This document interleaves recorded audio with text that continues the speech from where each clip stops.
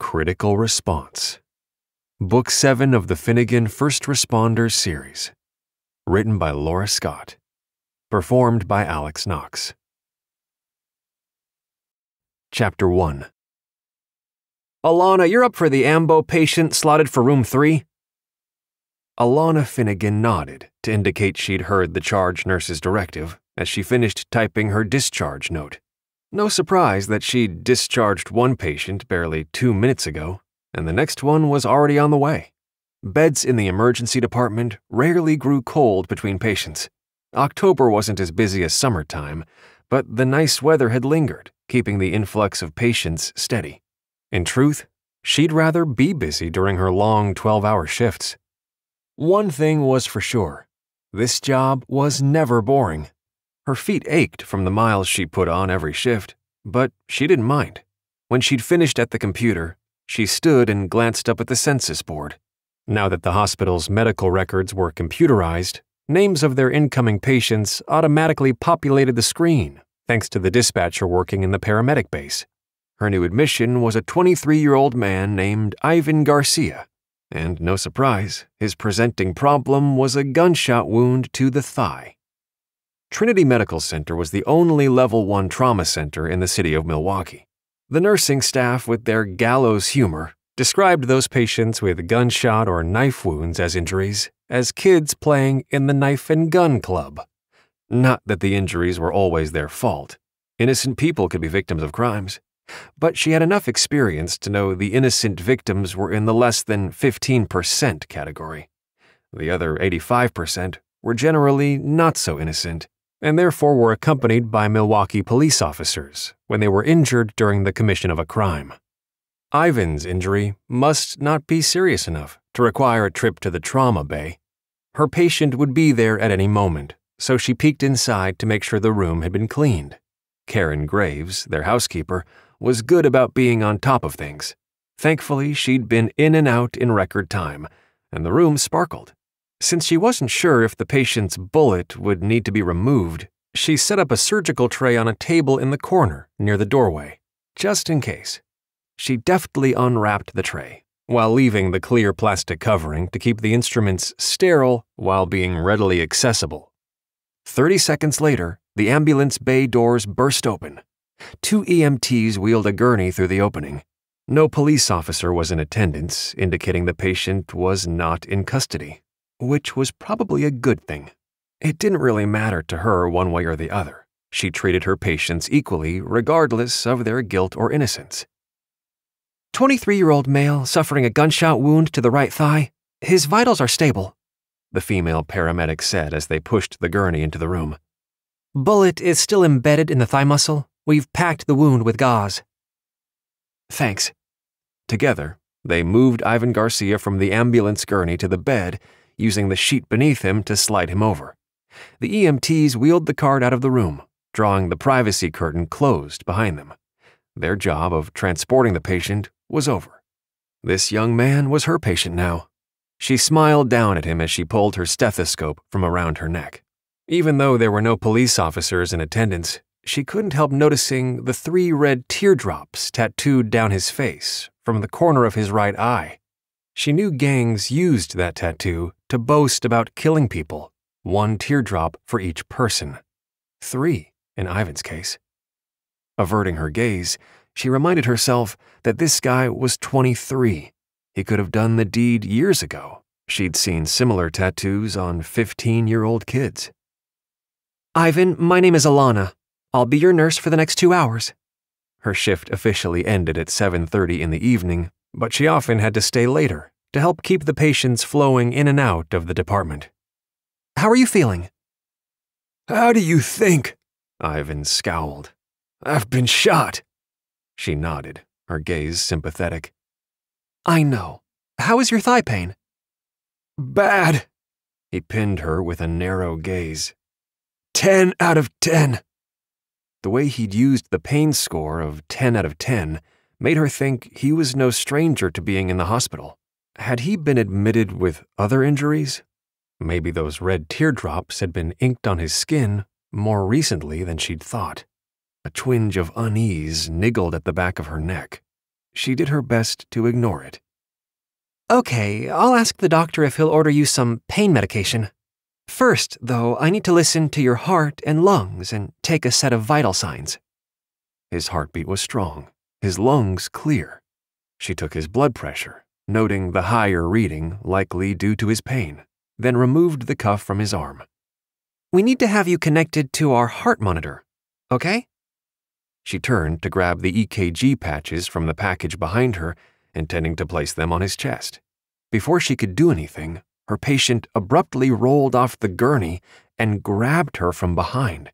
He brought his arm across her neck, pressing tightly against her throat in a vice like grip. She was so surprised by his actions, she didn't have time to scream. With his arm choking her, breathing was impossible too. Help, she silently shouted. You're going to get me out of here before the cops show up. Understand? The harsh voice in her ear was punctuated by a tightening of his arm around her neck. This close, he reeked of sweat and alcohol. Anxious to appease him, she nodded. Ivan dragged her several feet across the room before she could get her bearings. No, this couldn't be happening. Remembering his thigh wound, she tried to wiggle into a better position to use his injury to escape. She hadn't grown up with six older brothers without learning some self defense. Ivan stopped near the curtain as if understanding there would be plenty of other staff members outside the room. She used his momentary pause to her advantage, lifting her right leg and kicking backward at his injured thigh and knee with all her strength. Her rubber soled shoes wouldn't normally do much damage, but somehow she managed to hit her target. Ivan sucked in a harsh breath at the pain but didn't scream or cry out. His grip around her neck tightened painfully, choking her. He reached out toward the surgical tray and poked his fingers through the plastic to grab the scalpel. Do that again, and I'll slice your throat. Understand? His voice was low and harsh in her ear. She could smell his foul breath and tried not to gag. I'm not going back to jail. Alanna froze, when the sharp edge of the blade cut into the skin beneath her chin. Warm blood trickled down her neck, running over his arm, still locked around her throat. Why had she set up the surgical tray? She inwardly railed at herself for being so foolish, even though it was too late for regrets now. We're walking out of here.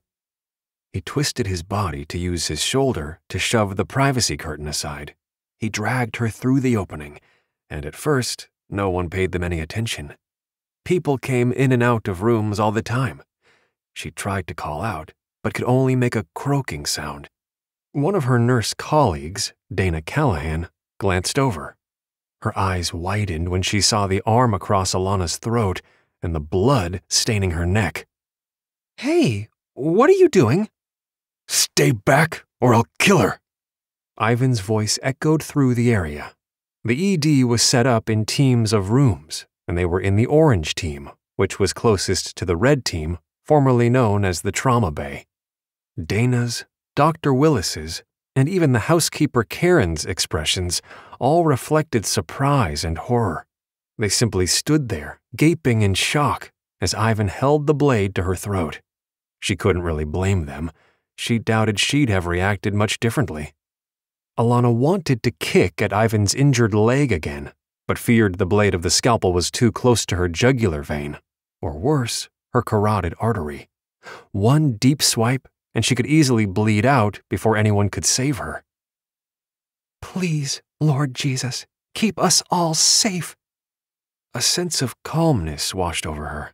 Ivan wanted her for a reason. His plan was to escape being questioned by the police all gunshot and knife wounds were an automatic report to the cops. By playing along, she could buy time. There was a Milwaukee County Sheriff's deputy stationed in the waiting room of the emergency department to help deal with family members of patients who were in police custody, an unfortunately common occurrence. Someone would call him or her in to help.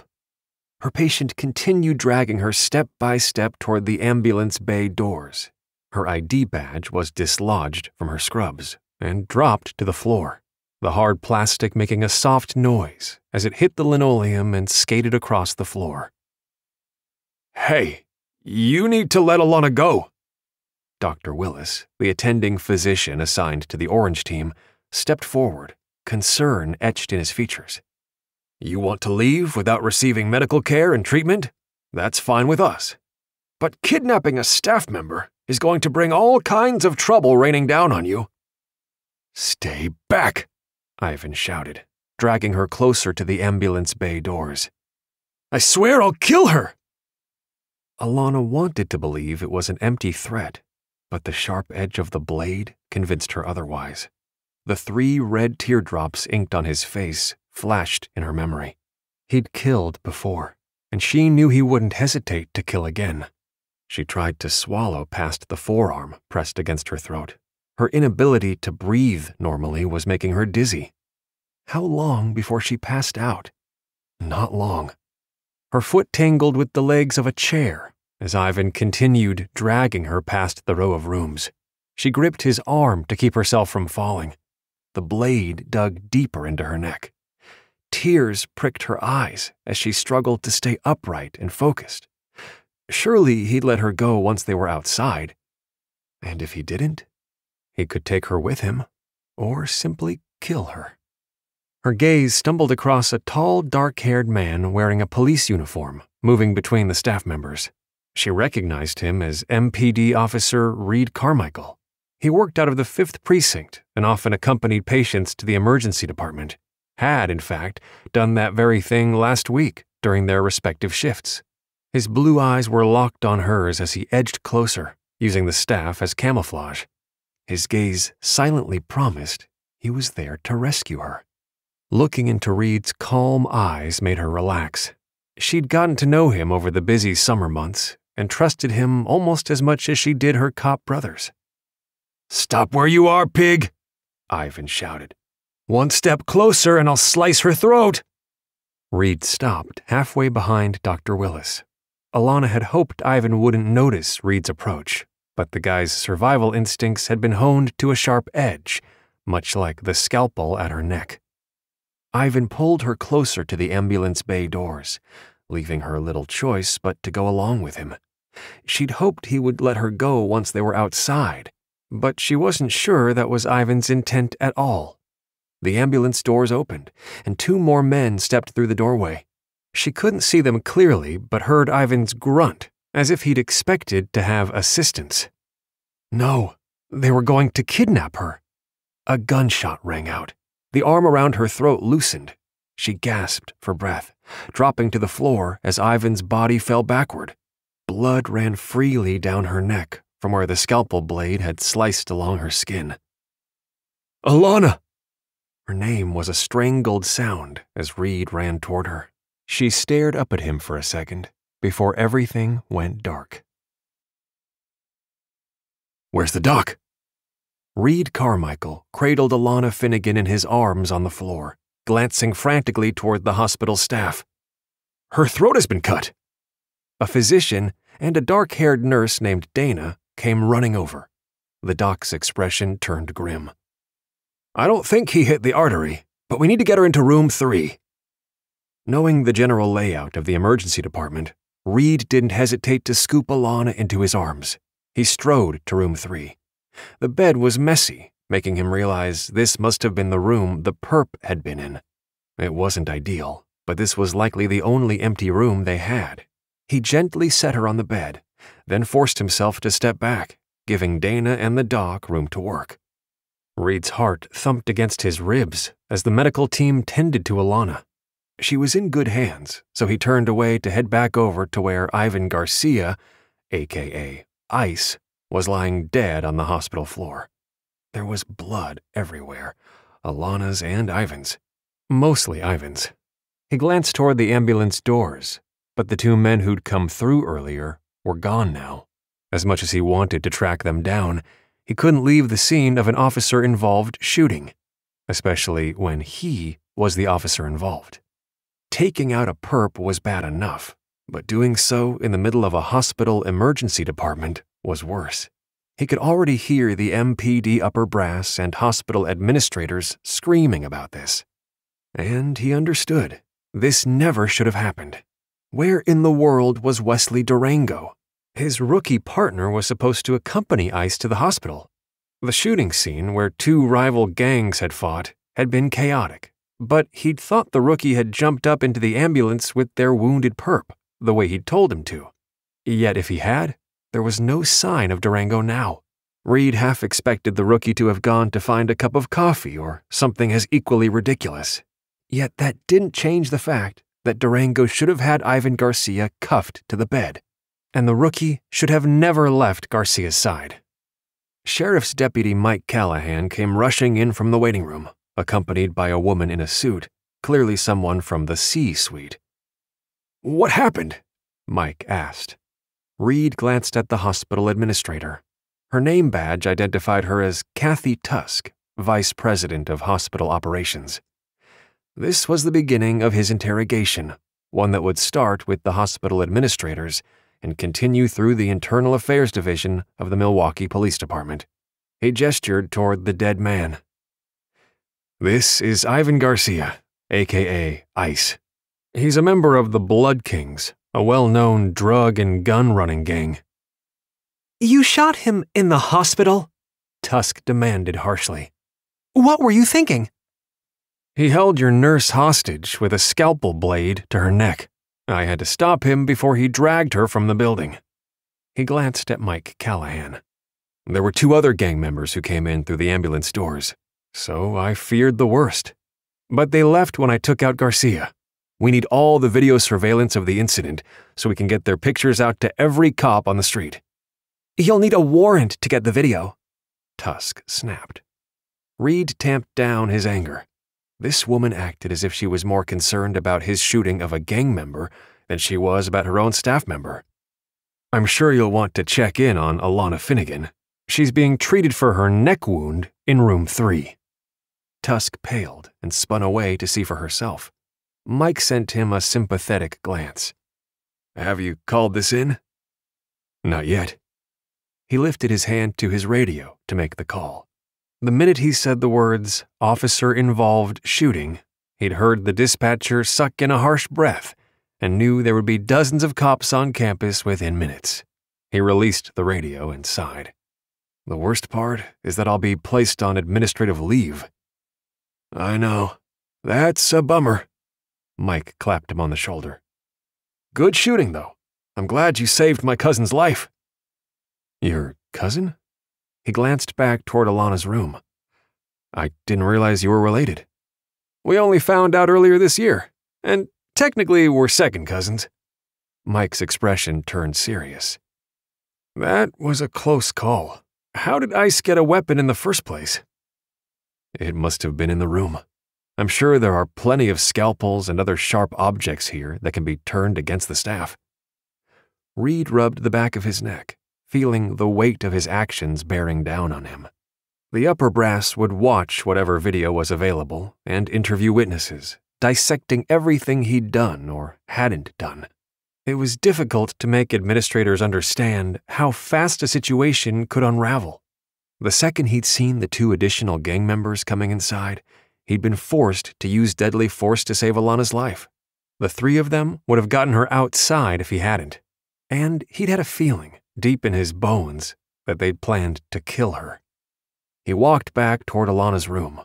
Her eyes were open now, and there was a gauze bandage over the cut in her throat. The doc was explaining about the stitches that would need to be placed to close the wound, reassuring her that they'd have a plastic surgeon do the work to minimize a scar. Alanna's gaze shifted from the doctor to him. Her dark brown eyes shone with gratitude as they clung to his.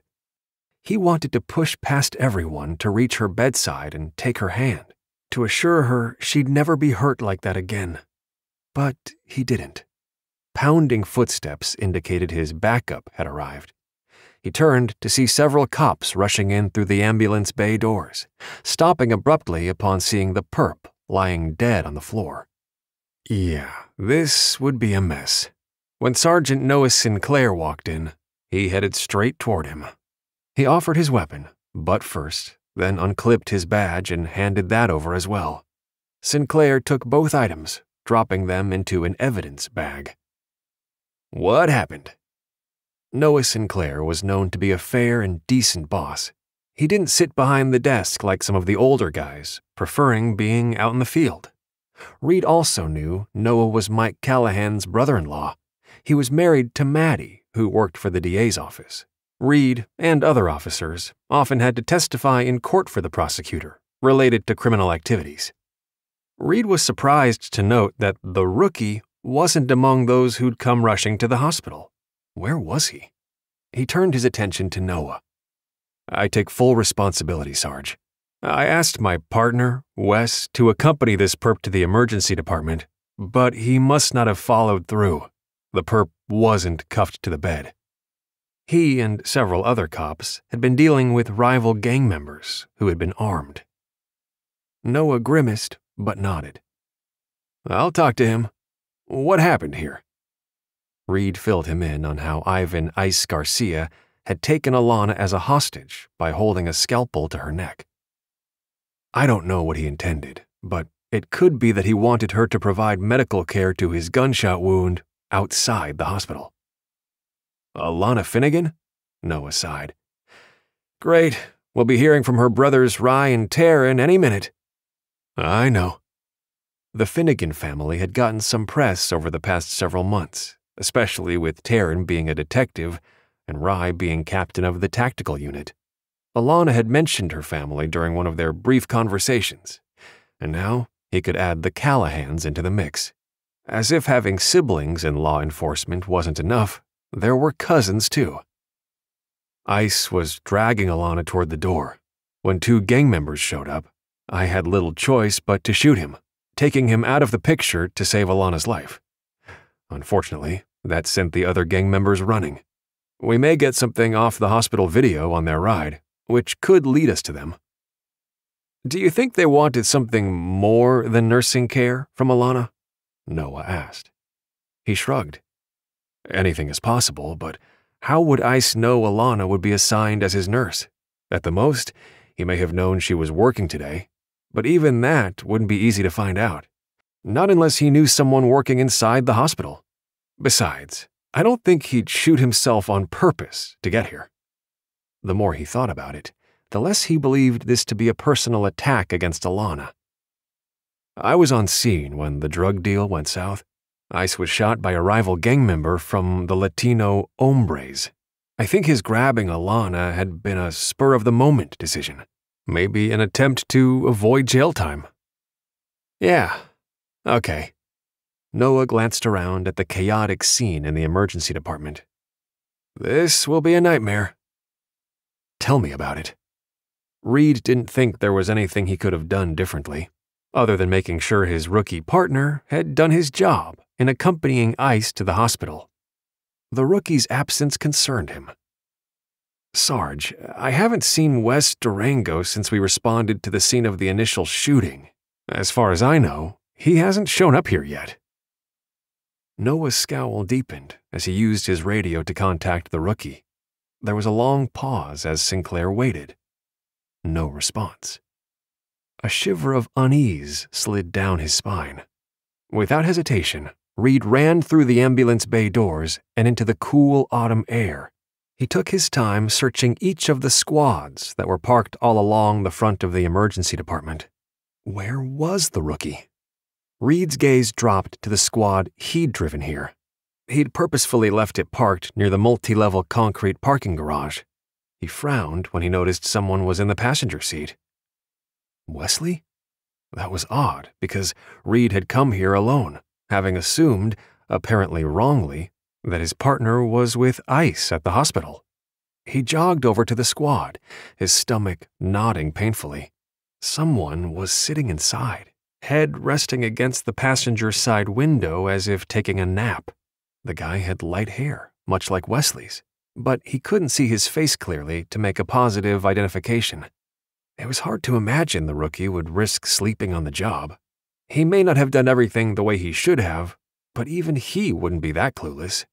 As he opened the door, the person inside toppled out of the squad, hitting the asphalt road with a hard thud. The rookie's pale white face pointed to the sky, and above his dead stare was a small, round bullet hole. Wesley Durango had been murdered. Chapter 2 Alanna would have preferred taking care of three rambunctious patients at once, rather than lying still while a plastic surgery resident stitched the wound in her neck. She didn't much care for being on this end of the hospital bed. It was humiliating to realize she'd passed out after Reed shot her patient, something she'd never done before, not even during her nursing training when she'd taken care of some grisly wounds involving blood, brain matter, and amputated extremities. With eight siblings, all but one older than her, she'd considered herself to be tough. Apparently, she was a marshmallow, collapsing like a damsel in distress. How embarrassing. She owed Reed Carmichael for saving her life. The moment she'd glimpsed him moving through the emergency department, she'd known he would do everything possible to rescue her. Yet she wished he hadn't needed to use lethal force. She could only imagine what he was going through. She knew from her older cop brothers that Reed would be put on administrative leave until his actions had been thoroughly investigated. All done, the resident said with a smile. Thanks. She could feel the tightness where he'd placed the sutures. The incision would hurt like crazy once the local anesthetic wore off. When the resident turned to leave, she sat up on the edge of the bed. Alanna! Rye bulldozed past the resident to enter the room his brow creased with worry. Are you okay? She should have known her eldest brother would have heard about this through the police grapevine. She managed a smile. I'm fine, Rye. How are you? And Devin, is she feeling okay? How's the baby?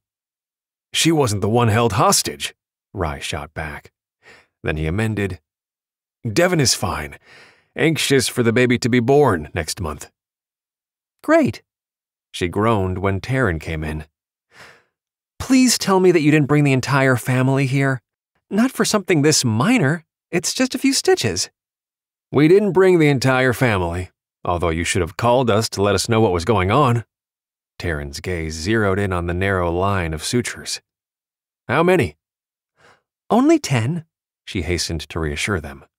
Rye and Taryn were the oldest of the nine Finnegan siblings. They'd stepped up to hold the family together after their parents had died in a car crash over 10 years ago. She and her twin, Aiden, had been 17 at the time, and Ellie, the youngest, was only 14. Alanna admired her oldest siblings, but she knew they were overreacting by rushing to the hospital to see her. She suspected part of the reason they'd come was to learn more about how the event had unfolded. I would have called, but I've been busy, don't worry, I'm fine. Thanks to Officer Reed Carmichael. Rye and Taryn exchanged a long glance. We heard from both Mike Callahan and Sergeant Noah Sinclair about how Carmichael took the perp down, Rye said. But what we don't understand is why this guy wasn't in police custody. He should have been cuffed to the bed with an officer standing guard. Since she had no idea why Ivan Garcia hadn't been accompanied by the police, she didn't comment. I'm sure that will be part of the investigation. It better be, Rye muttered darkly. He ran his fingers over his short blonde hair. This was a close one, sis. It could have ended badly. I'm aware. She strove to keep her tone light. You know as well as I do that God was watching out for me. He was, Taryn murmured in agreement. Look, will you please let the rest of the family know I'm fine? Alanna glanced at each of her brothers. Especially Aiden, as I know he's training this weekend. I don't want him to come rushing home for no reason. Her twin, Aiden, was with the National Guard.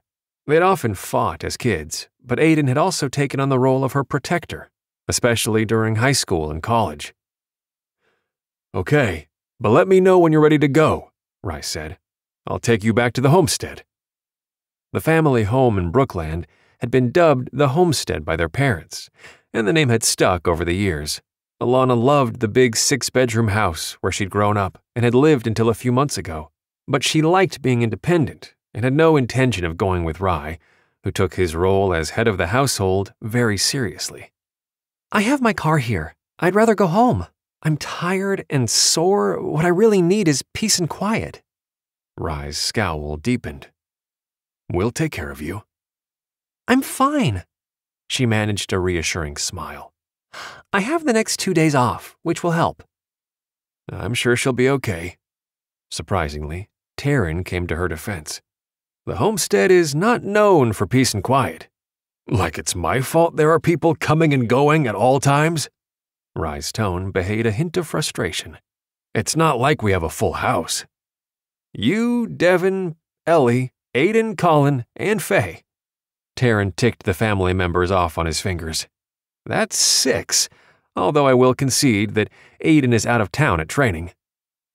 Colin and Faye are moving into their own place by the end of the month, Rye pointed out. He held her gaze for a long moment, then shrugged. Okay, fine. But I want you to promise to call if you need something. I will. She sent Taryn a thankful look. Her brothers left, no doubt planning to talk to the officers still on scene about what had transpired. She barely had time to relax when Dana Callahan rushed into the room. How are you feeling? Dana raked a critical eye over her. Are you okay? I'm fine. She proved her point by sliding off the bed to stand on her own two feet. Thankfully, the room didn't spin. I'm surprised you're still here. Isn't our shift over? It's chaos out there, Dana confided. They finally moved the dead guy to the morgue, but there are cops everywhere, including your brothers and my brother in law. And the hospital administrators are here too. I've never seen so many suits in one place in my life. She could imagine how upset hospital management must be over the shooting that had taken place in their emergency department. The thought of dealing with them made her headache worse. I was hoping to head home. You should. Didn't the VP of Operations already take your statement? Yes. At least that interaction hadn't been too bad, and it had been cut short by the arrival of the plastic surgery resident. The VP had looked a bit pale at seeing her incision, which had given Alanna a flash of satisfaction. Easy to sit in C suite offices all day, making decisions that impacted the front line, but seeing firsthand what it was like working in the ED was something very different. She was glad the woman had gotten a glimpse of reality. Dana frowned. Hey, where is your ID badge? You can't clock out at the end of your shift or get your car out of the parking structure without it. Alanna put her hand up to the v neck of her scrub top, swallowing hard as she relived those moments when she'd been dragged through the department. I think it fell off. Stay here. I'll go look for it. Oh, and you need to take clear bandages with you to place over the sutures while you shower. Dana gently pushed her toward a chair. Please, Sid. I'll get what you need. You don't look so good. She didn't feel good either, so she dropped into the chair. If Dana couldn't find her ID badge, she'd need to go to security to get another one. Hopefully, they wouldn't make her take another photo. She put a hand to her hair wincing when she realized there was dried blood stuck to the blonde strands. Her blood? Or Ivan Garcia's? Her stomach somersaulted at the possibility of the latter. After a few minutes, Dana poked her head in the room. Alanna, I have Calvin Richter from security bringing you a new ID. There's no sign of your badge anywhere. We think the police may have taken it. She inwardly groaned. Okay, I hope he hurries. He will. She came into the room with a handful of clear plastic dressings. Take these. I'll finish your note on Garcia. No, I'll do it. Alanna set the dressings aside. She hadn't even thought about the fact that she needed to complete a discharge note on her patient. And what exactly would she write? His dragging her out of the room with a blade to her throat didn't belong in his medical record. Since she had to wait for Calvin anyway, she rose and crossed over to the computer. She logged in manually, since she couldn't use her ID badge, and opened Ivan Garcia's chart. She quickly typed in the brief exam and his blood pressure reading she'd gotten. She held her fingers over the keyboard, trying to think of a way to professionally end the note. Finally, she typed a brief statement. Patient left without receiving any medical or nursing care. It was true. and everything Ivan Garcia did after leaving the room would have to be entered into the hospital incident reporting system, not his medical record. She sighed, realizing she'd have to be the one to do that report, so she quickly did so, deciding to get it over with. When that task was finished, she logged off. Miss Alanna?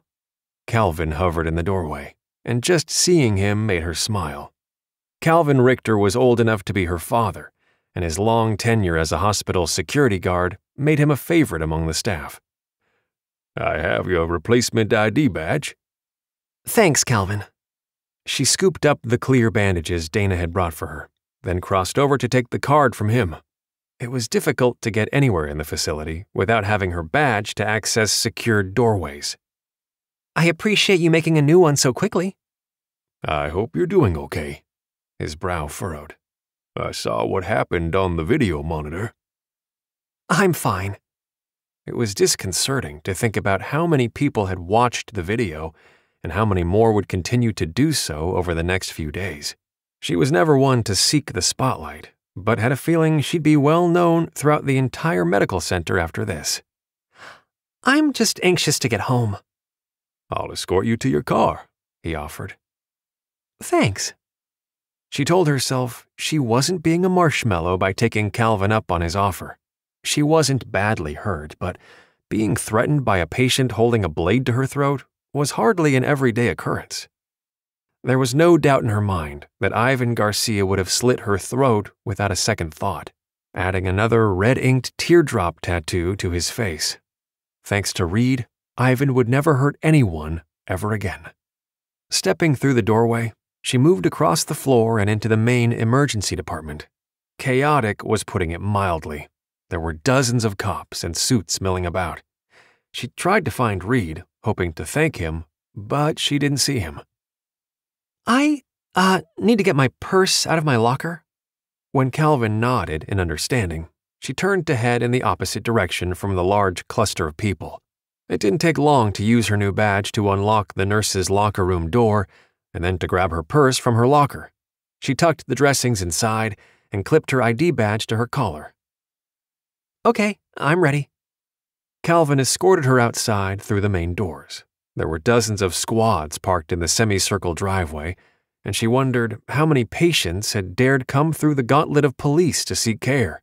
Many, she knew, avoided the police. Her gaze landed on a cop sitting on the curb, holding his head in his hands. Reed? She quickly hurried over to drop down beside him, resting her hand on his back. Are you okay? Alanna? His head lifted, his gaze meeting hers. You're leaving? My shift ended an hour ago, and I've been cleared to leave. The darkness made it difficult to read his expression. I'm sorry you're in the hot seat. I hope it doesn't take them too long to finish the investigation. It doesn't matter. I'd do it again in a heartbeat. He rose to his feet, then offered her his hand. Her palm tingled as he gently pulled her upright. Come on, I'll walk you to your car. Oh, I uh. She glanced over to see Calvin had taken several steps backward, a knowing grin on his features. He waved his hand, indicating she should go ahead, then turned to head back inside. Was Calvin playing matchmaker now? Swallowing a sigh, she faced Reed and nodded. Thanks, I'd appreciate that. It didn't matter who walked her to her car. The sooner she made it home, the better. She'd had enough drama for one day. Seeing Alanna had given him a boost of energy, something he'd badly needed since his partner's dead body had fallen out of their squad. If not for the video feed showing two men in hoodies shoving the dead cop inside, Reed suspected he'd be in jail for the rookie's murder. Will you give me a minute? He put a hand on Alanna's arm. I need to let the upper brass know I'm leaving. Sure. Reed strode toward the group of cops clustered around his squad. They'd removed Wesley's body, but the vehicle itself would be combed for evidence. Per the video, the hoodie guys were wearing masks and gloves, but there was the possibility of hair samples being left behind. Not that he held out much hope they'd find something useful. The way the hooded suspects had stuffed Wesley's body inside the squad had reeked of brazen confidence. He felt certain they were members of the Blood Kings, but without proof, there was nothing he or those officers assigned to the scene could do about it. I'm leaving, Reed said bluntly. This shooting was a big deal. Adams rarely showed up on scene, and his boss had been at the shooting scene earlier too.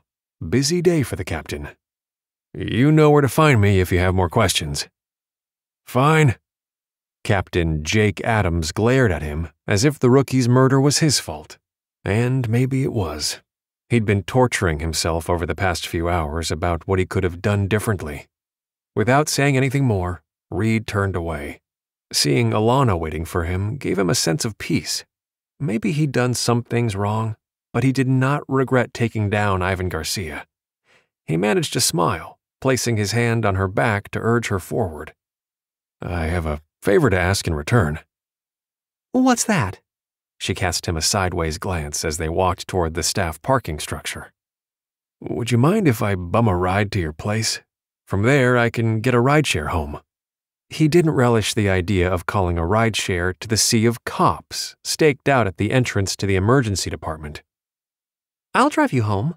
She frowned. I assume you drove here, right? They won't even let you take the squad to get home? No, Reed grimaced. Unfortunately, the squad is a crime scene. What? She abruptly stopped to gape at him. I don't understand. I thought the crime scene was inside the emergency department. I'll explain on the way. He wouldn't be able to tell her too much in case the investigation done by the Internal Affairs Department didn't go well. She dug in her purse for her keys, then continued toward the parking structure. I'm on the third level. Let's take the elevator. To his non medical eye, she looked pale and tired. The row of stitches marred her beautiful skin, but he knew the injury could have been much worse.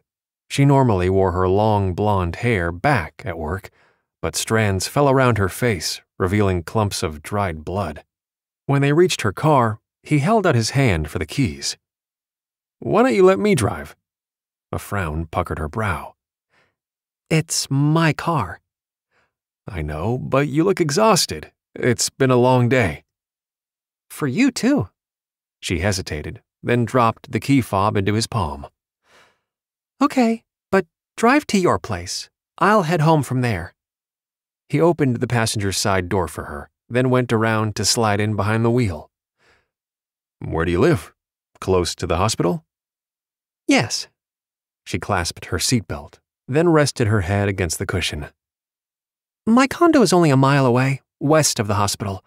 I should walk to work, but after being on my feet for 12 and a half hours or more, I can't bear the thought of walking another mile to get home, especially at night. The neighborhood around the medical center was safe enough, but he understood her concern. A beautiful woman like Alanna needed to be careful. He drove out of the parking structure, pausing at the gate. Alanna passed her ID badge over so he could scan it to get through. When the gate lifted, he drove out, handing the badge back to her. How far away do you live? She tucked the badge in her purse. I really think you should drive to your place, Reed. I'm perfectly capable of driving myself home.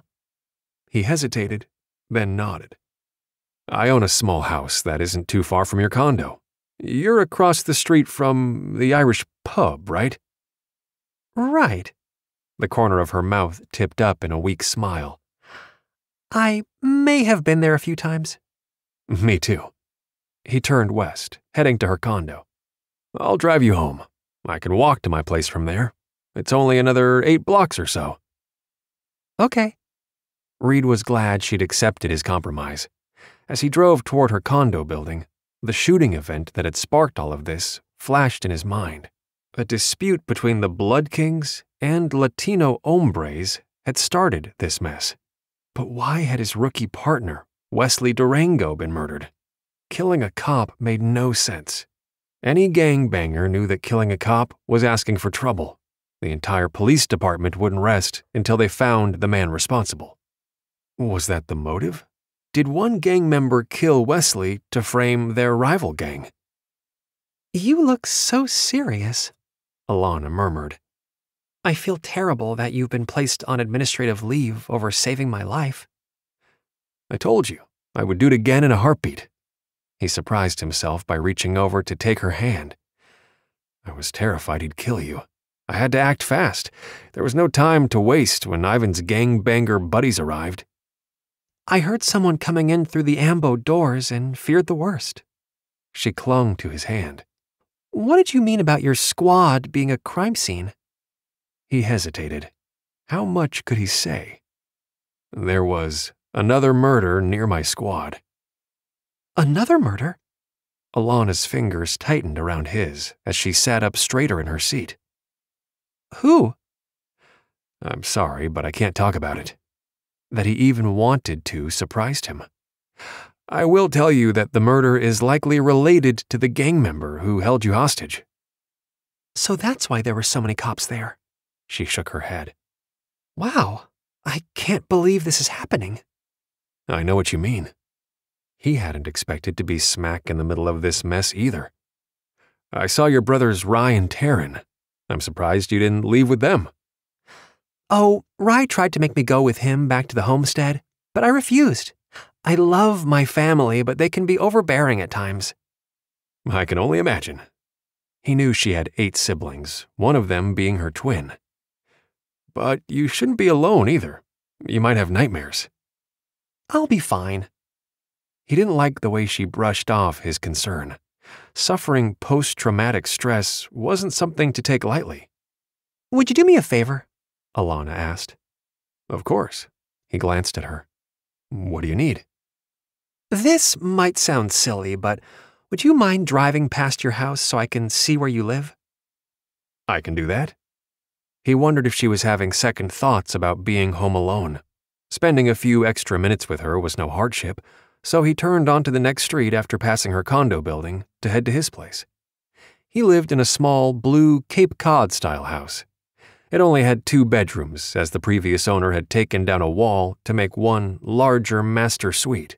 As the house was within his budget, the lack of a third bedroom hadn't bothered him. Did you think I was lying about where I lived? He pulled up in front of his house and gestured at it. It may not be much, but I like it. No, I didn't think you were lying, and it's a very cute place. Alanna smiled with appreciation. It is within walking distance, too. She turned to face him. How is it that we didn't know how close we lived to each other until now? I have no idea. He'd been tempted to ask her out last week when he'd had a prisoner patient in the ED, but the timing hadn't seemed right. Flirting while on the job wasn't smart. Besides, he'd been burned in the past by a fellow female officer and wasn't sure he was ready to try the dating scene again. He began pulling away from the curb when he noticed a car without headlights coming up fast behind them. Alarm skittered along his nerves. He punched the gas, sending them lurching forward. Alanna grabbed her armrest as he continued pressing down on the accelerator. What's wrong? She twisted in her seat. Who's back there? I don't know. Hang on. He made a sharp turn up the cross street, driving as fast as he dared through the suburban neighborhood while keeping a wary eye on the rearview mirror. The car driving without headlights indicated they were looking for trouble. When he caught a glimpse of a dark car turning the corner behind them, he wrenched the wheel to make another turn. He had a bad feeling about who was in the car behind them. Call 911. Okay. She fumbled with her phone as he continued driving erratically through the neighborhood that he thankfully knew very well. As a runner, he routinely took different paths each morning before hitting the Oakleaf Trail. Reed thought for sure he'd lost the vehicle following them when a dark shape passed beneath a streetlight. Tense with frustration, he stomped on the gas again, trying to pull away, but he wasn't fast enough. Gunfire rang out, shattering the rear window of Alanna's sedan. Get down! he shouted hoarsely.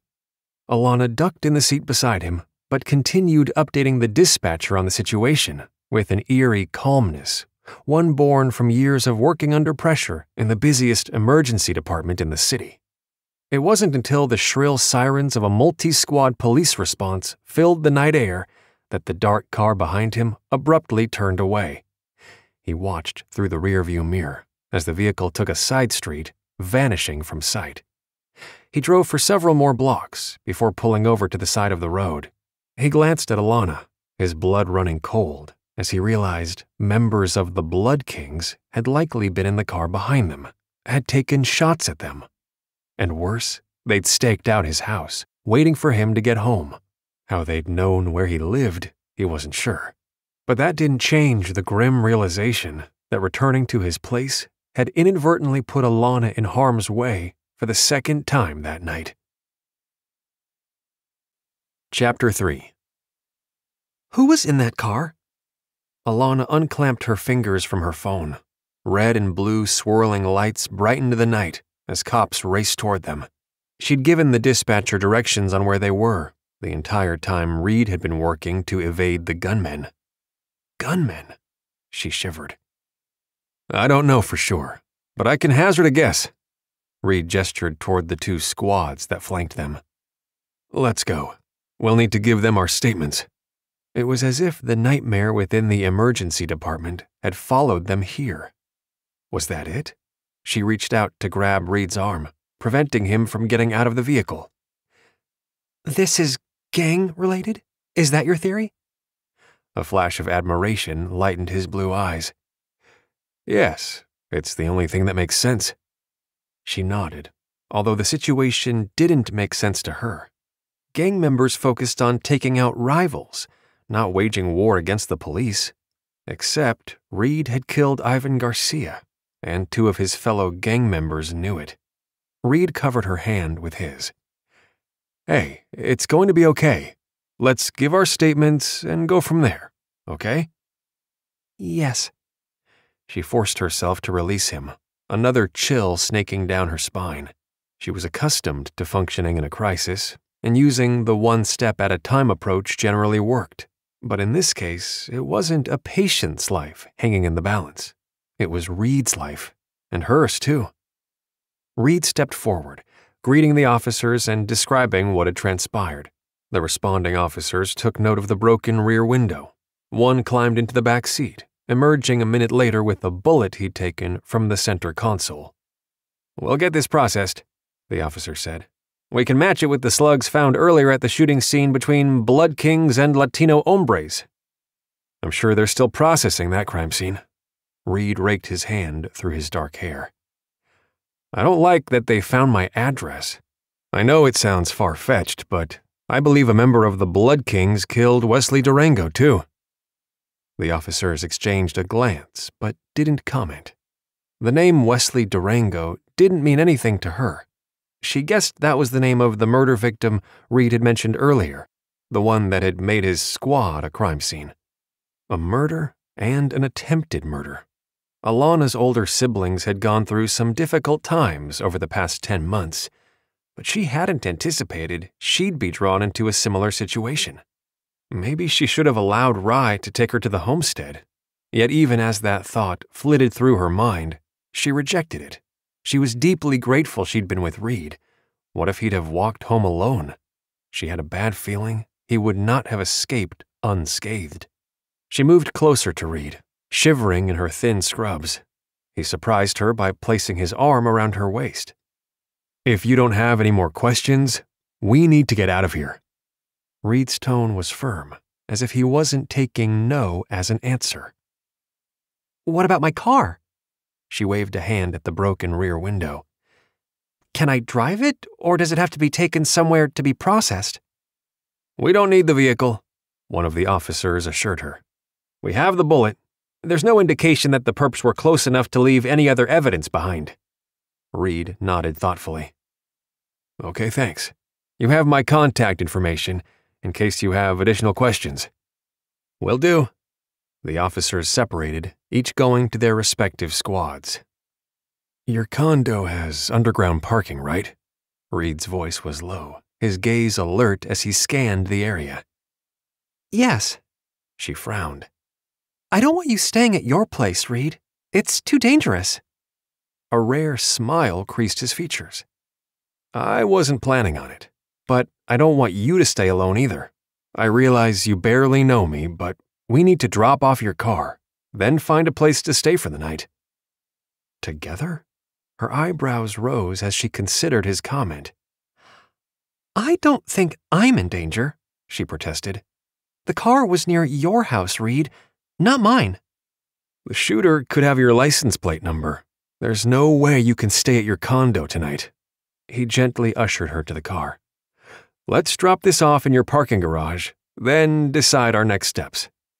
She nodded, allowing him to slide into the driver's seat.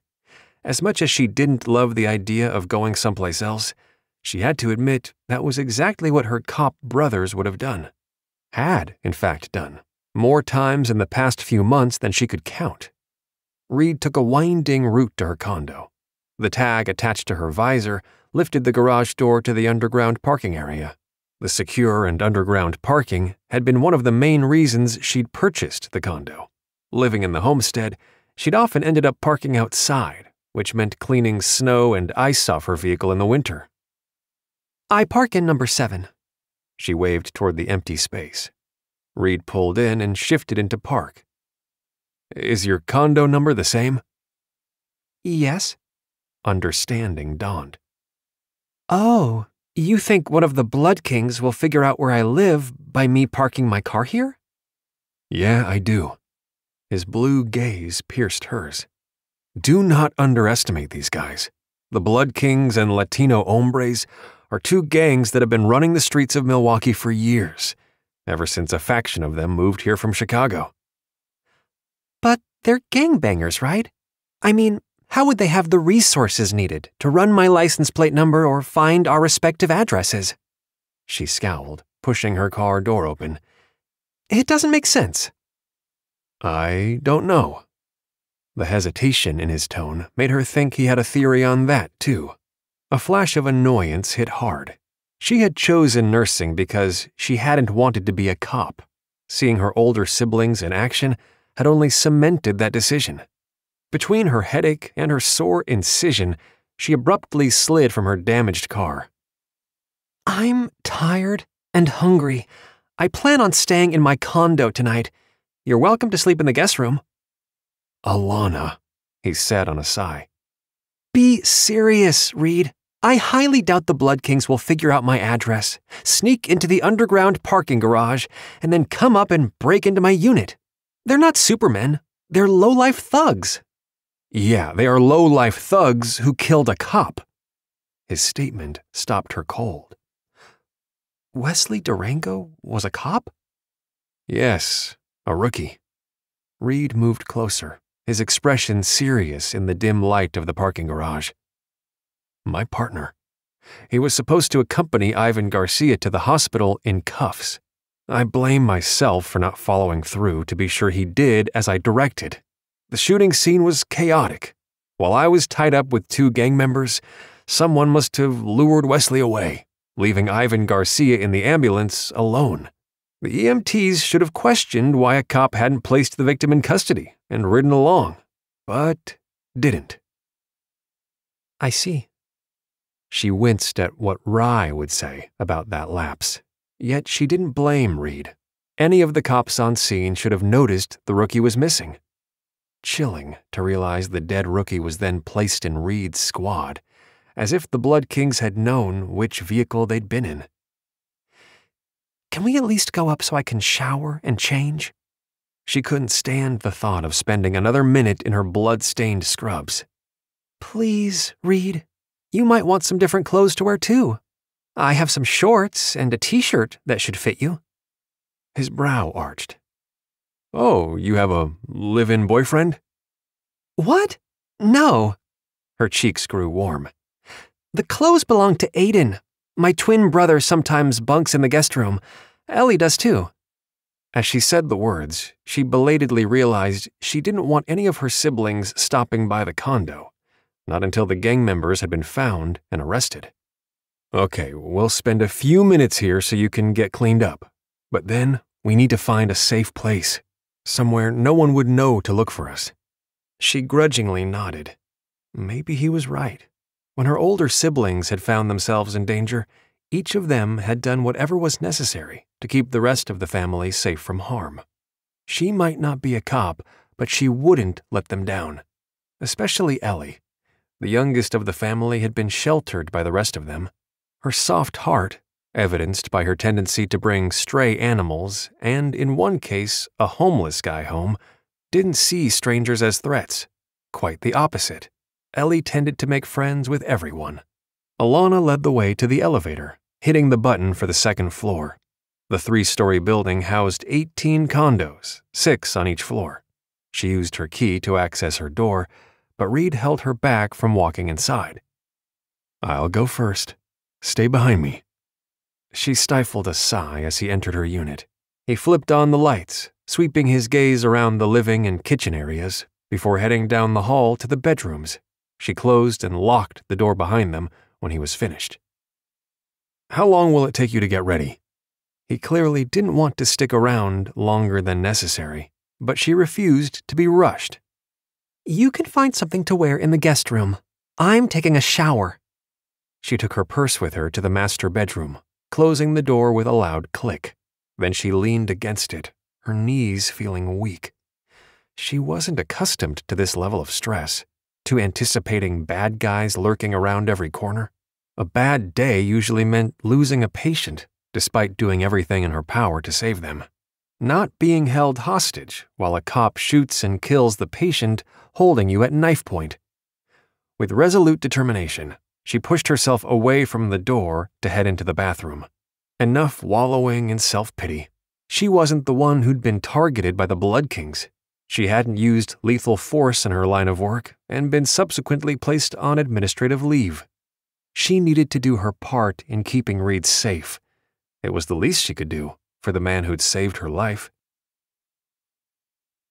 Reed didn't want to stay in Alanna's condo for a minute longer than necessary, but when he heard the shower going, he knew they weren't hitting the road anytime soon.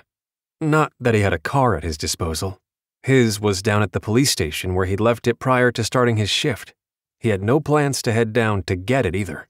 After the incident at his place, driving a vehicle under his name was only asking for trouble. Aiden's athletic pants and t shirt fit well enough, but what he really needed was his backup weapon. Feeling downright naked without a gun, he seriously considered sneaking out of the condo to run the eight blocks to his place to grab it. It took all his willpower to wait. He wouldn't leave Alanna alone and unprotected. Logically, he knew it would take time for the Blood Kings to find her address, they could stay for a short period of time before getting out of there. It wasn't lost on him that he was the main reason she was in danger. He'd been the one to shoot Ivan Ice Garcia, and it was his house that had been staked out by the Blood Kings. As he paced her living room, he decided the best option would be to drop Alanna off with her brother Rye. If he remembered correctly, Rye lived in Brookland with his wife Devon. Not only would it be easier for him to stay under the radar without her, but she'd be safer too. No question those bullets had been meant for him. When Alanna finally emerged, she looked more beautiful than ever. He'd never seen her with her long blonde hair waving around her shoulders, or dressed in anything other than shapeless scrubs. Her soft blue jeans and bright yellow long sleeved knit shirt hugged her sweet curves. He forced himself to look away lest he start drooling. Get a grip he chided. Alanna was a victim, not a potential date. Maybe he'd considered asking her out, but not now, not after everything that had happened. Clearing his throat, he managed to keep his tone light. Great. Uh, I'm glad you're ready. I'm not leaving until we eat something. She gave him a steely look as she opened the fridge. Luckily, I have leftover chili, so it won't take too long. I'm not sure when you last ate, but you're welcome to join me. He swallowed a groan and forced a smile. The clock on the stove indicated the hour was close to 9:15 at night, but he decided sharing a quick meal wouldn't hurt. Sure, chili sounds good. He hadn't eaten in hours, and as she nuked the leftovers, the spicy scent made his mouth water. Have a seat. She shot him an amused glance over her shoulder. Too bad I took the leftover cornbread to work today. Those scavengers ate every last bite. You made cornbread? He wished she hadn't mentioned it, because now he was drooling for real. I'm impressed. I don't mind cooking. She shrugged and opened the microwave to stir the chili. I don't always bother, though, since I live alone. He watched her as she brought the bowl of chili to the table. You don't have a boyfriend? Not anymore. She didn't elaborate, although he was curious as to what happened. She spooned the leftover chili into two bowls, giving him the larger one. Then she surprised him by clasping her hands together and bowing her head. Dear Lord Jesus, we thank you for this food we are about to eat. We ask that you keep Reed safe in your care and that the investigation into his shooting is deemed appropriate. Amen. Amen. He sat for a moment before reaching for his spoon. No one has ever prayed for me before. She looked surprised. I've prayed for you often over the past several months. Really? Her admission was humbling. Why? She blushed. Because you and all police officers on the job, like my brothers and sister, need God's protection. You place yourself in harm's way to keep the rest of us safe. The better question is, why wouldn't I pray for you? For all officers and first responders putting themselves in the line of fire. That's very sweet. A few bad apples in the cop ranks had ruined the overall appreciation of police first responders for the rest of them. He was secretly amazed that she'd cared enough to include him in her prayers. Don't keep me in suspense, she joked as he tried the chili. Do you love it or hate it? It's very good. He grinned, feeling light-hearted despite the danger lurking nearby. I'm impressed, Miss Finnegan. She rolled her eyes. Does that mean you thought I was useless in the kitchen? Never. Her kitchen skills, or lack thereof, had never entered his mind. He'd been drawn to her because of her beauty and her caring attitude toward her patients. Even those in police custody had been treated with kindness and respect. That wasn't always the case. He'd heard some of the staff spouting off, in derogatory terms, about the trauma patients they cared for. Truthfully, he could understand how staff may become irritated at taking care of gunshot wounds and knife injuries. Like cops, medical staff could become jaded. But not Alanna. No matter how badly the patients treated her, she always maintained a professional attitude. And he hoped this recent incident with Garcia wouldn't change that for her. How long have you worked in the ED? Five years. Aiden and I just turned 28 last month. She took a spoonful of chili, then added, I had to work the general medical surgical unit for a year before I could transfer to the emergency department. Those nurses work hard. They're stuck with the same patient for the entire shift, and sometimes for days in a row. She wrinkled her nose. I prefer the emergency department, where patients come and go throughout the shift. Even after tonight? As soon as the question left his mouth, he wanted it back. A shadow darkened her brown eyes. Yes, even after tonight. Although I'll take a hard pass on being held hostage again. I'm sorry. He could have kicked himself for being so dense. He reached for her hand. I shouldn't have reminded you. It's okay. Her smile didn't reach her eyes. But I have a new appreciation for what you face each day, Reed. It must be difficult to remain on high alert at all times. You get used to it. That wasn't entirely true, but he didn't want her to worry. She tipped her head to the side as if sensing he wasn't being honest. Then she asked, What's the plan, anyway? Do you have an idea on where we can go? He ate another bite of chili before answering. I was thinking you should call one of your brothers, either Rye or Taryn, to stay with them for a few days. I'd rather not expose you to any more danger. No, thank you. Her tone was polite, but she narrowed her eyes. Be reasonable. He tried not to show his impatience. Your safety is important. I know Rye and Taryn would agree with me. First of all, you said yourself the gunman might be able to get my address from my license plate. She pointed her spoon at him. Secondly, Rye's wife Devon is pregnant with their first child.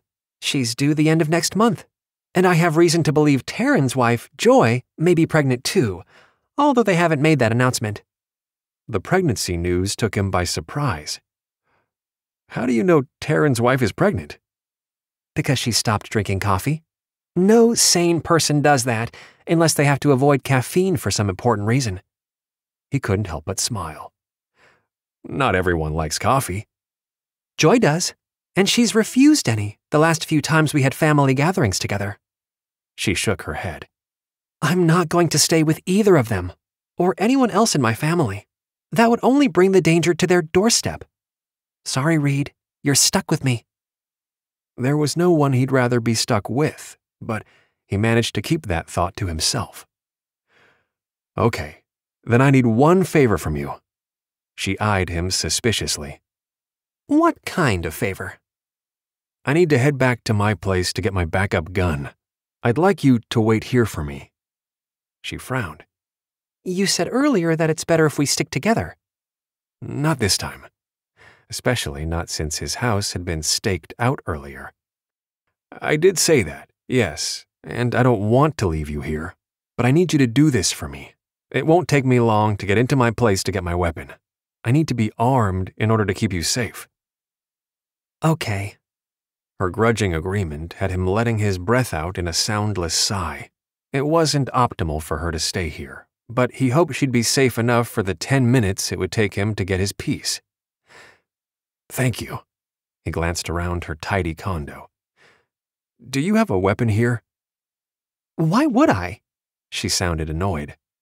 Just because most of my brothers and my sister Kylie carry guns doesn't mean we all do. You have knives, right? He arched a brow. That's a weapon. I don't think I could bring myself to use it. Alanna, he held her gaze. You know that's not true. If there had been a weapon nearby earlier this evening, I have no doubt you'd have used it against Ivan Garcia. She didn't answer, but the resigned expression in her eyes indicated she knew he was right. He let it go, quickly finishing his meal.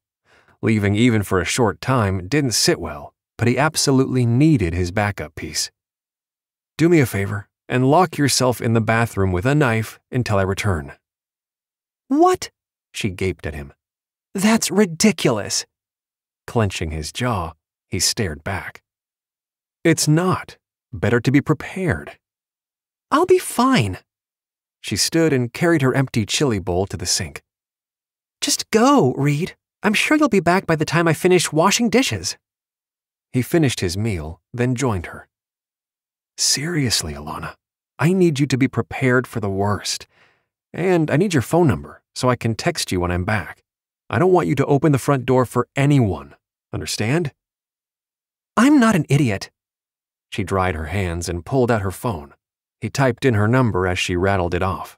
Then he called her so she'd have his number as well. Not exactly the way he'd wanted to get her number, but there was nothing he could do about that. He gathered his uniform together and then left the condo. A sense of urgency plagued him as he took the stairs down to the main entryway. He peered through the glass door, then slid out and jogged around the corner to the back of the building. He ran seven blocks without breaking a sweat. Then he slowed and cut through the yards of the houses along the last block so that he could approach his place from the rear, staying away from the well lit road outside his home.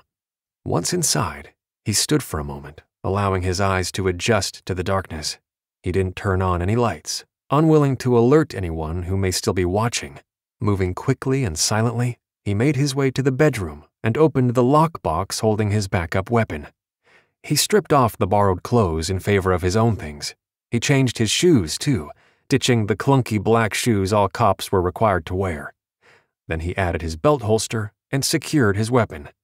He stuffed additional ammo into the pocket of his black leather jacket, along with some plastic flex cuffs on the off chance he might need them. After spending less than three minutes inside, Reed left via the back door, as silently as he'd come. He broke into a jog to get back to Alanna's condo, telling himself she was fine, despite the niggling feeling at the back of his neck. He slowed his pace two blocks from the condo, ducking behind a tree when headlights pierced the darkness. He didn't believe the vehicle belonged to the Blood Kings. Earlier, they'd driven without lights. Reassured once the vehicle passed by, he resumed his trek to the condo. A shadow of movement caught his eye, and he paused near a tree, searching the darkness. Was he letting his imagination run away with him? Reed told himself to stop being paranoid. He was about to step away from the tree when he saw two men dressed in hoodies cross the street just 20 yards from him. The niggle of warning coalesced into full blown alarm. He quickly texted Alanna a warning, then followed the two suspects. Within seconds, they split up, each going around the other side of the condo building. He dialed 911, even though he knew that by the time the police arrived, it would be too late. Chapter 4 Reed's text flashed on her screen. Two men in hoodies outside your building. Take cover. Remembering how she'd been held hostage, Alanna's heart jumped in her throat. She shut off all the lights, then ducked into the bathroom. She locked the door, then backed away, pressing her hands against her chest. Should she get in the shower? No. If these guys started shooting, the shower curtain wouldn't protect her. She'd forgotten the knife. Too late now. She wasn't going back out to the kitchen to get it. Besides, a knife only worked if the bad guys got close enough for her to use it.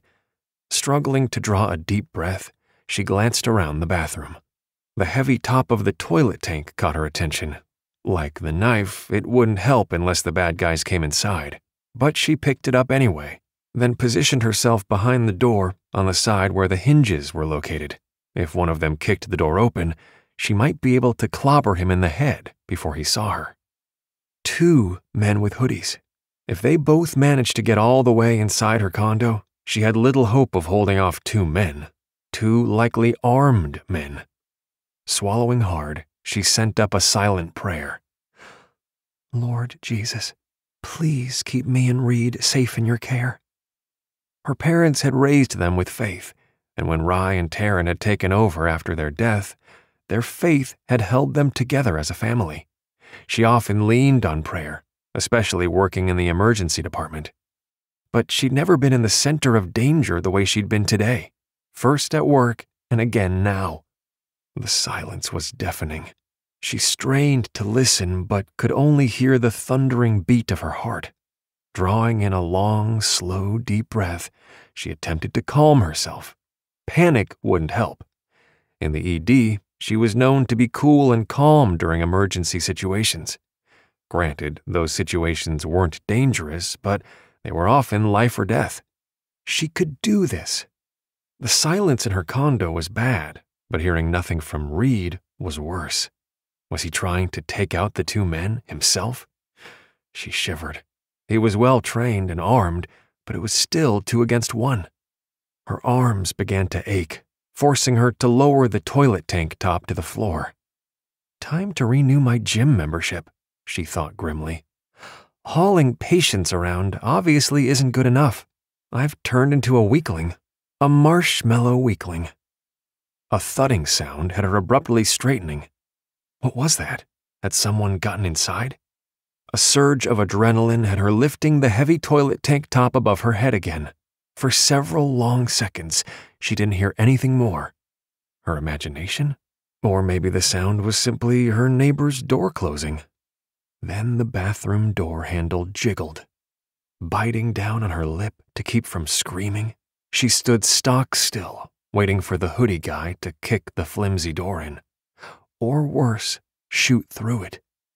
Another loud thud reached her ears. Was the second hoodie guy in the house too? Her arms trembled with the exertion of holding the toilet tank cover over her head. She held her breath, waiting for the bathroom to be breached. A shout rang out, followed by more loud thuds. After what seemed like eons, she heard her name. Alanna, it's Reed. Are you okay? The voice sounded like Reed's, but she found herself hesitating in case this was a trick. But she couldn't hold up the toilet tank cover any longer, so she lowered it to the floor and called, Reed? Is it really you? Yes. Hang on. A second later, her phone vibrated in her pocket. Propping the toilet tank cover against the wall, she glanced at the screen to read his text. You're safe. I have one guy in cuffs. The other got away. Reed caught one of them? She quickly replaced the tank cover, then gingerly opened the bathroom door. Peeking out, she could see two dark shapes in her living area. One was standing, the other was lying stretched out on the floor with his arms behind his back. Reed? Yeah, I'm here. Go pack a bag. The words were not a suggestion. We're getting out of here as soon as the cops arrive to take this guy into custody. I didn't do nothing, the hoodie guy muttered. Breaking and entering for starters, Reed said calmly. He flicked on a light, causing her to blink to adjust to the brightness. And I bet that gun I took off you isn't legal either. Gun? A wave of dizziness hit hard. This man had come very close to getting to her in the bathroom. If Reed hadn't noticed him and warned her, she turned away, bracing herself with a hand on the wall, her knees shaky. Abruptly straightening, she forced herself to move to the bedroom. She'd already changed clothes, but now she grabbed the gym bag she hadn't used in over four months and stuffed a change of clothes in beside her small travel case of toiletries. The all too familiar sound of police sirens filled the night. As she joined Reed in the living area, she could see red and blue flashing lights through her window. Her knees threatened to give out again, so she set her duffel on the small kitchen table and leaned against it. She hated feeling weak and helpless Yet seeing the cuffed man on her living room floor was surreal. None of this made any sense, especially if the guy Reed had cuffed was a member of the Blood Kings. Gangs didn't stalk and kill nurses. The logic of this attack escaped her. Of course, this guy had probably come for Reed. He must have gotten her address from her license plate. Yet even that seemed a stretch. Everyday gang members didn't have those kinds of resources. Alanna? Reed's low voice caught her attention. She lifted her head to look at him. You'll want to let the police in? Sure. She pushed herself away from the table and went over to the intercom system that was buzzing from below. She pressed the button to unlock the door. How did this guy get past the security? I think he must have gotten into the parking garage. Reed's grim gaze met hers. We should have left right away. He was right, and it was her fault they hadn't. We're safe now, and you having one of them in custody should help, right? Maybe the police will convince him to talk. Lawyer, the bound guy said in a loud voice. Maybe, Reed agreed, ignoring the guy he'd cuffed. He stared at her for a long moment, then glanced toward the door of her condo. It hung ajar, making her realize the lock must have been broken or breached in some way. How? She'd had the deadbolt on and hadn't heard anything loud enough to indicate the door had been kicked in. Two uniformed police officers came into her condo. Reed Carmichael? That's me. Reed gestured to the man on the floor. This man unlawfully entered the premises with the intent to harm the condo owner, Alanna Finnegan. Finnegan? The officer closest to her raised a brow. Related to Rye and Taryn? My brothers. She noted his name tag identified him as Officer Cohen. I don't understand how this man got inside my condo. Lockpicks. Reed held up several slim looking tools. I took these off him when I searched for weapons. He had a 38 special, too. Having a gun wasn't unusual for a gangbanger, but lockpicks? She stared at the cuffed man, who hadn't uttered a word since the cops arrived. The two officers crossed over to haul the perp to his feet. This guy had a teardrop tattoo near his eye, but it wasn't red in color, it was only drawn on his face. She knew that in the gang world, an empty teardrop indicated he'd injured someone but hadn't killed them. Small consolation. It took well over an hour for her and Reed to provide their statements to the responding officer. Once they began, they had to go back and fill them in on the events that had unfolded in the ED and the shooting that had taken place outside Reed's house. The time was going on 11 o'clock by the time they'd finished. She reached for her duffel, but Reed took it from her fingers. Let's go downstairs and grab a rideshare. Okay. She was too exhausted to argue. But we'll need a car at some point. I know. We'll worry about that tomorrow. Reed rested his hand in the small of her back as they took the stairs down to the first floor. Outside, she could see the officers in their respective squads, the perp sitting in the back seat behind the cage in Cohen's vehicle. It reminded her of Reed's dead partner who'd been placed in their squad. It hit her hard that the man sitting there had intended to add to the body count by killing her and Reed, too. For what? Revenge? It was the only explanation she could come up with. Reed glanced up from his phone, catching her gaze. The harsh planes of his face softened. You're going to be okay, Alanna. I know. She shivered, remembering those tense moments in the bathroom. She'd never wanted to carry a gun, but she was glad Reed was armed. Her brothers had taken her to the shooting range, a requirement their father had initiated. Most of her siblings owned guns. Colin didn't carry, and neither did Ellie. It was tempting to call Rye to ask for a weapon, but she refrained. Her oldest brother would want to hear the entire story and would try to insist she come to the homestead, despite Devon's pregnancy. Better to keep him out of this for a while. A white SUV pulled to the curb. Reed stepped forward to speak through the passenger side window with the driver. Then he opened the back door and gestured for her to climb in. You're heading to the Timberland Falls Suites? The driver asked. That's correct. Reed clipped his seatbelt, then reached for her hand. Got it. The driver had already put the information into the phone mounted on his dash. She gratefully clung to Reed's hand as the rideshare driver navigated the streets. Timberland Falls wasn't far, roughly 14 miles from her condo. Hopefully, it was enough of a distance that the Blood Kings wouldn't find them. She'd never known any gang members to operate outside of the Milwaukee neighborhoods they ruled. In some ways, it wasn't smart of them to venture to the suburban areas where men with teardrop tattoos stood out like sore thumbs. Then again, crime happened everywhere. Traffic was light at this hour, and they made it to the Timberland Falls Hotel in less than 15 minutes. Reed thanked the driver, slung her duffel over his shoulder, then escorted her inside. Without asking her opinion, he requested a two bedroom suite on the first floor. She knew he'd requested that specifically for a quick getaway. It must be exhausting to constantly plan an escape route. I can help pay. She reached for the zipper on the duffel to retrieve her purse. No need, I've got it. He handed over his credit card, then waited for the clerk to hand over their room keys. Their room wasn't too far from the lobby. Reed unlocked the door then held it open for her. The accommodations were nice. There was a small central living space with two bedrooms located on each side. Well, she stood in the center of the room for a moment. I guess this is home sweet home for the foreseeable future. Yeah. Reed set her duffel on the sofa. His solemn gaze met hers. I'm sorry. I never should have left you in the condo alone. She could tell he was beating himself up over it. I'm fine.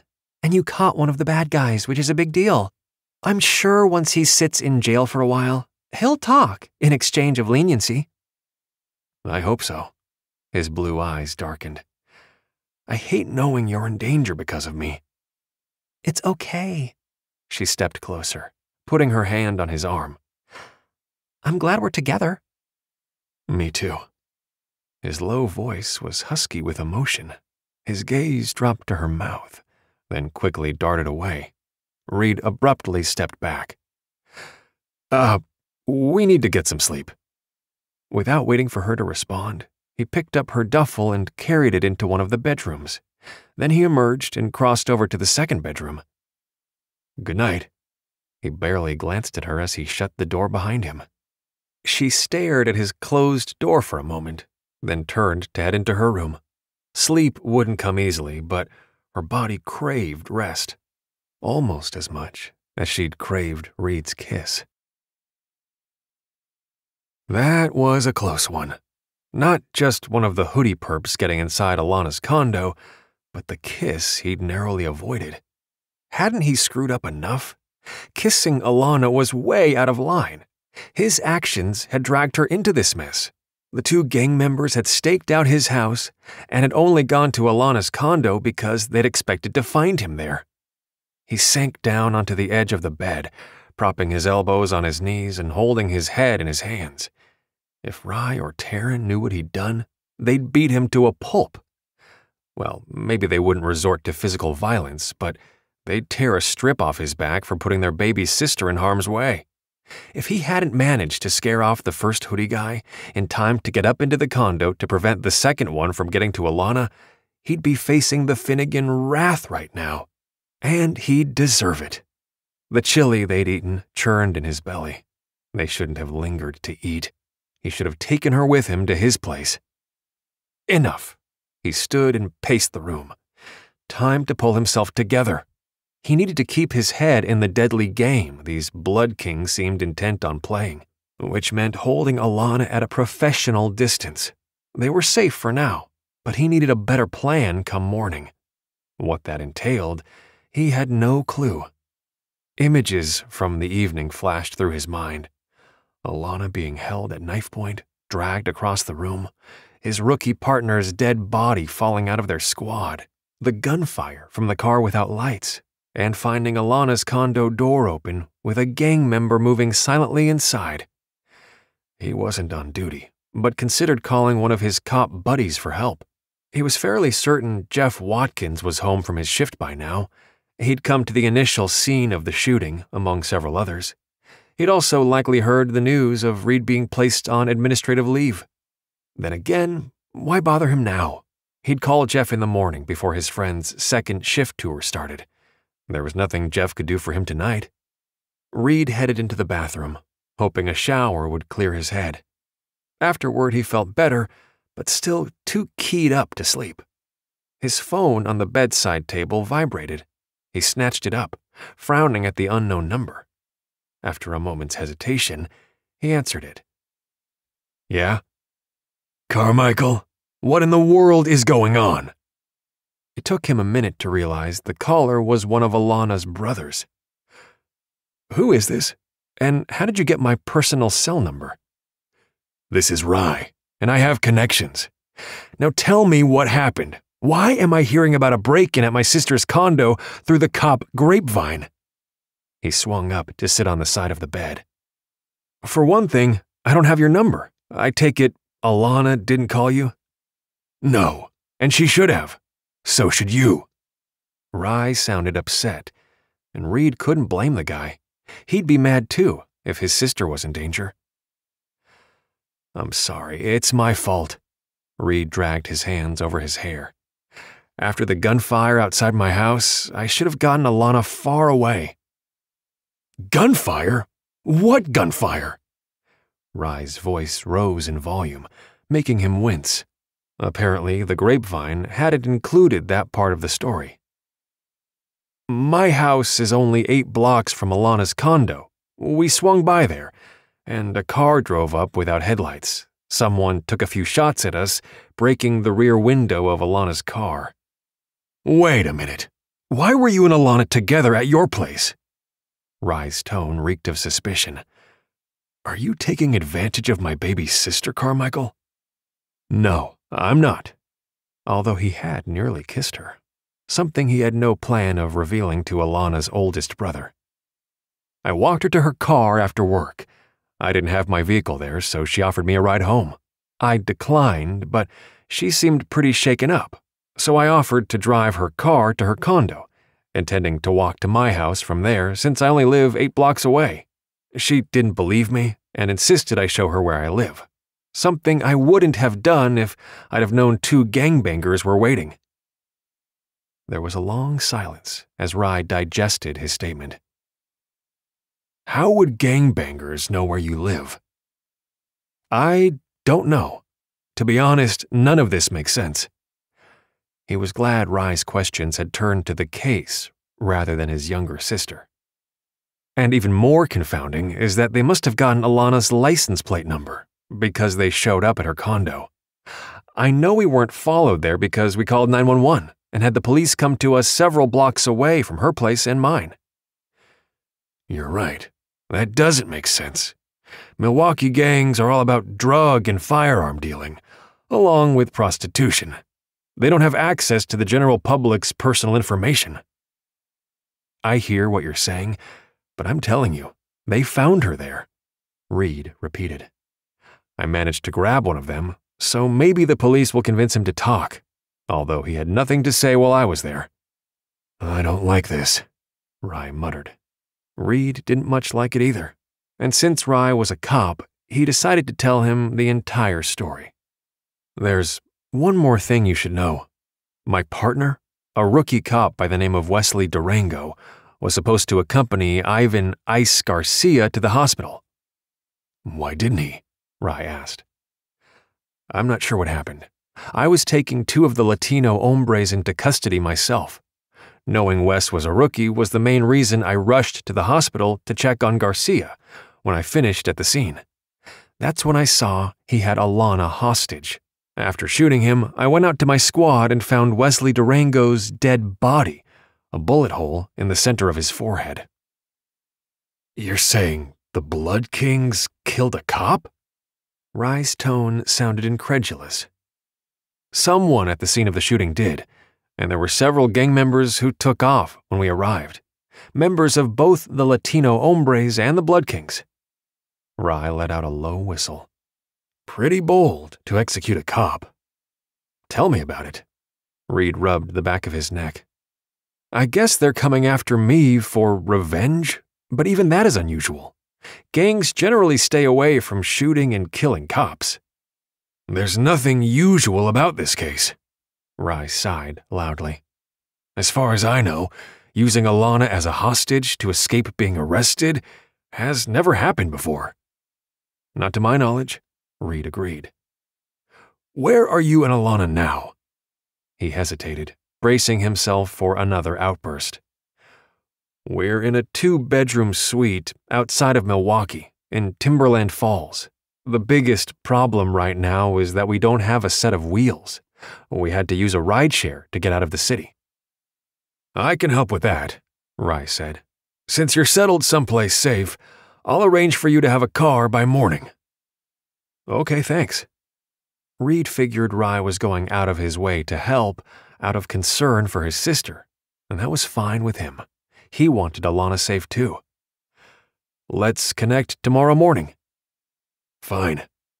There was a brief pause before Rye added, You better watch yourself, Carmichael. I expect my sister treated with respect. Understand? Yes, sir. Rye held the rank of captain, and Reed had no doubt that Rye would make it his mission to ruin his career if anything bad happened to Alanna. Not that he had much of a career now.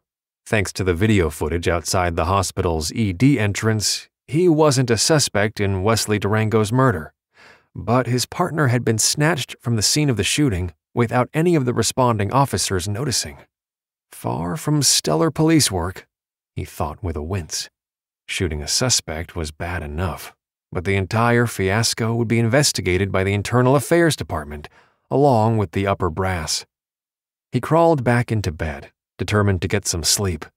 Just knowing he'd have Rye's support helped him relax. Nice to know he wasn't alone in this. Reed must have fallen asleep, because the next thing he knew, his phone was buzzing again. With a low groan, he picked it up, squinting at the screen. Who was calling at 5:30 in the morning? Not Rye's number, but one that looked familiar. Someone within his precinct. Not that any of the bigwigs showed up at work this early in the morning. He cautiously answered. Yeah? Carmichael, it's Simmons. Chuck Simmons. He recognized one of the newer night shift officers. What's up? You know I'm on administrative leave, right? He figured the guy was calling to swap shifts or something. Yeah, I know. I'm calling you from the bathroom. Okay, that was an image he hadn't needed. I wanted to let you know because I don't know if anyone else will. Maybe he was still sleep deprived because he didn't understand what Chuck was talking about. Tell me what? There's a price on your head. Chuck's voice dropped to a whisper. We heard from a source on the street that the Blood Kings have put the word out that anyone who kills you will get five grand. A chill snaked down his spine. That seems on the cheap side to shoot a cop. Don't joke, Simmons said in a grim tone. This is serious stuff. The source claims every member in the Blood King's gang is looking for you. Simmons was right. The situation wasn't funny. I appreciate the heads up. You need to get out of town, Reed. Stay far away until things have settled down. I'll do that. Technically, he was out of town. Thanks again for calling. You didn't hear it from me. Watch your back. With that, Simmons disconnected the call. Reed set his phone down, his fellow officer's words sinking deep. Killing Ivan Garcia was coming back to bite him in the butt. And while he normally wouldn't care about a bunch of gang bangers with a grudge against him, these guys had already proven their keen determination to make him pay with his life. Chapter 5 Alanna woke with a start, her heart thumping as the remnants of her nightmare faded. She lifted a hand to her incision, shivering as she reassured herself the nightmare wasn't real. In her dream, Ivan Garcia had slit her throat, then somehow had a gun in hand and started shooting everyone in sight the medical staff, the security guards, even Reed. Swallowing hard, she pushed her hair from her damp skin. Glancing at her phone, she noted the time to be five minutes before six in the morning. She'd always preferred day shifts in the ED, her natural sleep cycle was to wake up early.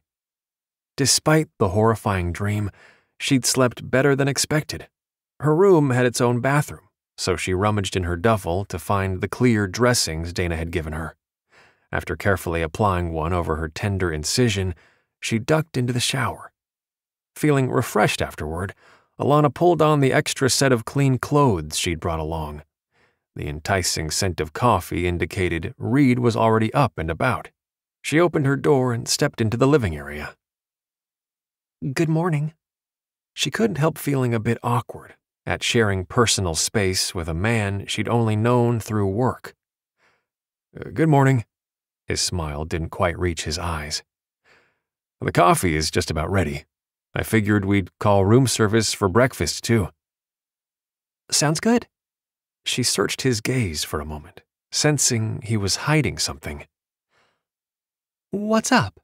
Did you hear something about the gang member you took into custody last night? He nodded as he filled a mug with coffee, then handed it to her.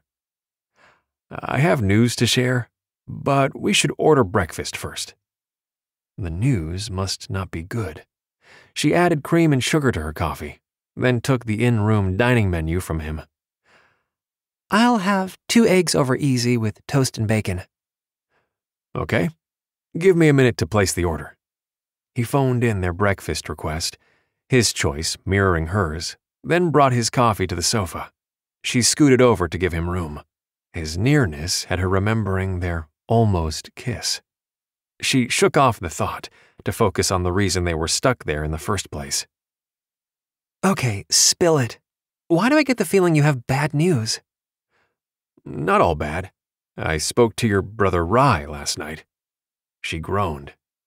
I should have called him when we got here. What happened? Did he interrogate you over the condo incident? He did.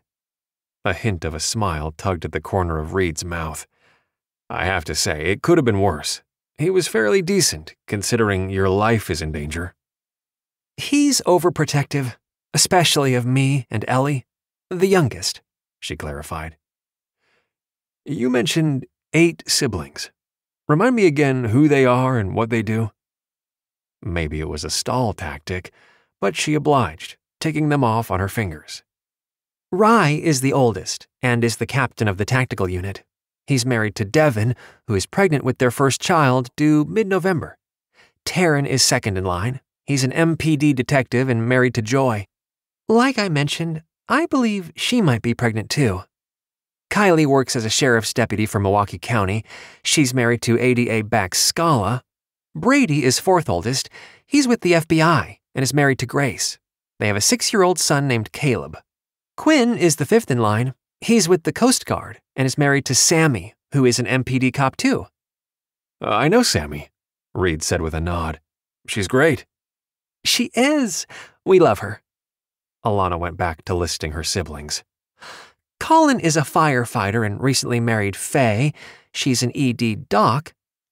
Thinking of Faye made Alanna glad her sister in law wasn't working the day she'd been taken hostage. My twin brother Aiden is three minutes older than me. He's with the National Guard. Then after me, there's Ellie. We call her the Oops baby. She's the youngest and has been working as an EMT. That's quite a lineup. He smiled, for real this time. I'm impressed so many of your family members are cops. Our dad was a cop, and my mom was a nurse. They met in the ED. Her cheeks went pink as she unwittingly drew a parallel between her parents and the way she'd met Reed. She averted her gaze, hoping he didn't notice. They emphasized that serving others is the most important thing we could do. That mindset was reinforced at church. We all took their example to heart, although, honestly, we're a bit concerned about Ellie. It's taken her a while to find her niche, and we're not convinced the EMT route is for her. Reed arched a brow. But she's working as an EMT now, right? Yes, Alanna shrugged. I can't really explain it, but I don't get the sense she loves going to work. I'm sure there are days you don't like going to work. Yeah, but it's something else. More like she's experiencing trepidation. She sipped her coffee. She'll figure it out and we'll support her no matter what she decides to do. Your family sounds amazing. Reed stared down at his coffee for a long moment. I have an older brother in the Army. We don't get to see each other very often. Our parents split up well over 10 years ago now, so we don't have many happy family gatherings. I'm sorry to hear that.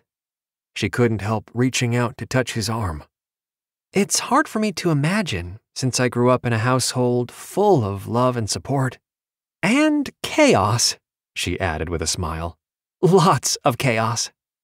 Reed turned to face her. I better understand Rye's concern last night. We need to keep your brother in the loop moving forward. I'm going to touch base with him after breakfast. He's going to help us get access to a car. The news didn't surprise her. When her older siblings had been in danger before, the rest of the family had rallied around, swapping vehicles often to help each other hide under the radar. Aiden was the most cost conscious of the group and had secretly bemoaned his precious truck being damaged by a fire back in August when he'd supported Colin and Faye. Rye is good at pitching in to help out. I can tell. Reed's expression turned serious. The second call I received was from a fellow officer in my district. Apparently, the Blood Kings have offered a five grand reward to anyone who kills me. What? She stared at him in horror. That's terrible. Yeah, it's not good. He tried to smile, but she could tell he was concerned. I think it's best if you head back to the homestead with your brother. I'll go off grid until the investigation into my shooting Garcia is completed. No, Reed, I don't want to put Devon in danger. She set her coffee down and turned on the sofa to face him. What are the police doing about this threat? Who's taking the lead on bringing the Blood Kings gang down? I don't know. Reed slowly shook his head. I didn't hear about the bounty through official channels. The cop who called me heard the info from a source on the street. The police department must be doing something about this. The idea that every gang member or even non gang members who wanted extra cash would be coming after Reed filled her with fear and dread. No way could she let him take off on his own. Your life is in danger, Reed. And really, every cop on the force's life is on the line, too. Some idiot might mistake another cop for you and shoot to kill. I've been thinking about that, Reed admitted. I'm hoping to get in touch with my lieutenant. He should be in after 7:30. He may know more about what strategies are being used to combat this attack. She wasn't satisfied and continued pacing the suite. Knowing Reed was the main target was bad enough, but what if Sammy, Rye, Taryn, or any of the other officers she knew got caught in the crossfire? She highly doubted any gang member would give a rip if they killed the wrong cop. More likely, they'd use it as a badge of honor, another teardrop tattoo.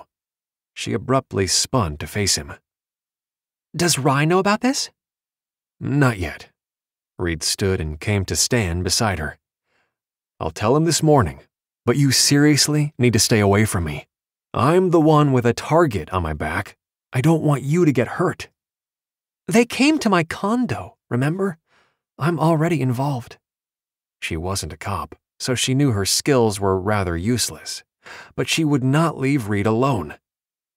We need to stick together. If someone is desperate enough for the cash, they might track me down to the homestead. I won't put my family at risk, Reed, no matter what. They stared at each other, both frustrated and upset. A knock at the door broke the tension. Room service? Reed sighed and stepped back. I'll get it. While he tipped the server and carried the tray of food to the table, she texted her brother Rye. Blood Kings put a price of 5K on Reed's head. Instantly, three little dots indicated her brother was responding. Not good. Call me. She turned to walk into her room, lifting the phone to her ear as Rye answered. Are you sure about this? Her brother demanded. Reed heard about it from a fellow cop in his district. She felt Reed coming up behind her, so she turned to face him. No sense in pretending she wasn't talking to her brother.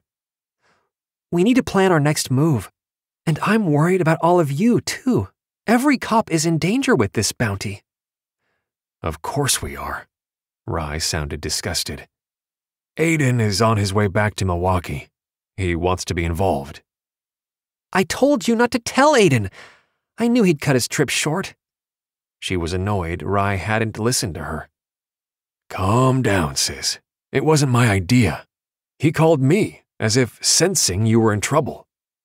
There was a pause before Rye added, I'll be in touch in an hour.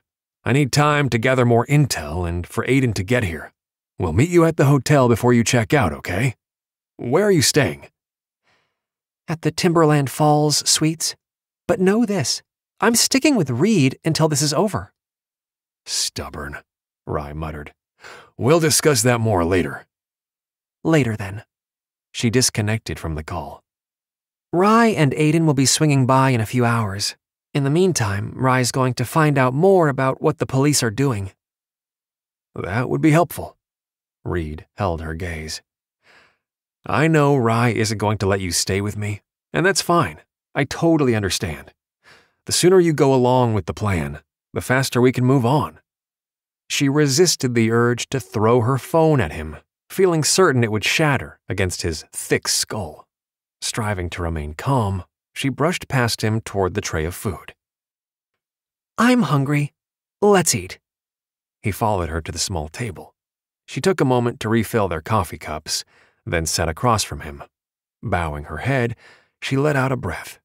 Anger was never useful. She sought patience instead. Dear Lord, we thank you for this food we are about to eat. We ask that you continue to guide us on your path while providing us the wisdom we need to fight the evil men coming after us. Amen. Amen, Reed echoed. But the evil men are after me, Alanna, not you. Both of us. She lightly touched the skin at her neck. The incision still hurt if she turned her head too quickly but the stitches weren't red or inflamed from infection. She was fortunate the injury wasn't worse. His mouth tightened as he eyed the line of sutures. They ate in silence for several minutes. She understood his concern for her safety. She had the same worry for his. But even he should be able to figure out they were better off staying together. Finally, she said, Leaving me alone at the condo didn't work out so well. If you care about me and my family at all, you'll allow me to stay close. He closed his eyes, then lifted his tortured gaze. Don't you understand? It's because I care about you that I want you safely away from me. His words eased the remnants of her anger. Please, no. The feeling is mutual, and it's because I care that we need to stick together. I never met anyone as stubborn as you, he muttered, stabbing an egg with his fork. Back at you. She didn't care if he was annoyed. The only thing that mattered to her was making sure the Blood Kings didn't succeed in their mission. Deep down, she knew God had brought them together for a reason, and no matter what Rye or Aiden said, she was going to stay with Reed until the danger was over. Reed couldn't decide whether he wanted to throttle Alanna or kiss her.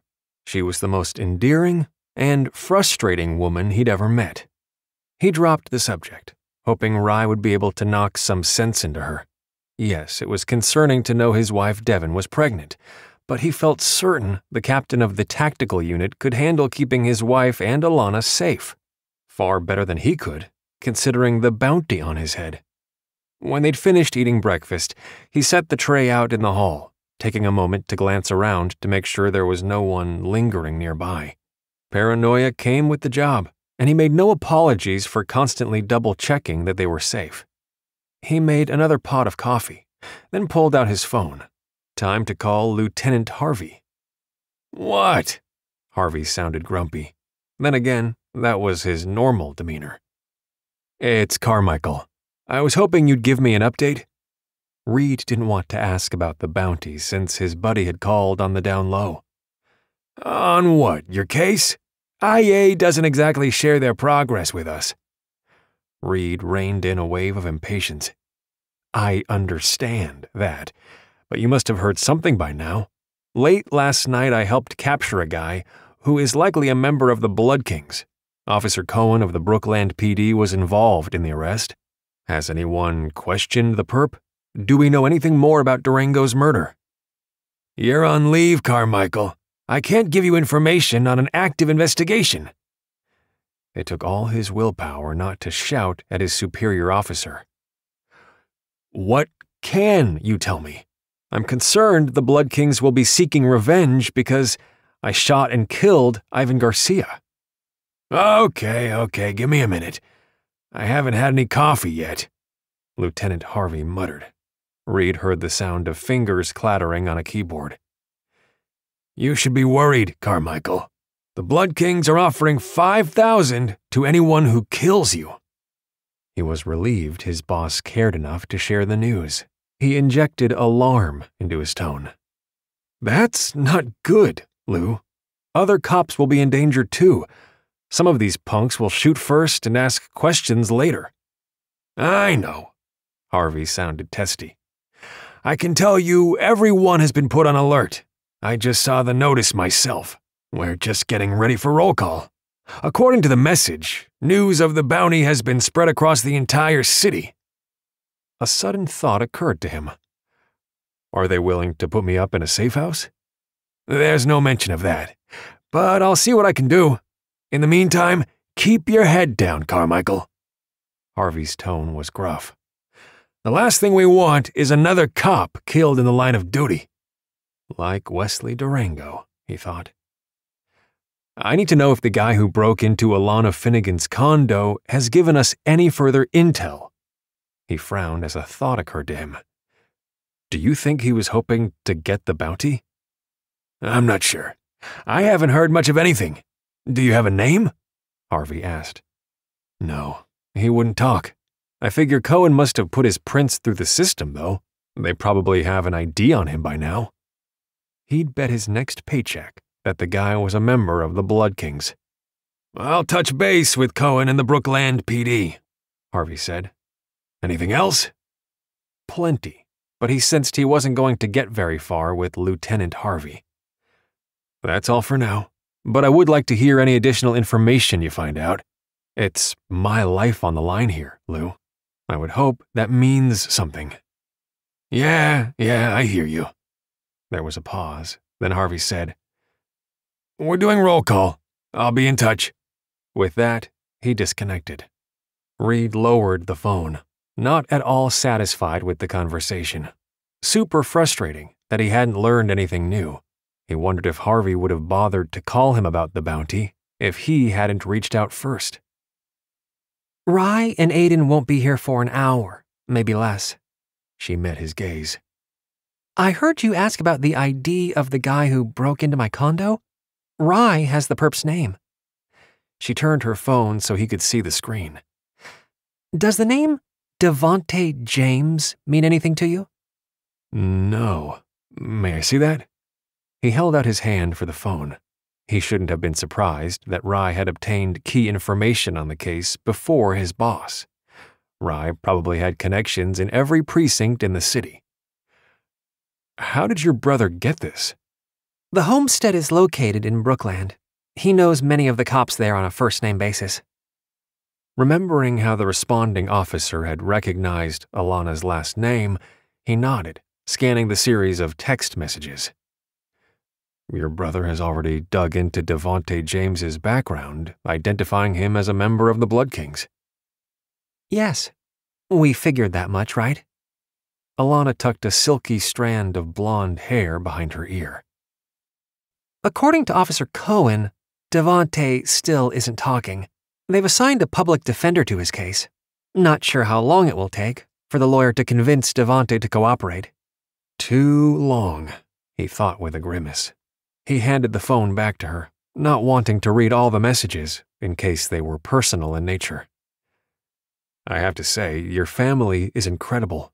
They've been more help than the officers in my own district. Alanna grinned, and he sucked in a breath at how her beautiful features brightened with the force of her smile. See? Having eight siblings isn't as bad as it sounds. I never said that it was bad. He might have thought it, though. Impossible to imagine what her childhood was like compared to his. Chaos was likely putting it mildly. Knowing your cop brothers are digging into this gives me hope that we'll learn more soon. They will. Her tone rang with confidence. They're good at what they do. He glanced at the time. You said less than an hour before they get here? Yeah, sounds like Aiden was able to catch an earlier flight. She consulted her phone, sending off a text. A few seconds later, the phone pinged with a response. Rye says they're leaving the homestead in about 15 minutes. If traffic isn't too bad, they'll be here within the hour. He was relieved to hear it. Great. Do you have all your stuff together? I'd like to head down to the lobby. I remember seeing a computer there that can be used by guests. Give me two minutes. Alanna headed into her bedroom. He didn't have a bag, not that it mattered. He'd used the free toothbrush that was in the bathroom, which was all he'd cared about. That and having his backup weapon with ammunition to spare. Funny how having a price on your head put things into perspective. When Alanna was ready, he took the duffel from her fingers and slung it over his shoulder. They walked downstairs to the lobby, waiting in line to do a formal checkout. The hotel was expensive, but, in his opinion, money well spent. He left the room charge on his credit card, then headed over to the computer area sitting in a small room off the lobby. The screen displayed links to various airlines. He opened a search window and typed in the words Milwaukee Gang, Blood Kings. Several websites came up with the search. Scanning them, he clicked on a news article that had been posted late last night is that about the shooting in the ED? Alanna asked, leaning over his shoulder to see the article for herself. She was so close that he could have kissed her by simply turning his head. Stay focused. I, uh, think so. He figured any shooting that took place in the middle of an emergency department would be impossible to keep quiet. Doing his best to ignore Alanna's sweet scent, he scanned the article. No mention of your partner who was killed, she whispered. Why do you think he was left out of the article? I'm sure the brass did their best to cover it up. He was shocked to see that Alanna's name was listed in the article. Why did they print your full name? That's insane. I noticed. She shrugged and straightened. I guess a member of the medical staff must have given that information to them. I doubt the hospital administrators would have identified me by name. He couldn't tear his eyes from her name, listed in black and white. This was bad, really bad. Rye would hit the ceiling when he learned his younger sister had been identified as being involved in the shooting by anyone with access to a newspaper or computer. And Reed wouldn't blame him for being angry. He went back to his search on the Blood Kings. Most of the links simply mentioned them as a known gang operating out of Milwaukee. The Latino hombres were listed too. He clicked several other links, then found one mentioning the local police had formed a task force with the FBI to address the rising gang violence. That wasn't working too well, was it? We should ask Brady about that. Peering over his shoulder again, Alanna tapped the screen. He may know something. We can try. He glanced at his watch, surprised by how much time had passed. Then he logged into his email. He took a few more minutes to send a few messages, one to Jeff Watkins and another to his former partner, a guy named Nathan Jackson, to let them both know he may need their help and that he'd be in touch. When he finished, he logged off and stood.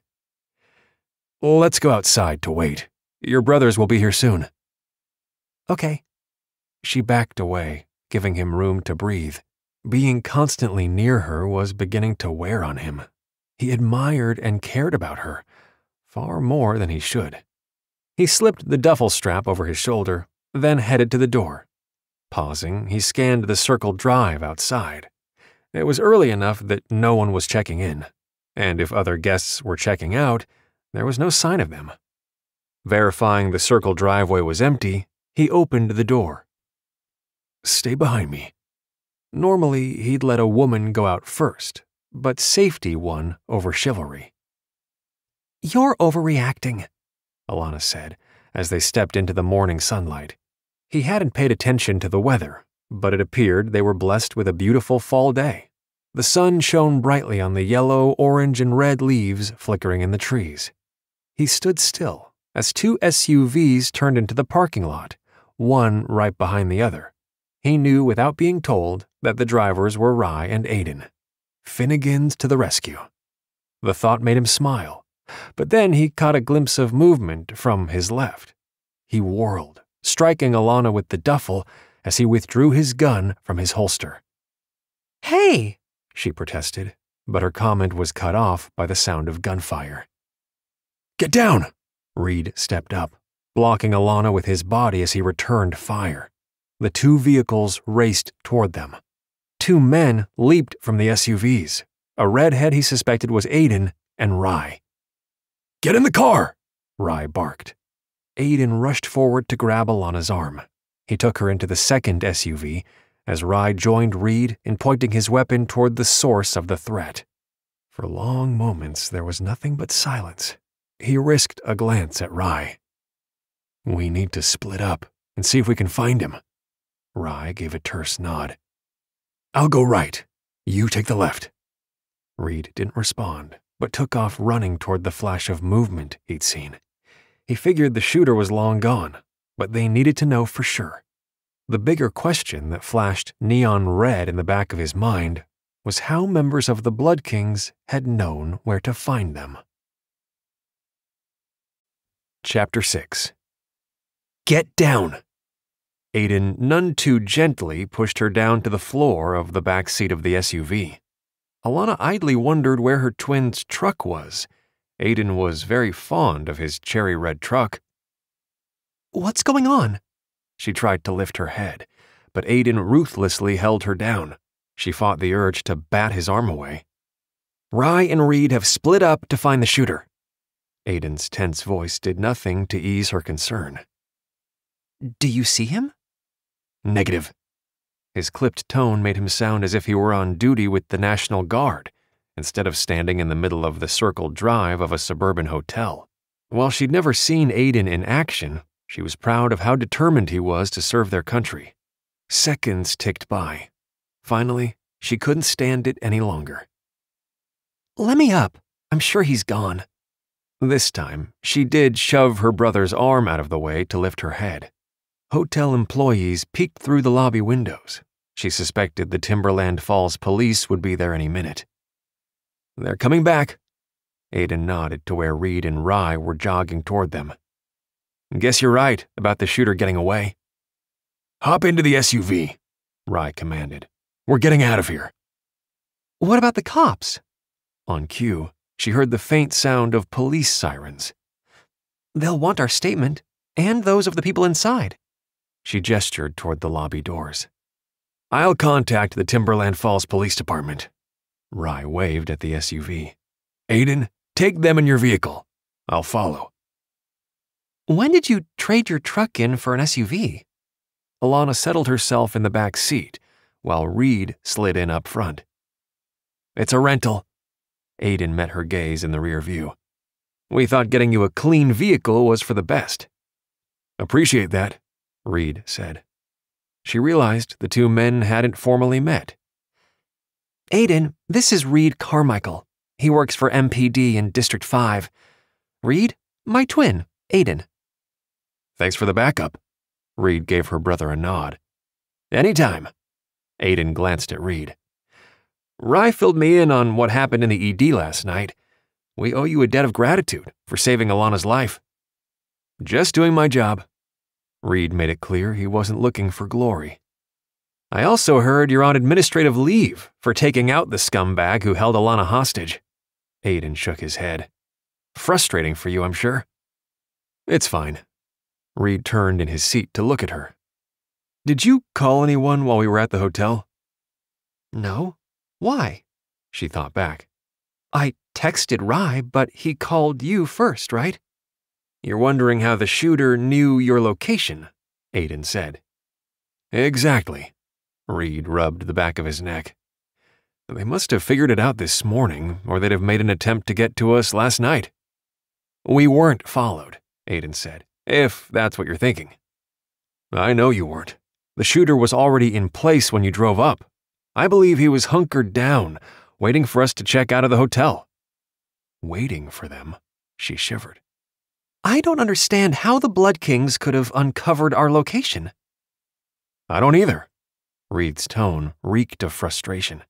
It doesn't make any sense. We should have been safe there. Did you use a credit card? Aiden asked. The hotel doesn't look like the type that would take cash. Yes, but how in the world would a group of gangbangers have the ability to track my credit card? Reed turned again to look at her. You didn't talk to anyone at the hospital, right? Correct. I didn't call anyone, and no one called me. She tried not to be irritated that he didn't believe her. Besides, I doubt anyone from the hospital is involved. They're probably glad I'm off work for a few days. It will provide time for the media circus to settle down. I didn't mean to insinuate they were involved. Reed sighed. I'm just trying to understand what happened. A phone rang. Her twin pressed the button to take the call through the dashboard communication system. What's up, Rye? I just learned Alanna's full name has been printed in the article about the shooting. Rye sounded annoyed. We just discovered that information this morning, too. Reed quickly spoke up.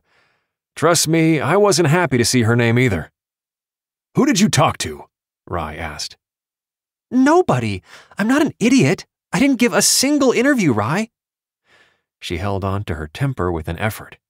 I have no idea who gave out my name. I'm surprised the hospital would do that, considering how strict they are about patient privacy. This is not good, sis. Rye's tone had softened.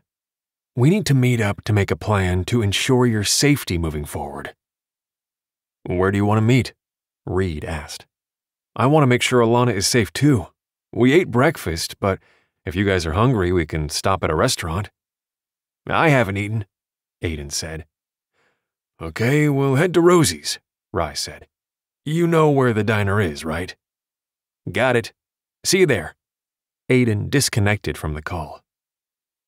Have I been to Rosie's? It didn't sound familiar to her. Colin turned us onto it. He claims they have the best breakfasts outside the firehouse. Aiden grinned. Since those hose jockeys are all about food, I gave the place a try. It's good. Hose jockey? Reed lifted a brow. You mean firefighter? We also call them smoke eaters, Aiden teased. We should call them glorified chefs because they're constantly cooking. You're lucky Colin cooks. He's pitched in when Devon was suffering with morning sickness. Hey, I gotta give him grief, since he took a completely different path than the rest of us. Aiden shook his head. Not sure what possessed him to go that route. Colin puts his life on the line for others just like you do. She felt compelled to defend her brother. It's not his fault he's a bad shot. The worst. Aiden's grin widened.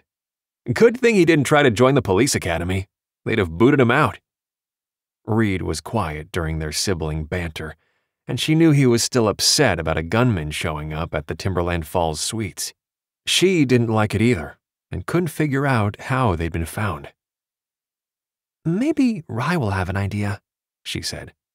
About what? Aiden asked. How we were found in Timberland Falls. She couldn't see Reed's face, but noticed his shoulders were tense. We might want to contact Brady, too.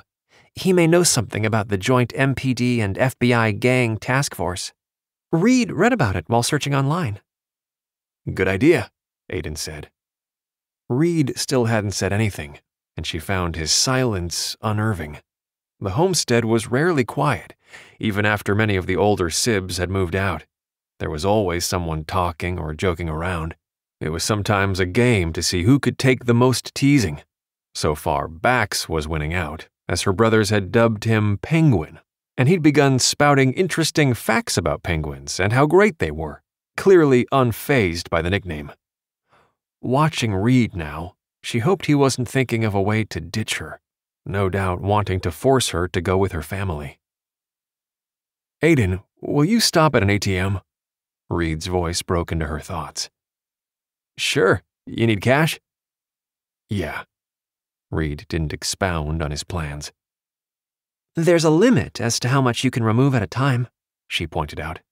I'll pull out some cash too. I can do the same, Aiden offered. Reed's jaw tensed, but he nodded in agreement. Thanks. Yep, there was no doubt in her mind he was planning to ditch her and she almost wished Aiden hadn't returned early from his training. Reed would assume rightly that she'd be safe enough with Aiden watching over her. There had to be a way to convince him they needed to stick together. Aiden exited the freeway, navigating through side streets to reach Rosie's diner. When they passed a bank nearby, he pulled over so they could all withdraw cash. Once they'd each removed $200, they climbed back into the rental. The diner was just a few blocks away, Aiden pulled in and parked. Glancing behind her, she could see Rye behind the wheel of the SUV, turning into the parking lot behind them. Rosie's diner was packed, but a group of four people stood to leave as they entered. Aiden pushed forward to grab the booth. She and Reed followed. Seconds later, Rye stepped inside to join them. Her brothers took the seat across from her and Reed. She was hyper aware of Reed's closeness and hoped her feelings weren't evident on her features. Thankfully, her brothers focused on the menu as a server came over with coffee. She'd already downed plenty, but accepted the mug anyway. No doubt this would be another long day. Did you talk to the Timberland Falls police? She eyed Rye over the rim of her cup. Yeah, he shrugged. They're not happy we left the scene, but reluctantly took my statement over the phone. I told them I'd have you both call to provide your statements too. Her brother pinned her and Reed with a solemn gaze. I'll text Detective North's contact information to both of you. That's fine. Reed still hadn't said much, giving no indication of what he was thinking. She took a sip of her coffee and added, We need to find a place to stay where we can fly under the radar. Rye arched a brow. You're talking like a cop, sis. Reed must be rubbing off on you. Really? You're going to blame Reed? I grew up surrounded by cops. She narrowed her gaze. You, Taryn, Brady, and Kylie have rubbed off on me. Their server came to take their order. She and Reed refrained from anything other than coffee, while Aiden ordered the largest breakfast Rosie offered. Rye ordered a short stack of pancakes. Aiden needs to take Alanna somewhere safe. Reed spoke for the first time. I'd like her kept under wraps until this mess with the Blood Kings has been resolved. And leave you alone? She turned in her seat to glare at him. Not happening. You need protection more than I do. She's right, Reed, Rye drawled. Seems like both of you are in the kill zone. Listen to me. Reed leaned forward, his voice low and earnest. I have no idea who I can trust. There's no reason to drag Alanna along for this ride. I'm sure no one will get through the Finnegan family wall of protection. She knew Reed was anxious to get rid of her, but his statement still stung, more than it should. She lifted her chin. Those guys came to my condo, and my name is in the paper. I think that means we're both equally in danger. All the more reason we need to stick together. She has a point, Rye said. No, she doesn't, Reed snapped, then sighed. I mean, yes, she's in danger, but Aiden seems more than capable of keeping her safe. I can handle staying under the radar alone. And do what? Rye asked. You can't investigate the Blood Kings yourself, not when you have a bounty on your head. I'll figure it out. Reed dug in his heels, refusing to budge. You don't need to worry about me. You should be focused on your sister. I'm worried about you. The comment came out louder than she'd intended, and several cafe patrons glanced over at their table. She lowered her voice. Don't be a knucklehead, Reed. My cop brothers won't leave you hanging in the wind. She's right, Aiden said. The conversation paused as their server brought their food in record time. We need to contact Brady. Why is that? Rye asked with a frown. Because there's a joint task force between MPD and the FBI to combat the rising crime related to gang activity, Reed explained. Okay, I'll give him a call. First, we'll say grace. Rye bowed his head, and the rest of them followed suit. Dear Lord Jesus, we are thankful for the food you've provided for us. We ask that you continue to keep Reed and Alanna safe in your care. Amen. Amen. She darted a look at Reed, noting he didn't look uncomfortable with the prayer, the way her previous boyfriends had. Especially Dom. She should have known dating a doctor was a bad idea. Hadn't she noticed how many of the residents flirted with the nurses? Even the married ones. Dominic might have been handsome, but she'd soon learned monogamy wasn't his strong suit. Rye took a bite of his pancake, then pulled his phone from his pocket. The next step is to find a safe place for both of you. Brady might have a place in mind, too. Reed shot her a frustrated look. She met his stare head on, unwilling to back down. If he thought he was going to shake her off that easily, he was dead wrong. After the way he'd saved her life, she had no intention of letting him deal with this on his own. He might not know what it was like to have a big family, but he'd learn. They were all in this together. Reed couldn't understand why Alanna was pushing so hard for them to stay together. She had 10 stitches in her throat, courtesy of the Blood Kings, and had narrowly escaped being shot not just once, but several times. Her brothers should be wrapping her in cotton and sticking her someplace safe for the next week, at the very least. That's what he would do if he wasn't being targeted by an entire bloodthirsty gang of Blood Kings. Brady, it's Rye. Call me. Alanna's in a dangerous situation and we need your help. Rye lowered his phone to the table. I'm sure he'll call when he can. Reed had no doubt that using Alanna's name would garner a quick response. He sat back in the booth, eyeing the Finnegans seated across from him. There had to be some way to convince them to take Alanna under their wing, leaving him to find his own way through this mess. Does Brady have access to FBI safe houses? Possibly, Rye shrugged. Not sure you and Alanna will qualify for one if he has to go through official channels. Aiden groaned when his phone buzzed, He pulled it from his pocket. I gotta take this. He stood and left the diner, raising the phone to his ear. Reed had a bad feeling that Aiden was being called back to work. Rye's gaze mirrored his thoughts. In that moment, he understood their concern was primarily for their sister and that he was expected to help protect her. Did he leave his training early because of me? Alanna demanded. I told you not to call him. He called me, Rye said. And yeah, I mentioned how you were hurt by a gang member. He made it sound like he could leave without getting in trouble. And you believed him? Alanna rolled her eyes. Reed set his coffee down. It had grown cold anyway. If Brady can't come up with a safe house, maybe we can rent something. It would be better if the rental wasn't in my name, though. So now we are sticking together? Alanna asked. If that's what your brothers think is best. He caught the flash of gratitude in Rye's gaze and knew he was sunk. Aiden was still outside, talking on the phone. When he returned a few minutes later, his expression was pained. Looks like I won't be able to stay in town after all. A tornado touched down in Alabama last night, hitting a hospital. We're deploying in six hours. Understandable, Rye said. Don't worry, we'll make sure Alanna is safe. Aiden pinned Reed with a look. And you'll protect her too, right? With my life. Reed knew there was no backing out now. Rye plucked his phone off the table. It took Reed a minute to realize the device had been in silent mode when the screen lit up with Brady's name. Hey, did you see the article about Alanna being held hostage in the ED? Just hearing the words took Reed back to those heart wrenching moments when he'd been forced to shoot Ivan Garcia.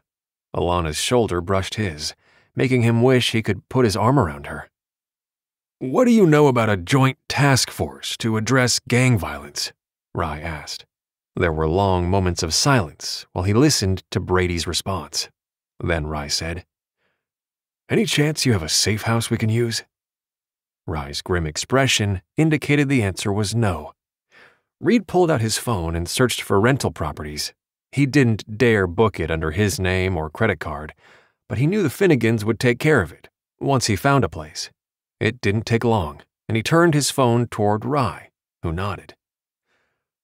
Okay, we have a place in mind, Rye said. We'd like to meet up with you later. I'll text you the address. Another pause, then he said, Thanks, bro. Where are we headed? Alanna asked. Reed showed her the two bedroom house he'd found. It's not too expensive, but I need someone else to book the place, so my name isn't associated with it. I'll do it. Aiden took the phone from his hand, looked at the place, then used his phone to make the arrangements. Thanks, Aiden. I can pay you back. Alanna smiled at her twin. I know you're saving for a house. It's fine. I'm glad to chip in, since I can't stick around long enough to cover your six. Aiden truly looked disappointed at having to leave. There, you're all set for the next two days. You can extend your stay longer if you need to, but I didn't want to lock you in any longer than necessary. Reed thought that was smart, since he still didn't understand how they'd been found in Timberland Falls. He trusted the Finnegans, but his mind kept going back to the call he'd received from his buddy at the precinct. Had the call been a ruse? A way to track his cell phone to the Timberland Falls suites? He didn't want to believe any of his fellow cops were dirty, especially stooping so low as to mingle with gangbangers. Yet, after thinking through everything that had happened, that was the only call that could have resulted in betraying their location. He wouldn't make that mistake again and if he couldn't call the precinct, his ability to get inside information was limited. As Rye and Aiden finished their respective meals, he said, I took two calls last night, one from you, Rye, and one from a fellow officer in my district, Chuck Simmons. He called to let me know about the Blood Kings putting a bounty on my head. He met Rye's gaze. Now I'm wondering if he set me up. It seems a stretch to think a cop would sell out a brother in blue over a measly five grand, Rye said. You didn't make any other calls? One after breakfast to Lieutenant Harvey. Even harder to believe he's responsible. Maybe not Harvey himself, but he could have mentioned your call to someone else. Rye shoved his empty plate away. All the more reason for you and Alanna to stay together. We'll be your conduit for information from this point forward. He nodded, grateful to have Rye's understanding. We should get rid of our phones too, then. Get cheap throwaway devices instead. I can grab those for you, Aiden offered. His grin faded. After that, I need to leave. Hey, I'm glad you were here for a short while. Alanna reached across the table to touch her twin's hand. You always seem to sense when I'm in danger. Remember how you barged into my dorm room when Kurt got all handsy with me? Jerk, Aiden muttered. Reed silently echoed Aiden's assessment. He was glad Alanna had her twin brother nearby when she'd needed him. Rye signaled the server for their tab. Reed wished he could offer to pay, but he wanted to keep as much cash on hand as possible, on the off chance they had to go on the run again. From this point forward, he'd be prepared for the worst case scenario no matter what.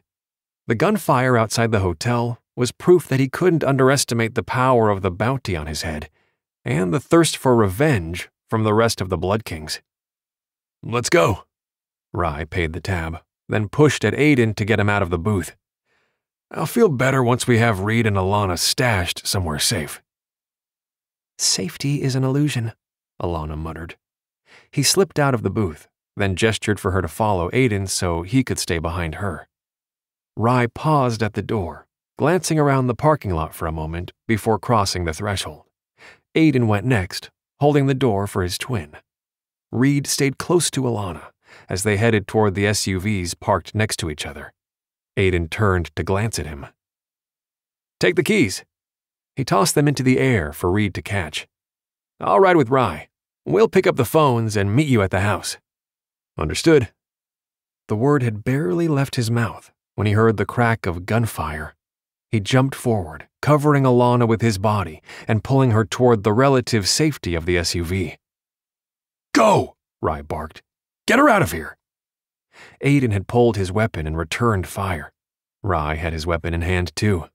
Reed wanted to help back them up, but he had the keys to the SUV and asking Alanna to leave on her own wasn't an option.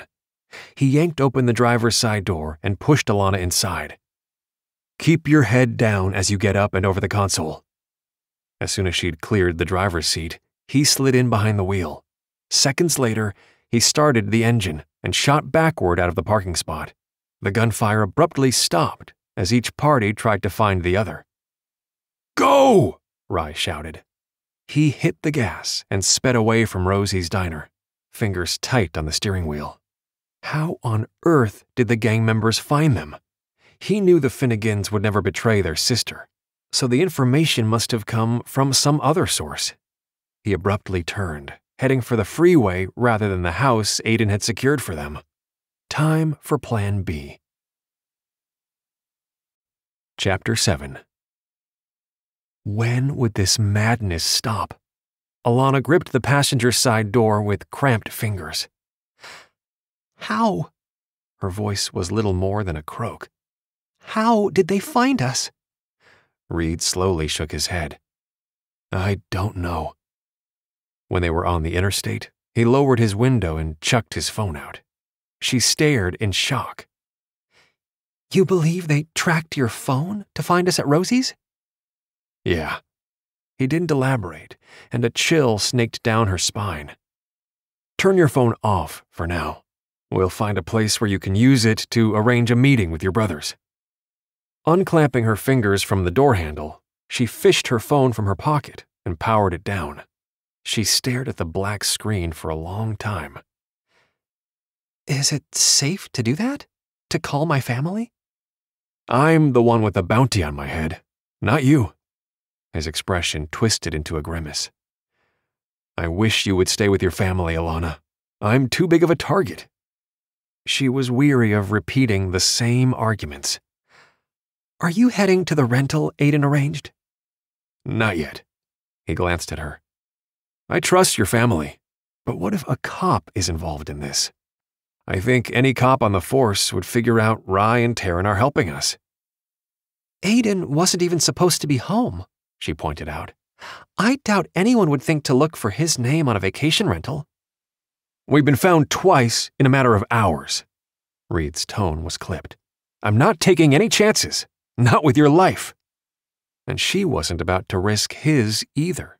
She silently agreed.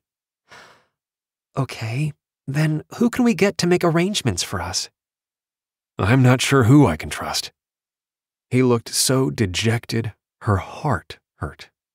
She was about to offer her sister Kylie as an option, but then remembered how her sister and husband were all over the news back in March when Kylie shot and killed T Turbo, a famous musician who had been on trial for murder. We can ask one of the Callahans for help. Dana Callahan was in the ED the night Ivan Garcia held me hostage. We could also ask Maddie Sinclair to make arrangements. Her husband, Noah, is on the job too. He hesitated, considering the two options. Finally, he nodded. I've always liked working for Noah, but rather than go with another cop from my precinct, it would be better to talk to Maddie Sinclair. I know the DA's office often uses hotels for witnesses that come in from out of town. Maybe an arrangement made by the DA's office wouldn't stand out as unusual. Okay, I'll call my sister Ellie when you deem it safe enough to use my phone. Ellie has Maddie's personal contact information. They're friends? Reed asked. Friends and cousins. Maddie and Ellie were the ones who found the DNA connection. She frowned, realizing Ellie hadn't given them an update on the status of the family tree. Apparently, our grandmothers were sisters, but somehow they lost touch when our Finnegan grandmother left when she was 16. We don't know what happened, but I know Maddie and Ellie were both looking into it. He nodded, his intense gaze so focused on the road, she doubted he'd paid much attention. That was okay. He had more important issues on his mind than understanding their family tree and what may have held the sisters apart so many years ago. After 10 minutes, he exited the freeway. What do you think about going to see Maddie in person, rather than calling? Uh, sure. Although she could be in court. I know from Kylie the ADAs spend a fair amount of time there in various hearings, even if there isn't an impending trial. We'll take a chance. If she's not there, maybe we can wait for her if she's not tied up too long. He seemed determined not to leave an electronic trail, and based on the way they'd been found over and over again, she couldn't blame him. If my brother in law is there, we can use his landline phone to call my brothers. I like that plan. His fingers seemed to relax a bit on the steering wheel. He glanced at her. I'm sorry to be so paranoid. No need to apologize. She managed a reassuring smile, doing her best to remain positive despite the nerve wracking danger. This will work. You'll see. Reed gave a slight nod. A few minutes later, he pulled into the underground parking garage beneath MacArthur Park next to the courthouse. She led the way up the stairs to the main level. The ADA's office wasn't far from the courthouse, so she turned in that direction. Not many people around, he murmured, resting one hand in the small of her back. It's early. Soon, this place will be crawling with people. The courthouse opens at 8 a.m., but most cases don't start until 9. The trek to the administrative building didn't take long. The main door was open, but from there they had to speak to a receptionist. She stepped forward to take the lead. I'm looking for either Bax Scala or Maddie Sinclair. Do you have an appointment? The woman gave them a dubious look. They are both very busy. No, but if you could let them know that Alanna Finnegan is here, that would be great. She caught the flash of recognition in the receptionist's eyes. Bax is my brother in law, and Maddie is my cousin. One moment, please. She picked up a phone and spoke in low tones to someone on the other end. Thirty seconds later, she replaced the receiver and gestured toward the door. Both Bax and Maddie are in their offices. Thank you. Alanna crossed over as Reed quickly followed, leaning forward to grab the door for her. Have you been here before? he asked. Only once. She sent him a bemused smile. I usually don't have to deal with the DA's office. Kylie brought me here once when we met Bax for lunch. I know Maddie by name, but never met her in person. There's Maddie's office. Reed nodded at the nameplate outside the first door on the right. She knocked. Maddie? It's Alanna Finnegan. Come in! Maddie rose, greeting them with a wide smile. It's great to see you, Alanna. I've heard so much about you from Dana. Thanks. Oh, this is Reed Carmichael. He's an MPD cop. Reed shook Maddie's hand. I haven't been to the offices here, but I've seen you in the courthouse. Yes, we know how much the officers love to come down to testify for us, Maddie teased. She gestured to her chairs. Please sit. I don't have much time, unfortunately.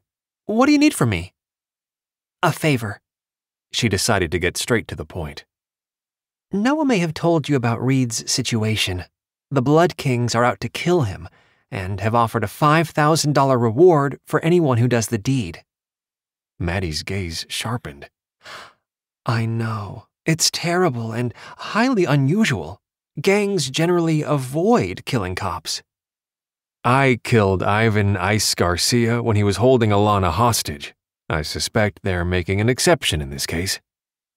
So scary. Maddie's blue eyes captured hers. I'm glad you weren't hurt worse. Me too. Alanna knew time was running short. We don't want to keep you too long, but the bottom line is that we have been found several times by gunmen. We need you to make arrangements for us to stay in a hotel that can't be traced back to either of us. Of course. Maddie didn't hesitate. She picked up her phone and spoke to someone else. I need a two bedroom suite at the City Central Hotel starting immediately with no estimated date of leaving. Thanks, Jennifer. She replaced the receiver. We use the City Central Hotel for most of our witnesses. This will hopefully appear to be yet another witness being housed there for the DA's office. Great. Thank you. She rose to her feet. We need to talk to Bax, too. He's right down the hall. Maddie stood. I'm sorry I can't stay. Judges get cranky when ADAs are late for court. Her gaze turned somber. Please be careful both of you. I know what it's like to be in danger. I'll pray for your safety. Thank you. It was tempting to hug her cousin, and maybe her gratitude showed because Maddie enveloped her in a hug. Be safe, Maddie murmured as they turned to leave. Maddie grabbed her briefcase and followed them out. That was amazing, Reed said in a low voice. She never hesitated to offer her assistance. I know, she couldn't help but smile. Families are great. Uh, Alanna? Hearing Bax, she moved forward. He held a briefcase too, as if he was also heading to court. What's up? Do you need something? Hi, Bax. She gave him a quick hug. This is Reed Carmichael. We don't want to keep you, but can we borrow your phone to make a quick call? Of course. He gestured toward his office. Cell or landline? Landline, Reed said, if that's okay. She brushed past Bax to reach the desk. She quickly dialed Rye's cell number. He answered on the first ring. Where are you? We're finishing up here at the diner. Reed dumped his phone, and I shut mine down too. We still need new phones, but have a different location in mind. Aware of the fact that she was keeping Bax from court, she quickly gave Rye the information. We'll talk more when you get to City Central, okay? Bax has court. Later, Rye agreed. She hung up the phone, then hurried out of the office to find Reed filling Bax in on the danger. Her brother in law glanced at her in concern. I hope Rye is aware of this. He is. She gestured with her hand. Let's walk. I don't want you to be late. Using the City Central Hotel is a good idea, Bax said as they exited the administrative building. I would have made the arrangements for you. I know, but we thought Maddie was at least one step removed from the Finnegan family. I'll make sure she gets reimbursed, Bax said. I'll settle up with all payments made on our behalf once this is over, Reed said in a firm tone. No need. I'm happy to donate to the cause. Alanna knew Bax didn't care much about money maybe because he had a nice inheritance that he'd gotten from his Italian grandparents. Besides, it sounds like that's the least of your worries. Keep your head down. And you too, Alanna. We will. She did her best to sound confident. Reed has excellent instincts when it comes to keeping us safe. Reed scowled but didn't say anything more. When they reached the corner, Bax turned toward the courthouse. Take care, both of you. Thanks, Bax. After waiting for the light to change, she caught Reed's hand and led the way across the street, the opposite direction from the courthouse. I think the City Central Hotel is this way. I don't like the idea of leaving the car in the parking garage, Reed said in a low voice. The only way to pay is with a debit or credit card. We'll get my brothers to take care of it. She tightened her grip on his fingers. It's a short walk to the hotel. We'll be fine. He nodded his gaze moving from side to side as he scanned their surroundings. She didn't see how anyone from the Blood Kings could know their location. Then again, she'd had the same thought about the hotel in Timberland Falls. That hadn't turned out so well. They made it to City Central without incident. Once inside, they approached the front desk. She smiled at the clerk. We're here for the two bedroom suite, arranged by the DA's office. Ah, yes, here you go. The desk clerk slid two keys across the counter without asking for any form of ID. For the first time since leaving Rosie's diner, she felt Reed relax beside her. Your room is on the first floor, down that hallway. She gestured with her hand to a hallway that seemed to run behind the desk and office area. Thank you. She handed Reed a key. Without saying anything more, they took the hallway, finding the two bedroom suite without difficulty. She unlocked the door and stepped inside. The room wasn't nearly as nice as the one they'd stayed in last night, but it would work well enough. Reed sighed, rubbed the back of his neck, then walked through the room toward the bedrooms. Without saying anything more, he went into the room and closed the door behind him. Alanna dropped onto the worn sofa, unsure of what she could say or do to make Reed feel better. It seemed outrageous to think anyone from within the police department could possibly be involved with scum like the Blood Kings. They were safe here, but the bigger question remained. How would they get out of this mess? It seemed like the only way to end this nightmare was to arrest every single member of the Blood Kings, a seemingly impossible endeavor. Reed sluiced cold water on his face, struggling to remain calm. He didn't want Alanna to be anywhere near him and the giant red target on his back. Yet her connections with the DA's office had proved invaluable. Bracing his hands on either side of the sink, he took several deep breaths. Bad enough that his being there put Alanna in danger, but he had no idea what he could do to bring an end to this nightmare. Sitting around and waiting for his fellow officers to find and arrest the leader of the Blood Kings was hardly an option so was talking to anyone in his precinct. He didn't want any more gunmen crawling from the woodwork. Enough! He straightened and gave himself a narrow glare. This helplessness wasn't like him. Alanna's brothers would be there soon with replacement phones. Maybe they would have some ideas. He was fresh out of them at the moment. As he made his way back to the living area, he thought about how the Finnegans leaned on their faith in times like this. He swallowed hard and lifted his gaze to the ceiling. Lord, I know I don't deserve your grace, but Alanna does. Please keep her safe. Feeling better, he crossed over to the sofa where Alanna sat, staring down at the thin carpeting. Are you okay? Yes. She glanced up at him. How are you? I'm fine, he grimaced. I hate feeling helpless. It's bugging me that I don't have anyone inside my district that I can trust. You can trust the Finnegans and the Callahans. She rested her hand on his knee. We'll get through this. Here she was, ten stitches in her neck, yet reassuring him that they would be all right. I know. He covered her hand with his. We need a plan, though, something we can do to figure out who is behind this. You mean besides the entire Blood Kings gang? Her gaze was wry. How many people is that anyway? Do you know? No clue. He stared at their joined hands. I keep going back to my partner's murder and the way his body was placed in our squad. The image of the rookie's dead eyes staring up at him flashed in his memory. He must have been killed before Garcia grabbed you, or he would have been in the ambulance.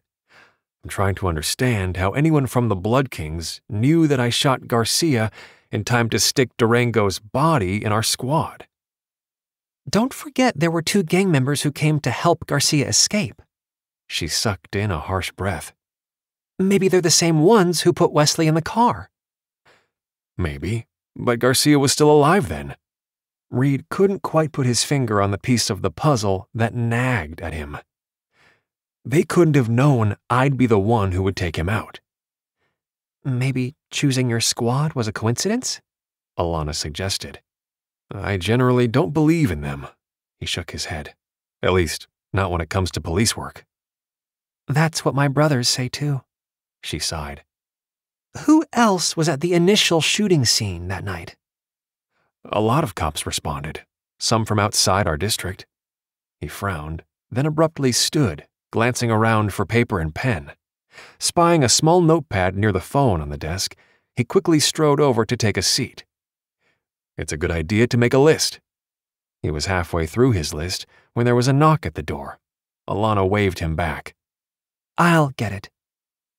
Check who it is, he cautioned, although he didn't need to. She went up on her tiptoes to peer through the spy hole before opening the door. Hey, Rye, where's Aiden? I dropped him off at the homestead. Rye had a laptop under his arm and carried a plastic bag. You brought a computer? He rose. That's perfect. This isn't our first rodeo. Rye set the computer on the desk, then handed the bag to Alanna. Two disposable phones and some extra cash. Normally I'd bring spare weapons, but Reed is already armed, and I didn't think you'd want a gun. I don't. Thanks, Rye. She rummaged in the bag. I'll get the phone set up. Yes, I need both numbers. Rye dropped onto the sofa. Brady will be here soon. Reed glanced at Alanna's brother. Did he know about the task force? Yes, but unfortunately, he hasn't been involved. Rye shrugged. He's digging for information and will share what he knows when he gets here. By the way, smart move asking Bax to set up the room for you through the DA's office. Actually, it was Maddie Sinclair that had her assistant make the arrangements. Alanna grinned. I only used Bax's phone to call you. Rye arched a brow. Maybe that was for the best. Maddie is less likely to lead back to you. That was the goal. He opened the computer. Hey, this looks new. It is new, Rye said. Don't worry, I paid cash. The Finnegan generosity was a bit overwhelming. I'll pay you back. Rye waved a hand. No biggie. It's better to stay focused on these idiot gunmen who are determined to kill you. He turned to face him. Did you catch the guy outside Rosie's diner? One of my men did. Rye smiled. Joe Kingsley grabbed him. The shooter babbled about the reward, but from what Joe has told me, he doesn't have any gang tats. We're thinking he's a Blood King's wannabe. Not all of them are inked up, he protested. Maybe he is part of the Blood Kings. Maybe. He's in jail and being held without bond due to charges of attempting to kill a police officer, along with illegal possession of a firearm. Rye held his gaze. Since the shooting took place in a different district than the one you work out of, I'm hoping the guy talks to save his own skin. That would be great, but I won't hold my breath. These gang members don't rat each other out very often. You'd think they would, in order to avoid prolonged jail time. Alana said with a frown. Many of the jails are run with the same street gang mentality. Rye sighed. If he does rat out the Blood Kings, and there are other Blood Kings in the same cell block he is, his life wouldn't be worth much. Exactly, which is why it's rare for them to give out useful info. Yet it's possible this guy is young enough to make a mistake. Reed glanced at his list. I keep going back to the original shooting that caused all of this. I'm making a list of the cops I remember who were at the scene. Rye leaned forward, his gaze intense. You think one of them is working with the Blood Kings? My partner was somehow taken from the initial scene and subsequently murdered. At first, I assumed a few of the gang members managed to grab him as a random hostage. But after these recent shooting incidents, I can't help but think they have inside help. It pained him to think a cop would do something like this. Yet he couldn't come up with another scenario where his calls to the precinct would result in gunmen finding them. I see what you mean. Rye looked equally grim. Hopefully, Brady will have additional insight. He nodded, but didn't have much hope of learning anything about a possible crooked cop from a task force. He turned back to his list, racking his brain to remember everyone he'd seen. He had to admit there were likely officers he'd missed. Impossible to take note of everyone, especially knee deep in chaos. When he'd finished his list, he only had eight names. Eight sounded like a lot, but he felt sure he'd missed a few. He thought about the emails he'd sent to both Jeff Watkins and his former partner, Nate Jackson. He quickly checked his email for a response, but there was nothing. Which was odd. He was close to both of them. Even though Nate had left his precinct after getting married, they'd often kept in touch. Rye's phone rang. Brady? We're here. Thanks. He lowered his phone. Brady is in the parking lot. That reminds me. The rental SUV is in the underground parking garage, Alanna said. We didn't want to risk using our debit or credit card. I'll take care of it. Rye crossed over to the door, looking through the peephole. A few minutes later, he opened the door. Thanks for coming, Brady. Of course. Brady's gaze zeroed in on Alanna's stitches. That looks rough, sis. I'm fine. She went over to hug her brother, then turned to face him. This is Reed Carmichael. He's the cop who shot Ivan Garcia and saved my life. We owe you a debt of gratitude. Brady's expression was grave as they shook hands. Those of us in law enforcement are well aware of the danger of being on the front lines. I don't think any of us expected Alanna to be taken hostage in the middle of her shift. I was just doing my job. Reed tried to smile, but it felt strained. I was glad to be there in time. Unfortunately, your sister has been in danger ever since, and that's on me. That's on the Blood Kings, Rye corrected. We don't blame you, Carmichael. They should, and if the situation was reversed, Reed wasn't sure he'd be so cavalier about it. He refocused his gaze on the Fed. Do you have anything you can tell us that will help us get to the bottom of this mess? I spoke to a member of the task force. Brady pulled the desk chair over. Reed sat beside Alanna on the sofa, while Rye took the other chair. He claims they've been working with snitches to get names of gang members, but that it's been slow going. Any indication a cop is involved? Alanna asked. Brady's eyes widened. No, why? You think there is? Yes, but it's a long story. Reed stood and grabbed the list of officers he'd been able to remember from the scene. He handed it to Brady. Can you tell me if anyone on this list is on the task force? Brady scanned the names. Yes, this guy, Officer Tate Brown, is on the task force. Tate Brown. Reed glanced at Rye, who nodded as if reading his mind. Well, I guess that's the place to start. It was the first lead they'd had since the beginning of this mess. Reed only hoped it would lead them to the head of the Blood Kings gang before it was too late. Chapter 8 Officer Tate Brown? Alanna glanced between Reed and her brothers. You believe he's dirty because he's working on the task force? The logic escaped her. Not necessarily, Reed quickly said. But he's on the task force and was at the scene of the gang shooting. I don't think it's a stretch to think he may know something, maybe even saw something related to my partner's murder. He'd have gone through channels if he did, Rye said with a frown. At least, he should have. Reed shrugged. Even if he did, the upper brass won't let me know about it. Not while I'm on administrative leave.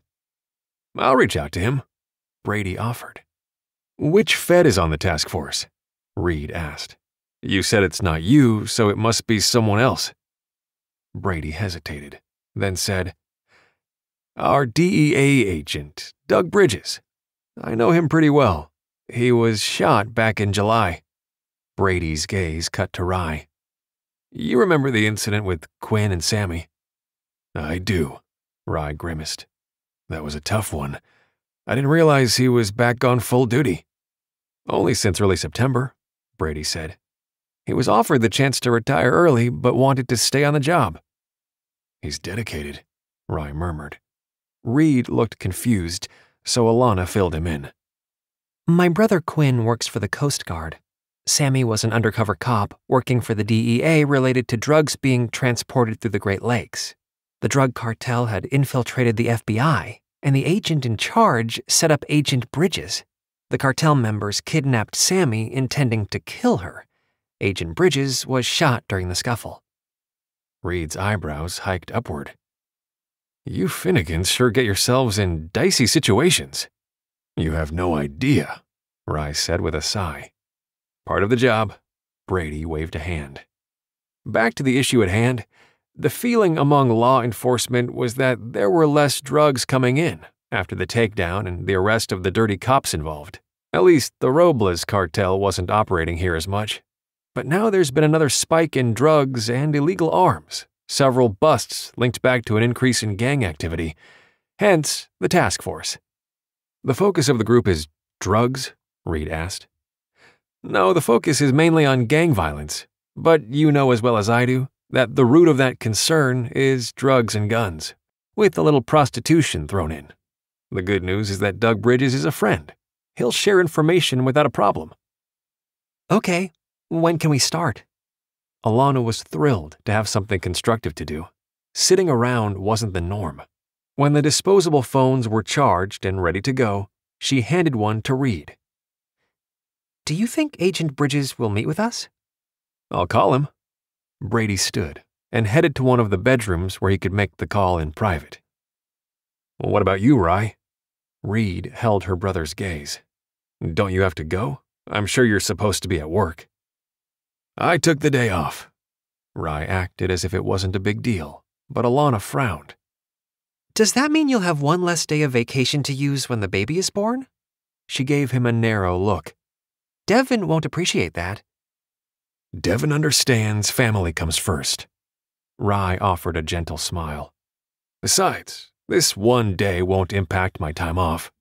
I have been banking all my personal days for a while now. Devin and I agreed that we won't use them all right away, regardless. We want additional time off over the holidays. She was only slightly mollified. I still think you shouldn't take the entire day off for me. Always for you, or the other Sibs. Rye leaned over to pat her knee. I promise this isn't a big deal. She hoped he was right, but doubted it. Ever since their parents died when she and Aiden were 17, Rye had worried about her. Aiden and Ellie too, but mostly the youngest sisters. The entire family had been relieved when Rye had fallen in love with Devin. It had been well past time for him to live his own life. Marrying Devin and starting a family was a great start, but he didn't have to continue worrying about the rest of them. They were all adults now, even Ellie, although the youngest still didn't seem settled in her role as an EMT. Doug Bridges is on his way, Brady announced, interrupting her thoughts. He's not sure how much help he can be, but he's willing to pitch in. He was instrumental in supporting Quinn and Sammy, Rye said. I still feel guilty about how he was injured, helping to protect them. Part of the job, remember? Brady's expression turned serious. I mentioned Officer Tate Brown. He doesn't know much about the guy. I figure we can dig into his past a bit. Having a lead was proving anticlimactic. Alanna shifted in her seat, wishing they could do something instead of sitting around talking about the case. She glanced at Reed, who appeared relaxed and calm. Maybe she was the only impatient one. Not all police work is hitting the streets. He seemed to read her thoughts. Pouring through details is important too. I understand. She blew out a long, slow breath. Rye was always talking about the prep work involved prior to implementing a tactical situation, and she knew Taryn spent a lot of time digging into victims and suspects too. Maybe this was another reason she'd chosen nursing, especially a fast paced environment like the emergency department. Even before the pandemic, there was no shortage of patients seeking medical care, and that number had grown exponentially in the years since. Give me your new cell numbers, Brady said. I need them as well, Rye added. It only took a minute to get her number and Reed's listed in her brother's phones. She put their numbers in her phone and Reed's as well. We're all set. For what? She wasn't sure. Good. I'm heading down to the lobby to meet Bridges. Brady strode to the door. I didn't give him much information over the phone. Alanna took that to mean her brother hadn't shared the full extent of the danger she and Reed were in. She scooted closer to Reed. He took her hand in a reassuring gesture. Thankfully, Rye didn't seem to notice, his gaze focused on his phone. Excuse me. He stood and moved away. Hey, Dev. How are you? I wish Rye would go home, she whispered. Devin is due the middle of next month, and I would hate for her to be stressed over Rye being involved in this. Maybe once Bridges arrives, he'll feel safer leaving. Reed squeezed her hand. Your family is something special. They are. She managed to smile. Sometimes too nosy, butting into each other's private business, but super supportive just the same. I don't blame Rye for the way he looks out for you. Brady, too. Reed's expression turned serious. I really wish you'd go home with them, Alanna. There's no reason for you to stay here with me.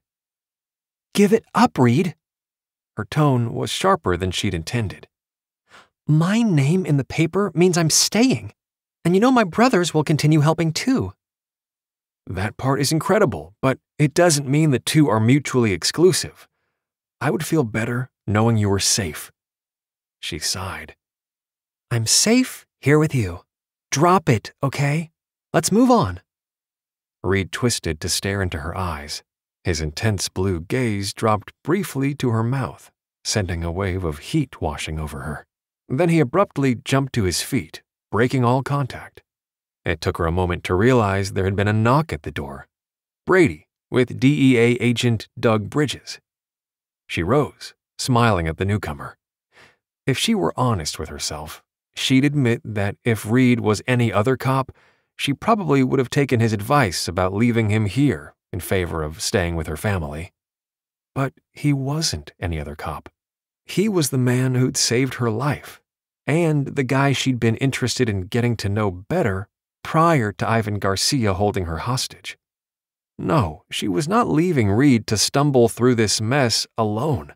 She intended to help in any way possible. The two bedroom suite seemed downright tiny once Rye, Brady, and Doug Bridges were settled in the living area. Reed did his best to ignore the sizzle of awareness he felt every time Alanna brushed against him. Why didn't one of her brothers wise up and pull her out of here? She was a nurse, not a cop. Her full name being in the paper was bad, but still, there had to be another way. He was afraid she'd end up getting hurt because of the target on his back. Every time he saw those sutures in her neck, a wave of guilt hit hard. I heard about the rival gang shooting. Doug met his gaze. You were there, and so was our task force member, Tate Brown. Correct. Me and my rookie partner, Wesley Durango, were the first to arrive, followed shortly afterward by Jeff Watkins and his partner Kyle Zimmer. Reed watched Bridges' expression for any reaction to the names. Somehow, Wesley ended up dead and stashed in our squad while I was outside the ED parking lot. Doug whistled. You think Tate is involved? I don't know. He quickly explained about the times he'd called the precinct only to have had gunmen show up at his location. I ditched my phone, and Alanna has turned hers off too. That's why this room was arranged through the DA's office. I can give you the little I know about Tate Brown, Doug offered. He's been on the force for five years, and his record is clean. Nothing to indicate he would have any reason to team up with a gang. No rips? Rye frowned. Almost every cop that works hard ends up getting dinged at some point. Sounds as if he's too clean. Doug arched a brow. Is there such a thing? Maybe Tate just follows the rules. Rye's right, Reed said. It's impossible to always follow every rule when you're on the street. There are always scenarios where a cop has to trust his gut or his judgment based on experience that might go against the so called rules. Does that mean you have reprimands in your file? Doug asked. Absolutely. Reed didn't hesitate to tell the truth.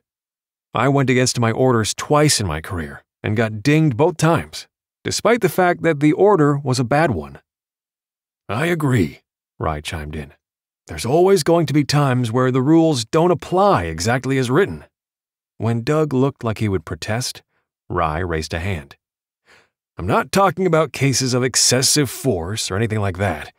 I'm talking about the kind of thing Reed mentioned. Okay, whatever. Doug threw up his hands. Regardless, I don't think there's any reason to believe Tate Brown is dirty. I think we should talk to him, Alanna said. Maybe he will explain what he saw the night Reed's partner was murdered. Doug looked thoughtful for a moment. I'll call him, see if he's willing to do that. With all due respect, don't make it a request, Reed said.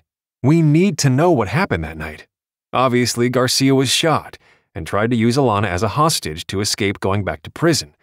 But my partner's murder is a key component to this. I think the bigger issue is the price that the Blood Kings put on your head, Alanna pointed out. She looked at Doug. Did Tate Brown have any inside information about gang activity? A snitch that may know something relevant? Doug nodded slowly. During our last meeting, Tate mentioned a snitch who was giving him information about the Blood Kings. Unfortunately, the information always seemed to be a day late. Reed's interest spiked. What do you mean? The snitch apparently told Tate there was a gun deal going down on a specific night. We had cops at the location, but found nothing. We discovered the deal went down the previous night. Warning bells sounded in the back of Reed's mind. Maybe that's because Tate is involved. He's pretending to help when in reality, he's working with the gangs for a piece of the pie. Doug leveled him with a hard stare. Or it's the snitch who is working both sides, giving false intel to Officer Brown. We know someone within the 5th District is involved. Reed strove to keep his voice even.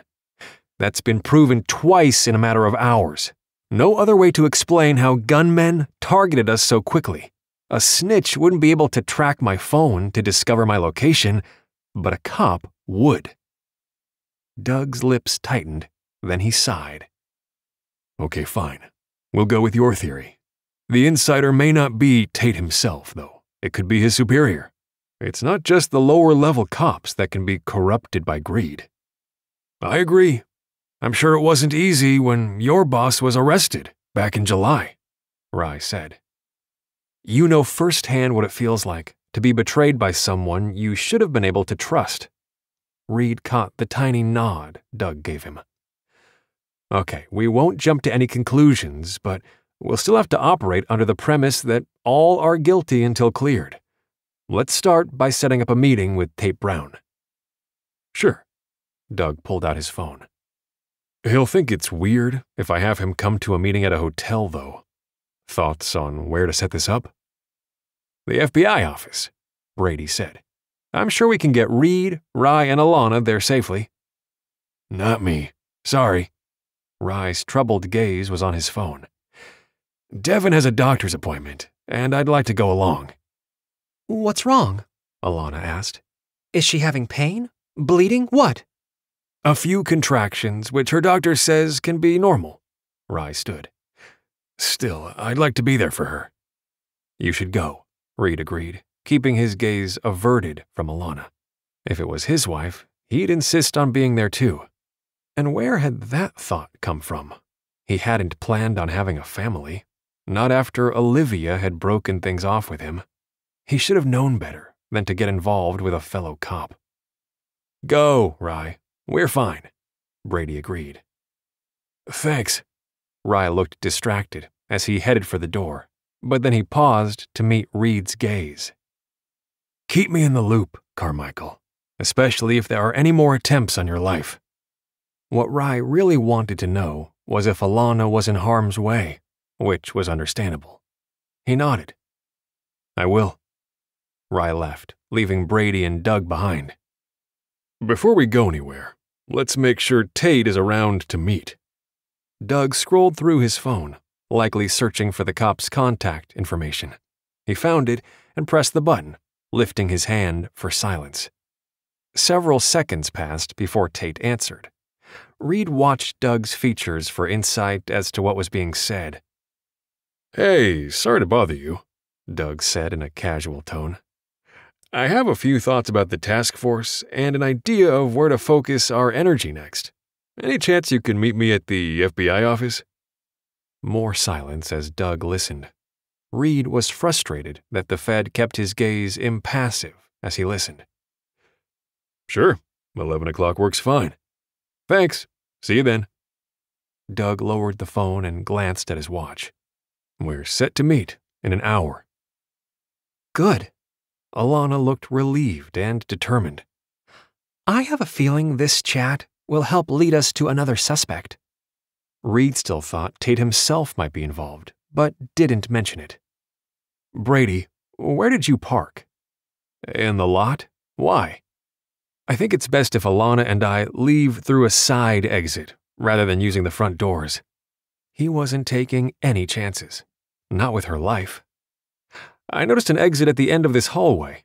I'd like you to drive over there to pick us up. That works, Brady stood. Doug, why don't you head out first and make sure we can use one of the interview rooms? Got it. Doug rose and headed for the door, pausing to glance back. We should talk about how to approach this with Brown before he gets there. I don't want to accuse him of anything we can't prove. I know, Brady agreed. The office is only 20 minutes away. We should have plenty of time to formulate a plan. After the two federal agents left, he turned to Alanna. Are you ready? Yes. She wrinkled her nose. I'm not a fan of sitting around. It feels good to be doing something. He understood. This wasn't exactly easy for him either. We'll give Brady a few minutes to get in position. I hope Devin is okay. Alanna's expression reflected her concern. I'm no expert in obstetrics, but I think Braxton Hicks contractions can be as early as four to six weeks prior to a due date. She has seven weeks to go yet. She gnawed her lower lip. I hope she doesn't have the baby prematurely. Rye will let you know if there's anything to worry about. He smiled reassuringly. Do they know if they're having a boy or a girl? No, Devin wanted the baby's gender to be a surprise. Alanna smiled. We tried to get her to do a gender reveal party, but she refused. We had to settle for a regular baby shower. He'd never been to one, so he didn't have anything to add. When he judged there had been enough time for Brady to get into position, he turned to the door. Ready? Alanna nodded, patting her jeans pocket as if to make sure she had the room key. He opened the door looking both ways before stepping into the hall. He took Alanna's hand and led the way to the side exit where Brady was waiting for them. Once they were settled with Reed up front and Alanna in the back, Brady headed away from the downtown hotel. He glanced over at him. I know this case is personal to you, but it would be best if you let Doug and I take the lead in this interview. It chafed, but he nodded. Okay, but I would recommend you start with the shooting between the Latino hombres and Blood Kings. See if Tate can shed any light on what went down that evening. We assume a turf war of some kind, but specifics would be helpful. Sounds reasonable? Brady concentrated on navigating through traffic for a moment. Shouldn't Tate's snitch have known about the incident prior to it going down? Alanna asked. Maybe, Brady lifted a shoulder. I'd like to get the name of Tate's snitch. I suspect he's not being forthcoming about everything he knows. Shocker, Reed muttered. He didn't have much faith in snitches. Sure, they could sometimes give good insight into what might be happening on the street, but they were in it for the money, mostly to feed a drug habit. Trusting an addict wasn't smart. But then again, what else did they have to go on? A big, fat nothing. Does Tate Brown work out of your district, Reed? He glanced over his shoulder at Alanna. Yeah, he does, which is why I still think he may be involved in this. He made a mental note to talk to his buddy Jeff. It's possible Jeff saw something last night that would explain his partner's death. If he is, we'll figure it out, Brady assured him. Their plan of getting to the FBI offices early came to a screeching halt. Dozens of red taillights flashed as traffic on the interstate came to a grinding stop. Reed craned his neck but couldn't see anything beyond the packed cars. Accident? Alanna asked, her brow furrowed with concern. Reed had no doubt she'd jump out to assist as needed. He glanced over his shoulder. Could be anything. Lots of construction around here. The joke in Wisconsin was that there weren't four seasons in Wisconsin, just two winter and construction. For long moments, traffic didn't move, not even an inch. Reed tried to curb his impatience, but it wasn't easy. Relax, Brady teased. Everyone is likely stuck in the same traffic jam. We won't miss anything. Except coming up with an interview plan, Reed pointed out. Brady nodded and used the dashboard communication to call Doug. Uh, are you stuck in this mess? What mess? Doug sounded confused. We're in a traffic jam. Probably an accident. Brady inched forward. We may not be on time. Doug, it's Reed. He quickly interjected. I would like you to consider asking Tate about the night of the shooting. See if he's heard anything from his snitch about what went down. I can do that, Doug agreed. Sounds like Tate might end up in the same traffic jam you're in. I must have missed it. Lucky you, Reed said. Brady moved another few inches. There's movement up ahead. Hopefully, we'll be out of this soon. I'll be here, Doug said. Any other thoughts on what we need to ask? The name of his snitch, if he'll give it up. Brady grimaced as they moved a whole foot this time. I'm curious if the snitch has intel on both the Blood Kings and the Latino Hombres, or just one of the gangs. He didn't want to give us the name when we initiated the group, but based on the price that's been put on Reed's head, that is now a non negotiable point. Doug's voice was somber. I'm done playing around. Reed cocked a brow, wondering if Doug was beginning to lean toward Tate being their guy. Glad to hear it. I don't have anything else to add. Do you? He glanced at Brady. I don't think we should tip our hand about our suspicions, Brady said. If anything seems hinky, we can put a tail on him. That may reveal more. I like it. Reed stared through the windshield. If he could have sprouted wings to fly over the traffic jam, he would have. The Lord is testing our patience, Alanna sighed. Especially mine. Looks like things are moving, Brady said. We should be at the FBI offices before Tate. See you there, Doug. Later. Doug disconnected from the line. The traffic did move, but not nearly as quickly as Reed would have liked. He looked forward to interviewing Tate Brown. The cop likely knew something that could help. The next mile was slow, but soon they passed what appeared to be a dump truck and a mangled car. Alanna craned her neck as if looking for injured passengers, but there was no sign of anyone looking in need of assistance. The road ahead was clear, so Brady hit the gas to make up for lost time. Reed had never been to the FBI office building and was a little surprised when Brady pulled into the parking lot of a nondescript brown brick building. The surface parking lot was only about halfway full, and he wondered if there was another parking area for the federal agents themselves. Brady threw the gear shift into park. Reed, you'll need to leave your weapon in the car. I'll drive you both back to the hotel. You'll both have to sign in and wear visitor ID tags. Understood? Reed took a moment to remove his holster, weapon, and extra clip. He stored everything inside the glove box. Ready? As they emerged from the SUV, another car drove up beside them. Reed and Alanna were a few steps ahead, but Reed turned, his hand going to a gun that wasn't there. It took a moment for him to recognize MPD Officer Tate Brown. Looks like our guy showed early, he said to Brady. Yeah, Brady frowned. Go ahead. I'll wait for him. Reed took Alanna's arm to urge her forward when the loud crack of gunfire rang out. He instantly yanked Alanna to the ground, covering her with his body. Officer down! Brady shouted, making Reed realize he was yelling into his phone. Repeat, officer down! Which officer? Reed lifted his head and turned to look behind him. Brady was crouched beside the SUV, while the body of Tate Brown was lying face down on the ground. A pool of blood oozed from beneath the man's face. Their only lead on finding out who had murdered his rookie partner was dead. Chapter 9 What happened? Alanna pushed against Reed's body. Who's hit? Your brother is fine. Reed did not budge beneath her attempt to shove him aside. Stay down. The cop we were planning to interview was shot. Officer Brown? She craned her neck to peer around Reed's body to see for herself.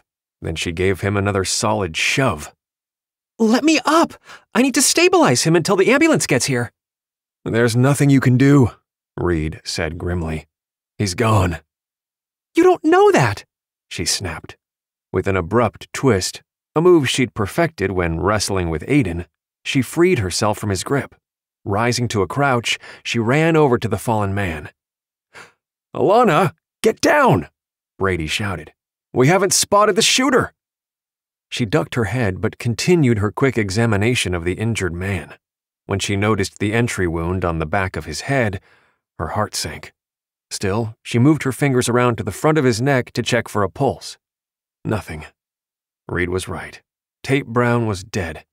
Her shoulders sagged in defeat. Alanna. Reed came up behind her, covering her back with his body. She turned to look up at him. His fierce expression reflected his annoyance. Please come back to the SUV. She reluctantly nodded. Brady, cover us, Reed spoke in a loud tone. She could see FBI agents running out of the building in response to the gunfire. Reed rose and pulled her up beside him. Hurry, he urged. We need to be far away from here. What about the police? Sirens indicated local cops would be arriving at any moment. Shouldn't we stay and talk to them? No. Reed's tense tone was firm. He opened the passenger side door. Get in. Glancing through the windshield toward Brady, she sent a questioning look. Her brother nodded, so she scrambled inside. She had to assume Brady would cover for them with the local authorities. It wasn't until Reed had driven the SUV away from the FBI office building that the implication of this brutal murder struck deep. He was killed to prevent him from speaking with us. Exactly. Reed's jaw was so tight, she expected to hear his teeth crack beneath the pressure. No way was that a coincidence. I agree. She shivered, suddenly chilled despite the warm sunlight. She looked at Reed. Wait a minute. Is it possible one of us was the real target? That Officer Brown simply got in the way? Not likely. Reed caught her gaze for a moment before he turned his attention back to the road. The bullet struck the back of his head with a precision that was lacking in the other shooting attempts. This cold blooded murder was done by a pro, not a gangbanger looking to add to his street cred, like the guy outside Rosie's diner. Dear Lord Jesus, she whispered, praying for strength. A cop? You think another cop shot him? Why? What's going on? Whatever it is, it's bigger than we originally thought. Reed shook his head in frustration. I wish I understood how this is linked to the gang shooting that first night. How could something like that result in two cops being brutally shot and killed? Nausea swirled in her belly. Several of her siblings were cops, including Kylie. She'd always known they put their lives on the line each day, but she hadn't fully appreciated what they faced until now. With a shaky head, she tucked her hair behind her ear. Where are we going? Back to the City Central Hotel. Reed's gaze moved constantly from the cars on either side of them to the rearview mirror. As far as I can tell, that was the only place we've been safely under the radar. I imagine the shooter was surprised that we were at the FBI offices when Brown showed up. I guess we'll never know what Tate was going to tell us, especially the name of his snitch. She stared blindly out the window before turning toward Reed. Do you think he was killed because he was in on it, or because he was too close to uncovering the truth? Reed was silent for a few seconds before answering. I'm leaning toward the latter. If he was part of this, he could easily have given us false information, sending us down a different path while shielding the truth. The only way taking him down makes sense was if he had suspicions he was about to share. Quite a setback. Yeah, Reed sighed. I'm sure your brother will call if he learns anything useful. He will. She tried to think positive. Maybe Tate had some information on his cell phone or in the vehicle that would help. How long does it take to process a crime scene? With the feds involved? The barest hint of a smile tugged at the corner of Reed's mouth. Probably all day. I'm sure Brady will put a rush on whatever they find. She couldn't help smiling in return. It's good to have inside connections. That's true. Reed's expression turned serious. I'm impressed with the way your brothers jumped in to help. When was the last time you saw your brother? Traffic moved quickly, without too much of a gaper's block. As they passed, she noted the earlier accident scene had been completely cleared. Last year, at Christmas, Reed glanced at her. Eric and I shared the holiday with our grandparents, but it was short and sweet. I had to work the night shift, so we only had time for a Christmas brunch. She couldn't fathom going 10 months without seeing her family. With our various jobs requiring weekend and holiday shifts, we can't always get off at the same time either. But this year, it looks like our schedules will finally come together, so we're all off work on Christmas morning. All of you? Reed cocked a brow. How in the world did that happen? Rye would say that God works in mysterious ways. Ellie is new in her role as an EMT, and we thought for sure she'd have to work Christmas Day, but she's on duty Christmas Eve instead. She didn't let on about her concern that Ellie may not be working as an EMT at all by the Christmas holiday. She often prayed the youngest Finnegan would find her way. Not that she hadn't tried. Ellie entered the police academy, but couldn't pass the physical requirements. Then she'd been admitted into the nursing program, but had dropped out of that after two years of study. They all hoped Ellie would settle down sooner than later. Sounds like it will be crowded at the homestead, especially since so many of your siblings are married. Reed's comment snapped her back to the present. That's true. But I'm thrilled for my older brothers and sister. They deserve to be happy. He nodded, then exited the freeway. She noticed he took several turns as he headed toward the city central hotel. She turned to look behind them, but didn't see anything suspicious. Not that spotting a tail was her area of expertise. Anyone following us? No, he frowned. Although I would feel better if Brady and Doug found the shooter. She wholeheartedly agreed that arresting the shooter would take some of the pressure off and would hopefully shed light on who was responsible. Reed took more side streets, going as far down as the lakefront before turning to head toward the hotel. When they arrived, he parked in the farthest corner of the lot, as far from the main entrance as possible. We'll use the side door we came out of earlier. He tucked his hand beneath her elbow, steering her in that direction. Her pulse didn't settle down until they were inside the suite with the door locked. She dropped onto the sofa, putting a hand over her thundering heart. I'm not cut out for this. I'm sorry. Reed appeared upset at her comment, making her wince. It's fine. Ignore my whining. He surprised her by cradling her hand between his. Putting you in danger bothers me. I don't want you anywhere in the line of fire. Will you please reconsider staying with one of your siblings? I would if I could. She was tired of this tune he kept singing. Brady has a wife and a six year old son. You know Devon is pregnant, and I'm convinced Joy is too. If there was a viable option, I'd take it. Please stop pressing me on this. Her fault for voicing her fear. Let's just focus on our next steps, whatever they are. He stared at her for a long moment before looking away. Okay, but if you decide at some point you want out, tell me. I promise. She frowned. I'm hungry. Should we walk over to the cafe to grab a bite to eat? No. Here's the room service menu.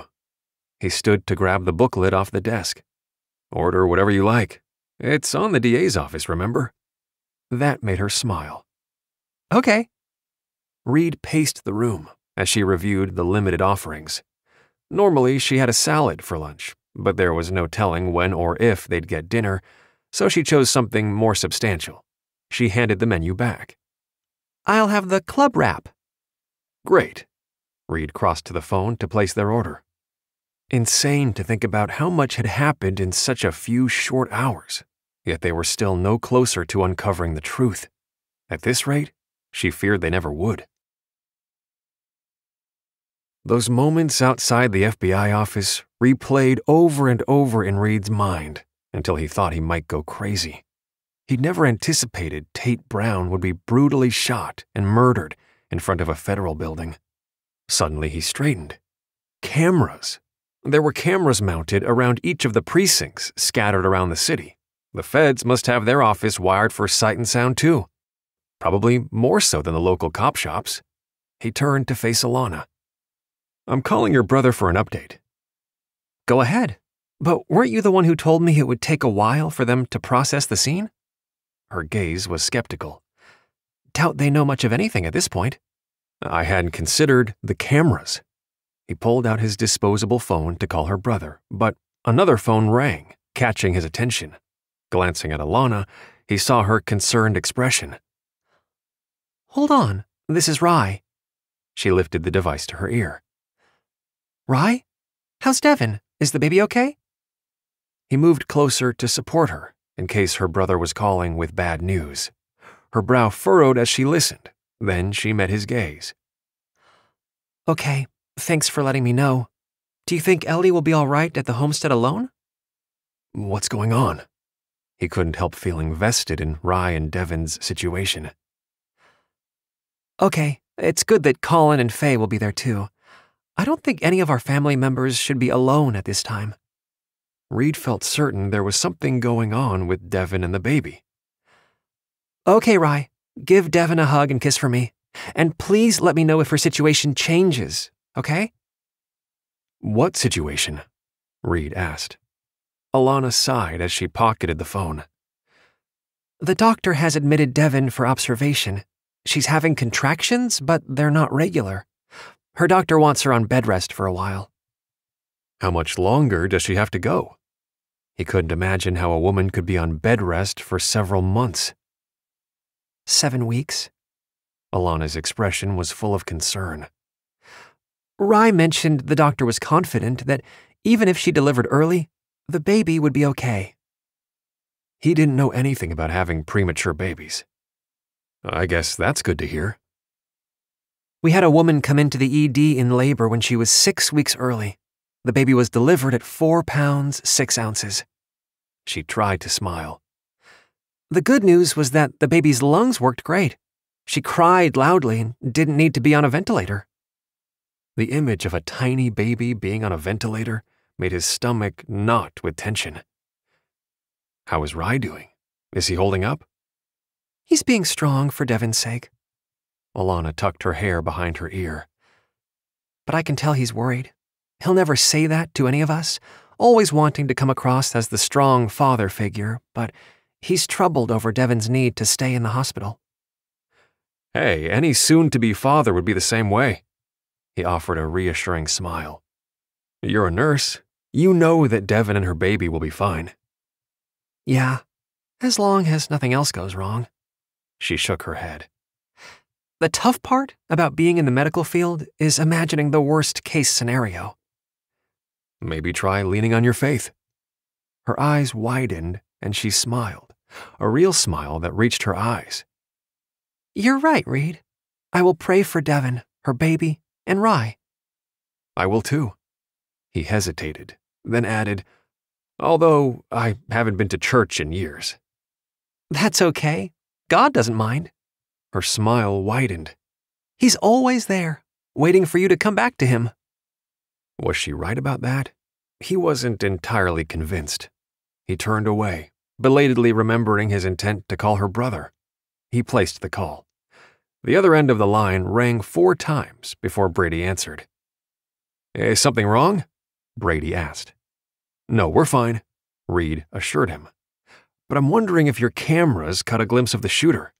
He may be someone I recognize from the initial scene of the gang shooting. We're pouring through the video now, Brady said. We identified a black SUV that pulled into the lot five seconds after Tate did. Looks like he was followed to the FBI office. That wasn't reassuring. I'd think he'd be on alert for a tail. Yeah, well, who knows? Brady sighed. The shooter stayed in the car, so we didn't get a clear view of his face. A bullseye shot made from the front seat of a car? The thought lifted the hairs on the back of his neck. The shooter has to be another cop. That's our working theory, Brady agreed. I can send you the pictures we have, but I don't have high hopes you'll be able to identify him. The sun glinted off the windshield, interfering with the ability to see the guy's face clearly. We have techs working to sharpen the image, but I don't have the improved version yet. Send me what you have, along with any better pictures your techs are able to create, Reed said. What about Tate's phone and his car? Find anything interesting there? The crime scene techs are processing the car for prints. We're hoping the snitch was in the vehicle at some point, and that he's in the system. There are several calls on Tate's phone. It's going to take us some time to find out who the numbers belong to. He frowned. I'm sure the snitch used a burner phone. Agreed. But if we can get the snitch's prints, we'll be able to track him down, regardless of the phone number he's been using. Feds could often be territorial, unwilling to share their information with local authorities. Brady seemed to be the exact opposite, and a wave of admiration for Alanna's brother washed over him. Thanks for the update. I appreciate everything you're doing. I wish I could be there to help track down leads. I'd rather you stay focused on protecting Alanna, Brady said. I nearly had a heart attack when she rushed over to tend to Tate. You and me both. He was not happy at how she'd managed to wiggle away. She flashed him a knowing look, as if she knew they were talking about her. I tried to tell her that he was already dead, but she wouldn't listen. I guess she needed to see for herself. Sounds like Alanna, Brady chuckled. She's stubborn. Wasn't that a trait all the Finnegans shared? He'd only met a handful of them, but yeah, he was pretty sure it was. Will you continue to update us on your progress? Yes. Brady's voice turned solemn. We've never had a shooting outside the Bureau, especially not a cop. Donovan, our special agent in charge, is pretty upset and is demanding I work the case with Doug. Okay. Reed knew there wasn't anything else he could do from the hotel. Don't forget to send me the photo of the shooter. Remembering he didn't have a smartphone, he added, Use my email, okay? He quickly gave him the email address. Sending the pictures now. Later, Reed. Brady ended the call. I suppose Brady is mad at me too. He's not. Reed cast her a sideways glance as he turned on the laptop. He called you stubborn. Like he should talk, she groused. Reed had a response from his email to his former partner, Nate Jackson, but he left it unopened in favor of looking at the email from Brady. When it popped into his box, he noticed it was from Brady's private email, not his official one within the Bureau. Did that mean he was helping Reed without his boss's approval? He found himself hoping the Fed didn't get himself in hot water over this. When he opened the attachments, he inwardly groaned at the blurry images that bloomed on the screen. What did Brady send you? Alanna leaned over his shoulder to see the computer screen and the two photographs he'd pulled up, so they were side by side. Really? That's the best they could do? They have a tech working on sharpening the image. He stared at the pictures, trying to place the blurred features with a cop from his precinct. It was no use. He shook his head, swallowing his frustration. I can't place this guy as a fellow cop or anyone else that I know. Me neither. She straightened, giving him some breathing room. Why was she so close? Her flowery scented shampoo was messing with his head. I, uh, expect the food will be here soon. He tried to edge past her. Reed? She stopped him with a hand on his arm. Oddly, he could feel the warmth of her fingers radiating through his long sleeve. What? He swallowed hard at the way her brown eyes searched his. I appreciate everything you're doing for me. Her smile brightened her face. Not just keeping me safe, but you've been really sweet in showing concern for my family. He stared at her, having no clue how to respond. He didn't want to admit how much he'd come to care about her siblings. It seemed as if they'd been working together forever, rather than less than 24 hours. Anyone else would do the same, he finally said. No, they wouldn't. She stepped closer. Alarm bells jangled in his mind. You're special, Reed. I hope you know that. I'm not special. I'm just a street cop. Why wasn't the food here yet? He cleared his throat. Not to mention, I'm also the guy who put you in danger. Pretty sure the Blood Kings did that when Garcia took me hostage, forcing you to shoot him. I owe you so much. She lifted up onto her tiptoes to brush a kiss across his mouth. In the back of his mind, he understood she only meant to thank him, but the brief kiss instantly morphed into something more.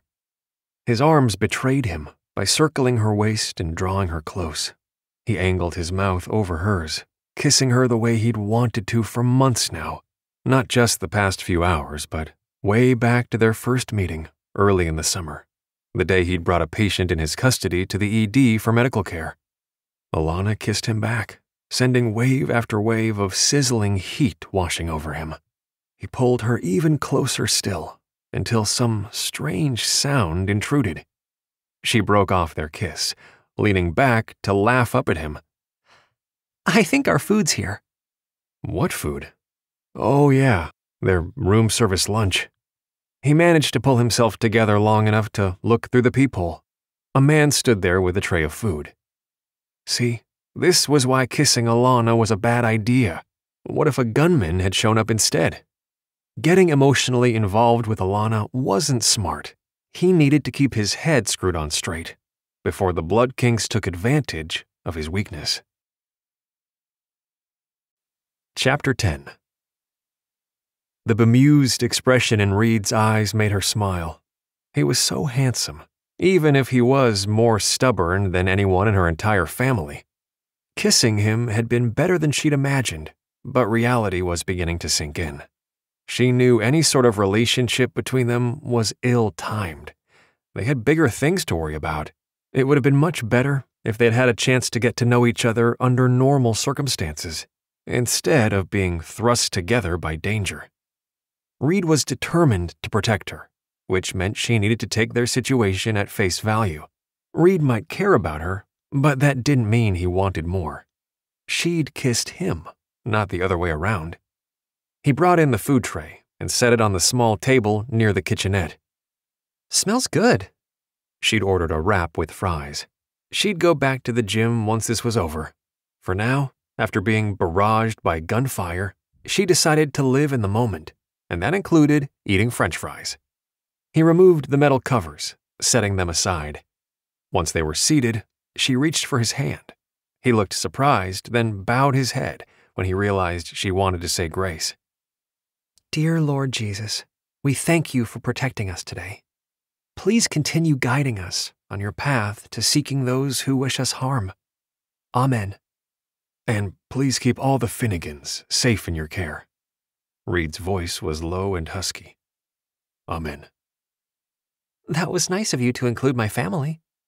Her smile faded as she remembered Rye and Devon. I'd like to check in with Rye later to see how Devon is doing. Of course.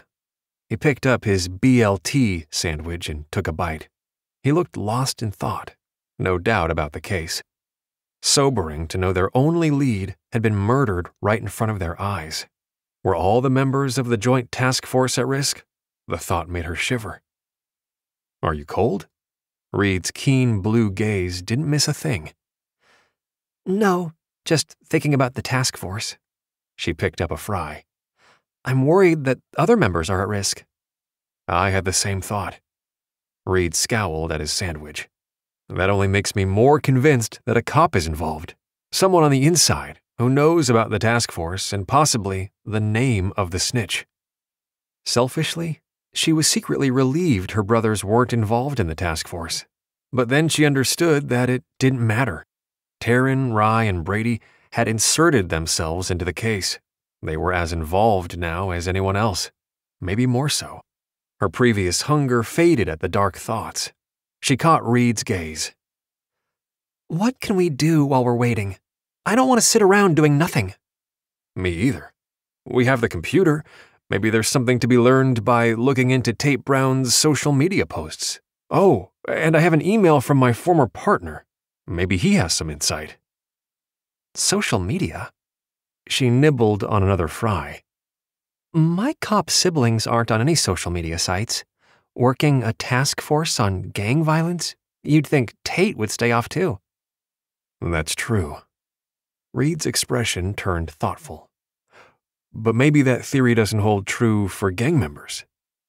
Why on earth would gang members be on social media? She couldn't imagine it. For one thing, these kids grew up in a world that used social media more so than we did. For them, it's natural, not to mention it's a way to communicate with others. I'm sure they're using privacy settings, but if we find something interesting, maybe Brady can help us cut through red tape to get access into their accounts. If Brady can, he will. The idea of having something productive to do helped spark her appetite. I know. Reed grinned. He's not like most feds who are stingy with intel. She tipped her head to the side. Have you worked with federal agents often? Just one big case two years ago. All mirth faded from his features. There was a prostitution ring involving teenage sex trafficked victims that we raided. I don't think your brother was a part of that. Working in the emergency department, we're always on alert for possible victims of sex trafficking. She sighed. It's a struggle because they're so afraid that they rarely cooperate. I know. He waved a hand. Let's not focus on all the depressing criminal activity that goes on in a city our size. We need to concentrate on the Blood Kings. Okay. She did her best to shake off the sense of helplessness. Every day she went to work, she was determined to take good care of her patients, but some days were more difficult than others. They ate in silence for several moments. Her thoughts kept going back to her patient. Did you notice Ivan Garcia's teardrop tattoos? Yeah. He eyed her over the rim of his water bottle. The Latino hombres use them too. I think that practice has carried over from the gangs in Chicago. Garcia told me he wasn't going back to jail. Pushing away her empty plate, she propped her elbows on the table and laced her hands together. He was 23 years old and had three teardrop tattoos colored with red ink. I assume those were three people he murdered, but there's no way he could have been released from jail for murder after only a year or so, right? I wonder why he was arrested. We can look that up. Reed finished the last of his fries, then stood to lift their empty tray. He set it outside their room, then reached for the computer. He set it on the table. She inched her chair closer so she could see the screen. I forgot about the Wisconsin case search, she murmured as he brought the website up. Do you use it to check on your patients? He looked surprised. She laughed. No, only potential dates. She tapped the screen. Marriages and divorces are listed in here too. This is how I found out the guy I was dating wasn't divorced the way he'd claimed. So much for a doctor being honorable. That's true. He sent her a curious look. I'm sorry about the idiot who lied to you. I'm sure your brothers taught you to research all potential boyfriends. They did. It had been incredibly annoying at the time, but she appreciated their protectiveness now that she was older. When I was in high school, the guy who asked me to prom had an underage drinking ticket. Rye hit the roof and refused to let me go. Uh, I'm sure your date wasn't the only kid in school with an underage drinking ticket, Reed said. He was with a group of basketball players who had been caught at a local party. Aiden came to my defense, and in the end, Rye let me go, as long as we double dated with Aiden and his girlfriend. She smiled at the memory. Justin wasn't thrilled, but he was a perfect gentleman, mostly because Rye sat in the living room cleaning his service weapon when he picked me up. Reed chuckled. I can picture that so very clearly. Right? It's no wonder Justin disappeared from my life shortly afterward. Any decent guy would respect your family. He arched a brow. If having a cop as an older brother scared him off, he wasn't worth your time. Funny, that's what Aiden said too. She shrugged. That next week, I discovered I'd been accepted into the nursing program at the University of Wisconsin in Milwaukee as a direct entry student. They didn't offer those positions to everyone, so that was a really big deal. I decided Justin wasn't part of my future. His loss, not mine. Smart girl. Reed grinned. I couldn't agree more. She felt herself flush and decided it was time to change the subject. Let's see what we can find out about Ivan Garcia. Oh, and I need to call Rye, too. Reed turned his attention back to the computer while she made the call. Are you okay? Rye asked, in lieu of a greeting. Yes, I'm calling to check on Devon and the baby. Oh, she's fine. The contractions are still irregular and not very strong, according to the staff here. And they gave her fluids, thinking she was dehydrated. Rye hesitated, then asked, Are you and Reed okay? Do you need anything? I hate that I had to leave you there without more support. We're fine, Rye. Perfectly safe. She decided that this wasn't the time to fill him in on the shooting outside the FBI building. Better for him to hear that news from Brady. Do you think they're going to keep Devon overnight? It looks that way. But if her condition is unchanged by morning, they'll allow her to go home on bed rest. Bed rest? She winced. Guess it's a good thing you saved up all your personal days after all, huh? Yeah. Listen, the doctor is making rounds, so I need to run. Take care. We will. You do the same. She disconnected from the call, feeling better about Devon's condition, even if she'd need to stay on bed rest for a while.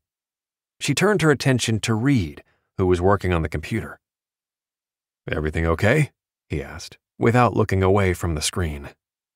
Yes, Devon and the baby are stable. Did you get into the case site? Yep. Looks like Ivan Garcia was charged for reckless endangerment while operating a motor vehicle and for illegal possession of a firearm. Reed grimaced. He only did 18 months before being placed on probation. 18 months? She shook her head. Doesn't seem right. I know. It's frustrating. He searched for a bit longer, then opened a popular social media account. She leaned forward to get a better look. How can you see anything if you're not on there? I have a page, but it doesn't have any personal information about me, and it's under my middle name. He tapped the screen. Paul R. Carr is really me. And you have a cartoon profile picture, too. She glanced over at him.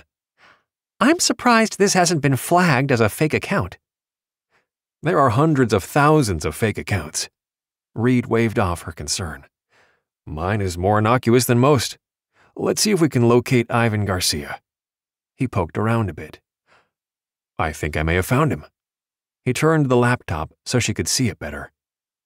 What do you think? Is this our guy? Yes, that's him. She knew Ivan's face would be imprinted on her memory forever. Then she leaned forward. Hey, in this picture, he only has two red teardrops inked on his face, not three. Reed turned the computer to see the discrepancy for himself. That's interesting. The tattoo on his face didn't look fresh or new. She agreed with his assessment. It also means he killed someone between the time this picture was taken and the time he was brought to the hospital. A chill snaked down her spine. There was another guy arrested that same day, Reed said.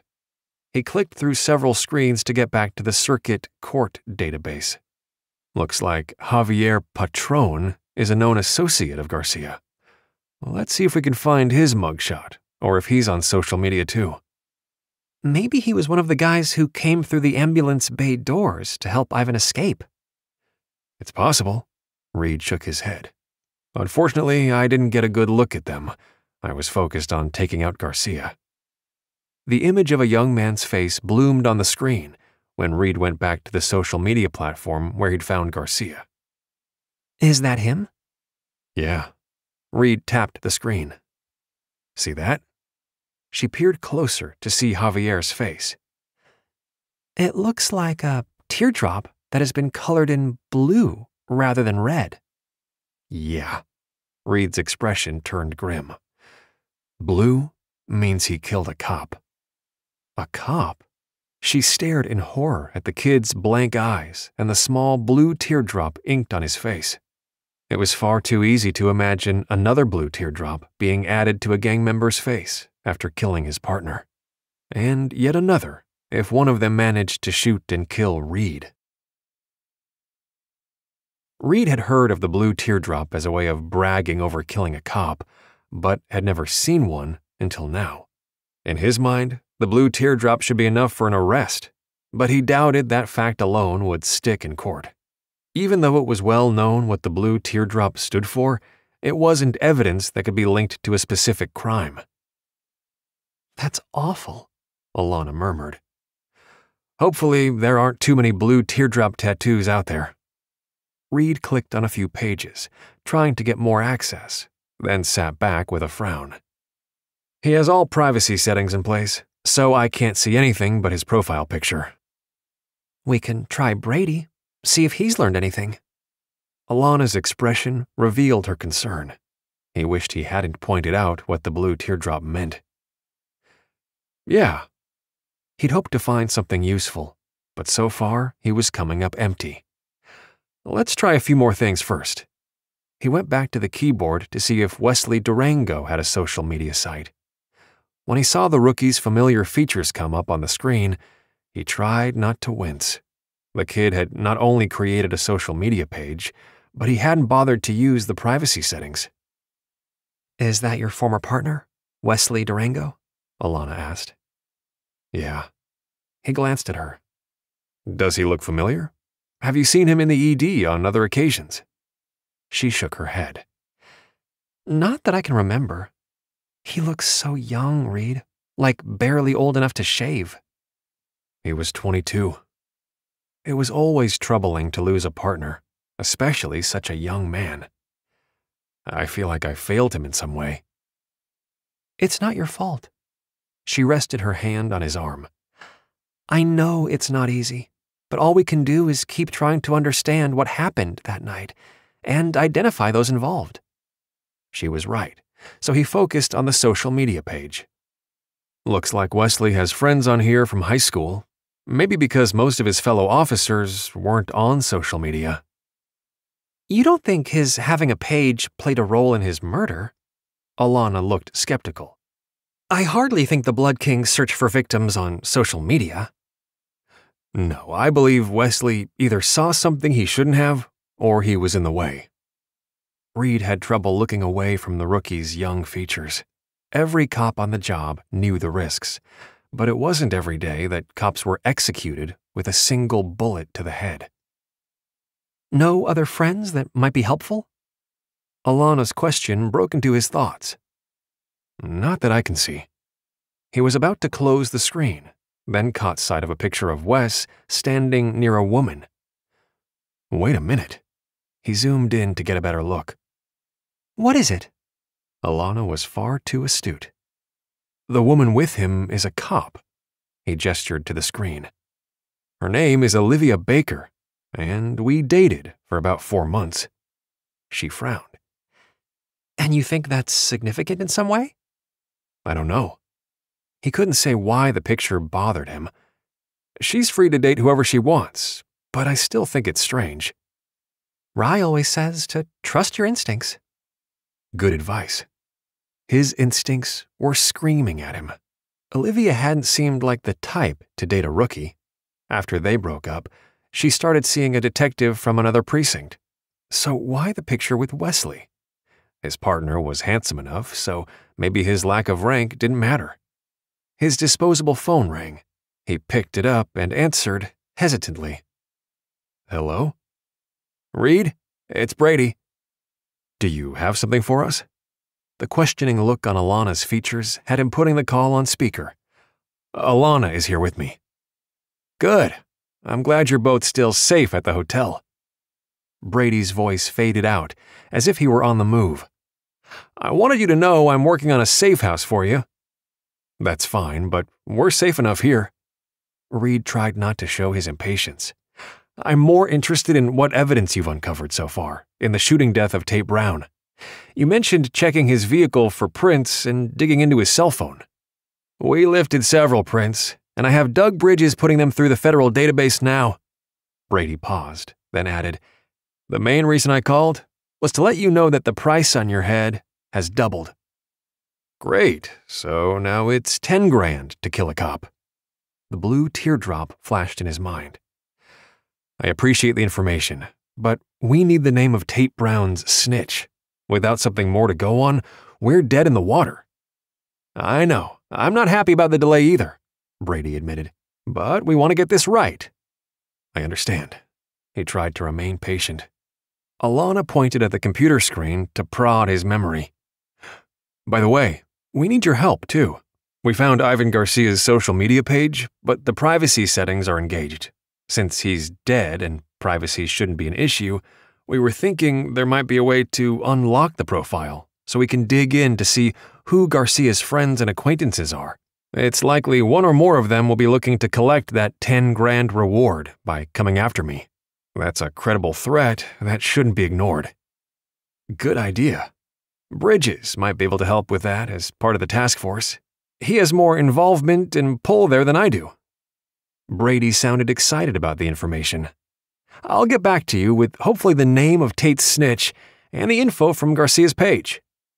Thanks. He glanced at Alanna, who shrugged. That's all we need for now. Look, Reed, I'm worried about the price on your head. Brady's tone was quiet and serious. I'd like you to consider using the safe house once I'm given the go ahead to finalize the arrangements. Yeah, okay. It went against the grain, but after seeing Javier Patron's blue teardrop, he knew it would be safer for Alanna to go along with Brady's plan. Whatever you think is best. Although, like I said, we've been safe here. Okay, I'll be in touch after I talk to Bridges. Thanks. He pushed the end button, disconnecting the call. I guess there's nothing more we can do but wait. Turning to the screen, he clicked back on his email from Nate. His buddy's response was full of concern for Reed's welfare. Nate had ended the message with a plea for Reed to call him. Was it safe enough to do that? He wanted to hear what Nate knew, if anything. You made a list of the officers from the scene, right? Alanna's question interrupted his thoughts. Tate Brown was on the list, but someone killed him. Likely someone who was at the scene that night. She had a point. He pulled the list from his pocket and set it next to the computer. It can't hurt to look for social media sites for these guys. Although this one here, he pointed to Jeff Watkins' name, is a friend of mine. I know for a fact he doesn't have a page. If he's your friend, he's likely not involved. But the others need to be looked at more closely. Is it possible to get their personnel files from the police department? Alanna asked. I can't, but the feds might be able to. He wasn't sure even the federal government had that level of power, but it was another avenue to pursue. I'll dig into those same officers first to see if we can find anything suspicious.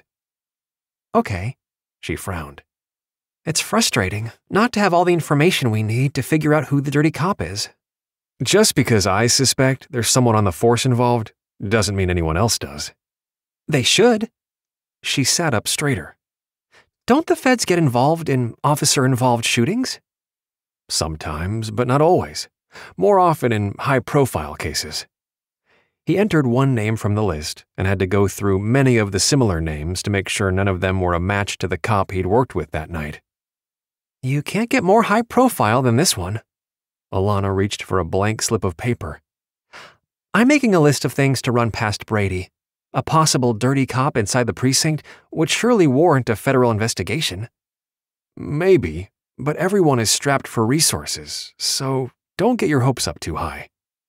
He was about to narrow the social media search to Milwaukee when he came across a familiar face. Hey, one of these guys is on here. Which one? This one, Doyle Ford. He opened the social media account. Looks like this hasn't been updated in a while. It states he lives in Stevens Point, Wisconsin. The tiny hairs on the back of his neck lifted. The female officer we saw standing beside my rookie partner is Olivia Baker. She also transferred to Milwaukee from Stevens Point. Point is roughly three hours from here. Alanna stared at him.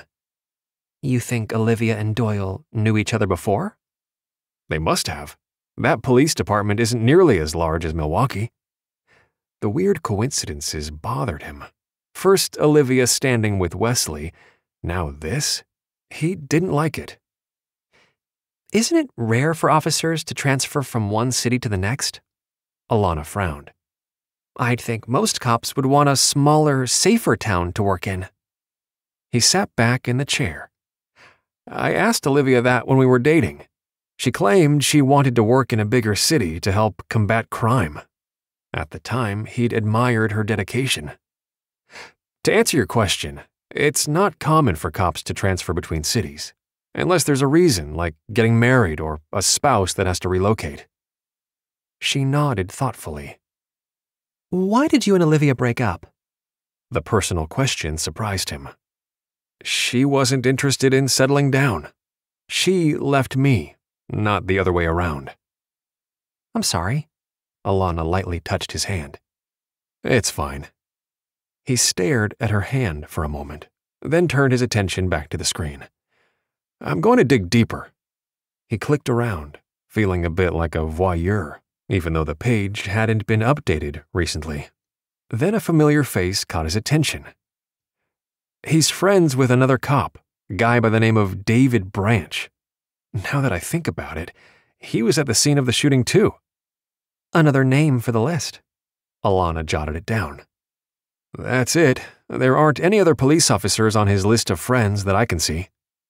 He'd half hoped to find Olivia there, but if she'd ever had a social media account, there was no sign of it now. Then a thought struck him. Wait a minute. The last post from Doyle is from three years ago. If David Branch is a friend, I wonder if he also moved in from the Stevens Point Police Department. Maybe, but does that matter? I don't know. He wondered again if he was making a big deal out of nothing. Three cops coming from Stevens Point might be unusual, but likely not a precursor to a crime. We'll gather what information we can and hand it all off to Brady. As if on cue, his phone rang. This time he recognized Brady's number. He pressed the speaker button, then connected the call. It's Reed and Alanna. Please tell us you have good news. I have information. Not sure it's good or bad, Brady said. We lifted a set of prints from inside Tate Brown's car, belonging to a Javier Patron, a known gang member of the Blood Kings. We can't say for sure he's the snitch, but that's the working theory at the moment. His gaze clashed with Alanna's as his pulse spiked. Javier Patron was arrested the same time Ivan Garcia was, roughly three years ago. If he's the snitch, I have no doubt he was working against the task force, purposefully giving bad intel to send them down the wrong path. Even worse, he has a blue teardrop tattoo, indicating he's killed a cop. We agree with your assessment, Brady said, his tone grave. The bigger news is that Bridges was able to get into Garcia's social media page. Believe it or not, it appears this guy was doing some gang business using the Messenger app. And he was in several conversations with other gang members, including Javier Patron. We're making a list of them now. Reed sat back in his seat, his mind whirling. Can we arrest any of them based on what you found? It's possible, especially Javier Patron, but we don't want to pull the trigger on that until we know a lot more about what criminal activities they're involved in. Brady sounded apologetic. I know that's not what you guys want to hear, but if we only grab one or two of these guys, the rest will crawl deep into hiding like the cockroaches they are. More importantly, we need to make sure the charges that are filed against them will stick.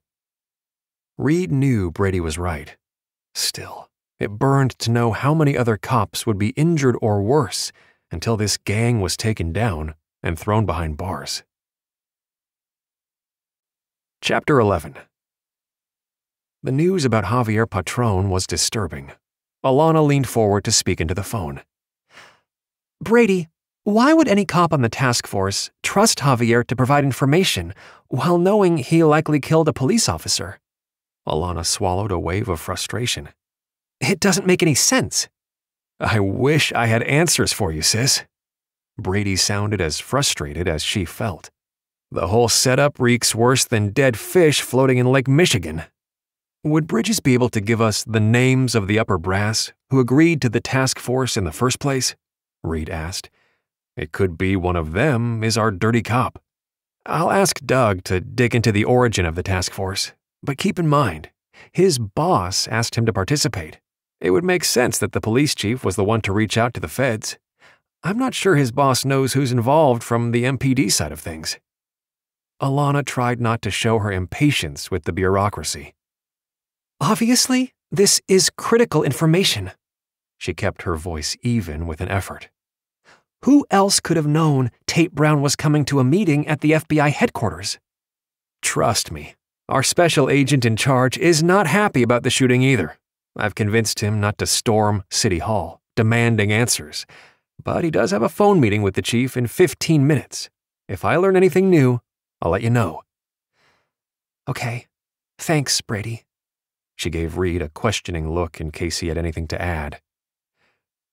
My boss is Lieutenant Harvey, Reed said. He's the phone call I made from Timberland Falls prior to the shooter showing up. The timing does seem to indicate either Harvey or Captain Jake Adams is involved. I'd hate to think anyone higher than a captain is dirty. Sergeant Noah Sinclair is a good guy. I trust him more than any of the others.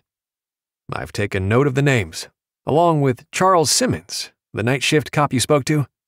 I agree Noah isn't likely involved. I have to go, but I promise I'll keep you both updated. Brady sounded rushed. Thanks. She reached over to disconnect from the call, then let out a sigh. I was hoping we'd have more by now. Me too. Reed's brow furrowed. Maybe the special agent in charge should storm City Hall. A good shakeup could go a long way. She frowned. Unless the dirty cop realizes we're onto him and covers his tracks. Reed looked discouraged as he turned toward the computer. It's a long shot, but I'll see if either Harvey or Adams are on social media. She wished there was something she could do to cheer him up. It couldn't be easy to discover the price on your head had doubled in less than 24 hours, or to suspect those you work with to be dirty. Any chance you know the names of their wives or kids?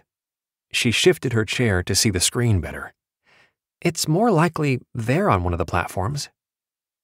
Good idea. I know Harvey's wife is Louise. He typed Louise Harvey into the search engine. Surprisingly, several possible matches popped up. Reed seemed to know who he was looking for, though, because he made short work of the list. Here she is, Louise Margaret Harvey. He turned to catch her eye. Her site isn't private, which is rather irresponsible of a cop's wife. She probably doesn't think it's a big deal, since her husband isn't on the site. Reed shot her a glance. But you're not on social media because your brothers have drilled safety into you. True. And I would never risk anything happening to them, even if I wanted to be active there.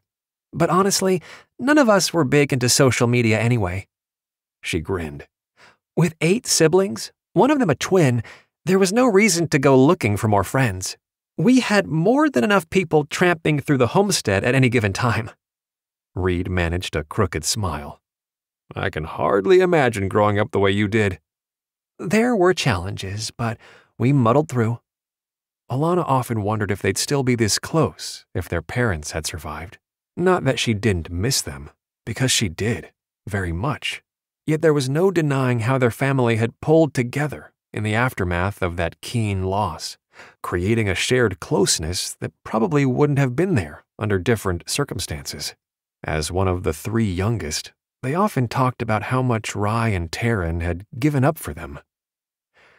There's nothing interesting here.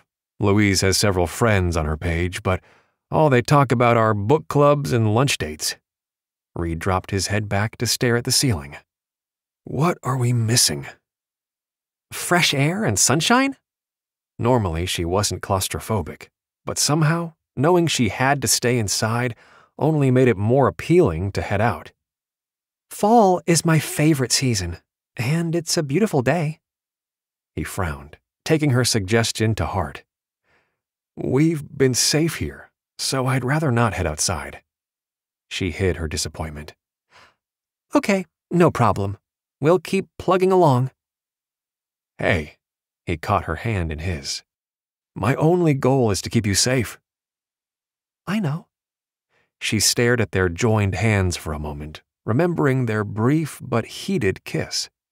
She cared about Reed and refused to leave him alone to deal with this mess he was in. He'd saved her life. The least she could do was to help him now. It sounds like Brady is working on a safe house anyway, so we won't be here at the hotel for much longer. True. Reed squeezed her hand, then released it. I still feel like we're missing something. She had no idea how to help him. Do you think there's any reason to believe the cops who transferred here from Stevens Point are involved? As far as I know, there's no gang activity in the smaller cities across the state. They're too far from the city. Every Milwaukee gang has ties to Chicago. He abruptly straightened. Maybe we should be looking at those officers who transferred from there. Okay, how can we do that? She frowned. I'm sure you don't have access to their personnel records. No, I don't. He pulled the laptop closer and typed in the name of Charles Simmons. Who is that? She frowned as she looked over his shoulder. Oh, yeah, he's the night shift cop in your precinct. Yes. Simmons called to let me know about the price on my head. His wife is Jolene Simmons. He continued working the keyboard, then sat back in his seat. Here's a Chicago connection. Jolene mentions on her social media page that she used to teach in the Chicago Public School District. Okay, but it seems a stretch to assume that just because Charles and Jolene Simmons came to Milwaukee from Chicago, that he's in cahoots with the gang. Cahoots? He grinned. Cute. You know what I mean. Her cheeks flushed with embarrassment at being caught using phrases from the TV crime shows she sometimes binge watched. Why would he have anything to do with gangs? After all, he didn't have to tell you about the money the Blood Kings were offering as a reward to have you killed. If he was involved, wouldn't he have just kept his mouth shut? Let you find out the hard way? Maybe. Reed sighed. I don't know what to think. Wesley Durango was the first murder, followed closely by Tate Brown. Two other cops who were on the scene of the original shooting, Doyle Ford and David Branch, both transferred from Stevens Point. And Wesley was close to Olivia Baker, who also transferred from Stevens Point. She rested her hand on his arm. Let's not grasp at straws. None of what you've uncovered so far links one of these cops to the local gangs. You're right. Reed abruptly shut the laptop and shot to his feet. I guess this is why I'm not a detective. That's not what I meant, she protested. If you were formally working this case as a detective, you'd have access to key information. We're limited as to what we can do via social media. Spinning our wheels with nothing to show for it. He sounded dejected. Maybe we should take a walk. I wish we could. She'd have liked nothing more than to get out of their room. Reed's phone rang, and he pounced on it as if it were a lifeline, putting it on speaker for her sake. Carmichael. It's Brady Finnegan. Her brother's voice sounded low and tense, as if he were speaking quietly so no one else could overhear. Doug was able to confirm that your captain, Jake Adams, was the one who requested some of the officers from your district to participate on the task force.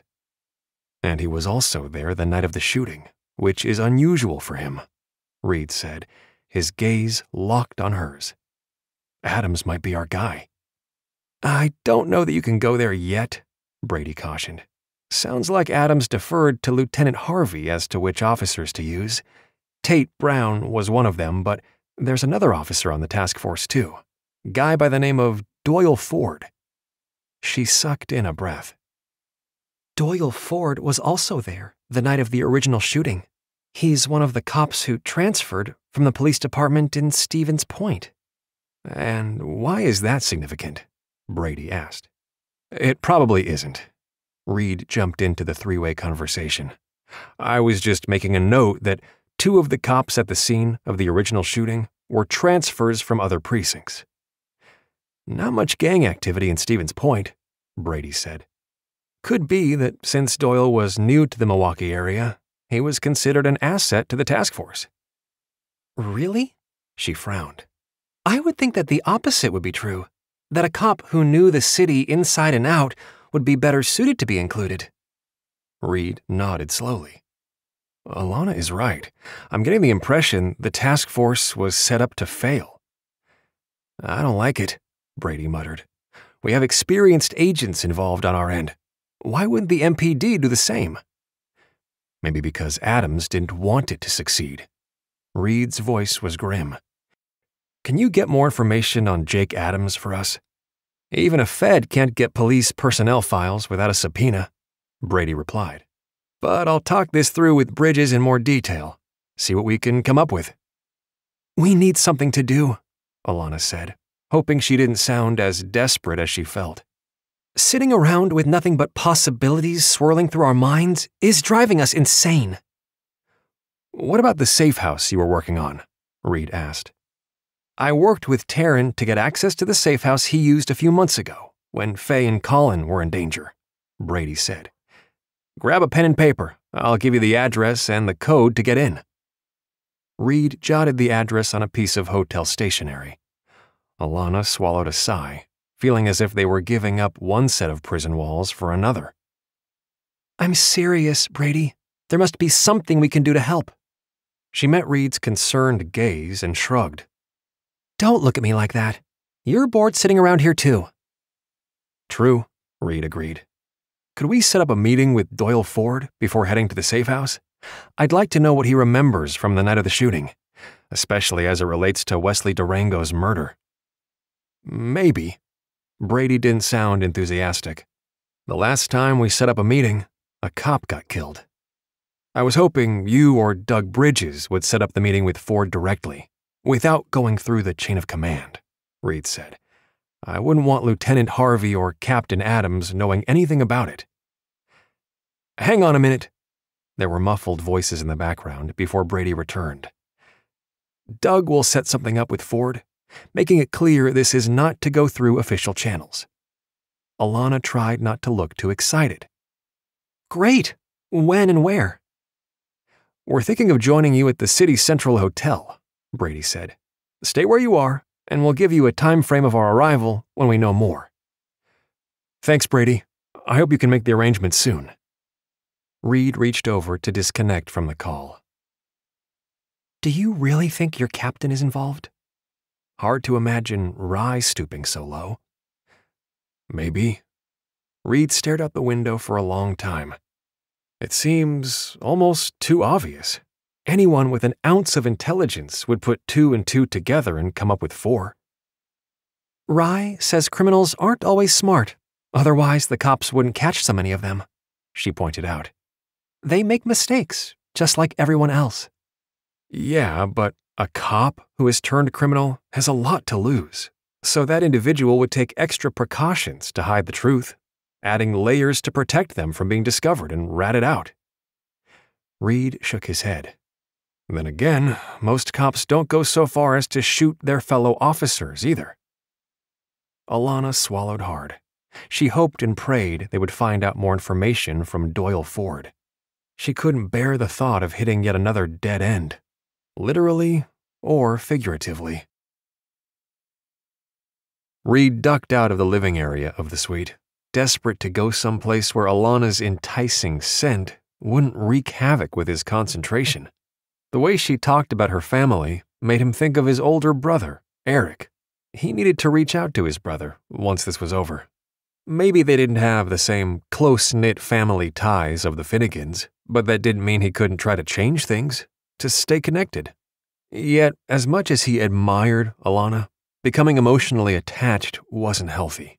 He couldn't take much more of this constant togetherness. At least he had the upcoming meeting with Doyle Ford to help distract him.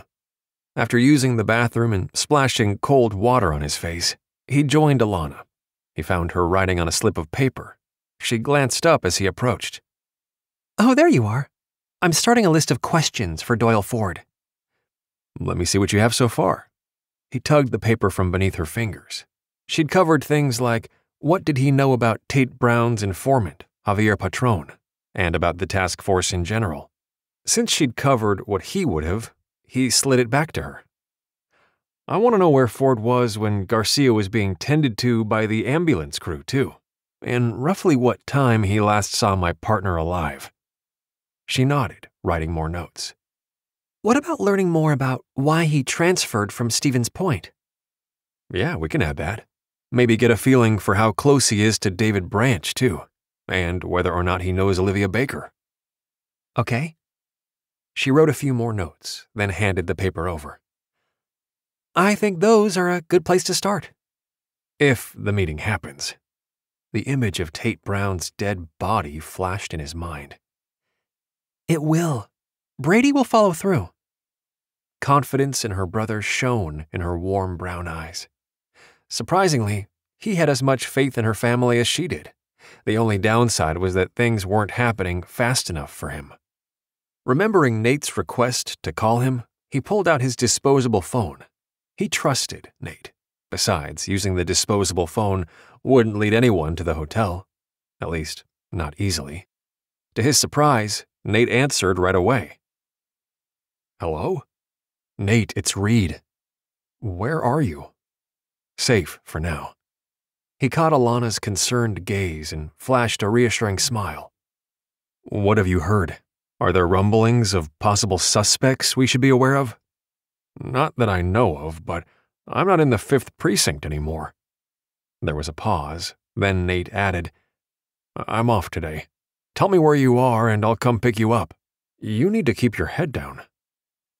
Thanks for the offer, but I'm good. What I would like is for you to contact some of the guys from the 5th. See if you can learn anything. I need information more than anything else right now. Sure, I can do that. Are you sure you don't want me to pick you up? I'm fine. But call me at this number if you get some intel, okay?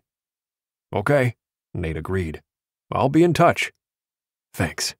Talk more later. He barely disconnected when Alanna pounced. Who was that? How do you know you can trust him?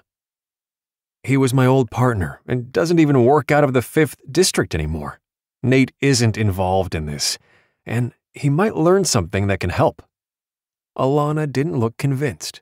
When his phone rang, he half expected the caller to be Nate, but it was Brady. Hey, Doyle Ford returned our call. He's reluctantly agreed to meet us at City Central in 30 minutes. Wait for us in your suite. When Ford gets there, I'll escort him to your room. Okay? Fine. Just you or Doug Bridges, too? Just me for now. Bridges is trying to find out the details of the conversation between our SAC and your chief of police. Sounds like everyone on the entire task force is being painted with the same guilty brush. There was a hint of disgust in Brady's tone. Bridges is clean, but I can understand why everyone is on edge after the murder of Tate Brown. We'll see you soon then. He put the phone in his pocket and filled Alanna in. The upper brass has their undies in a bundle over the murder outside the FBI offices. They're looking hard at the task force members. So they should. Two dead officers in less than 24 hours, plus another one with a price on his head, should light a fire under all of them.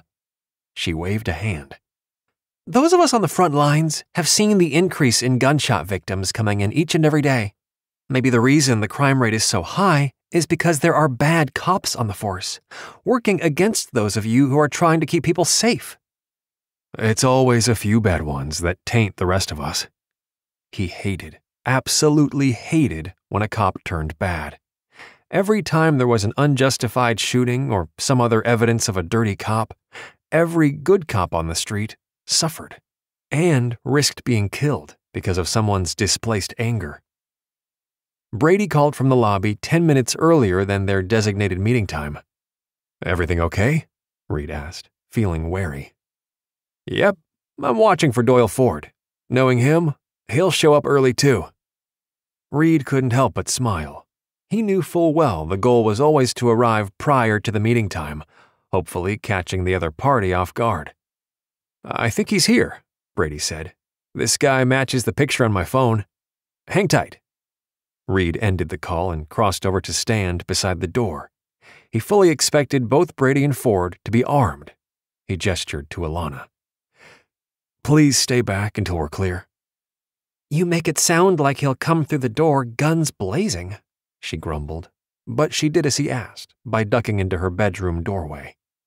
Five minutes later, there was a sharp rap on the door.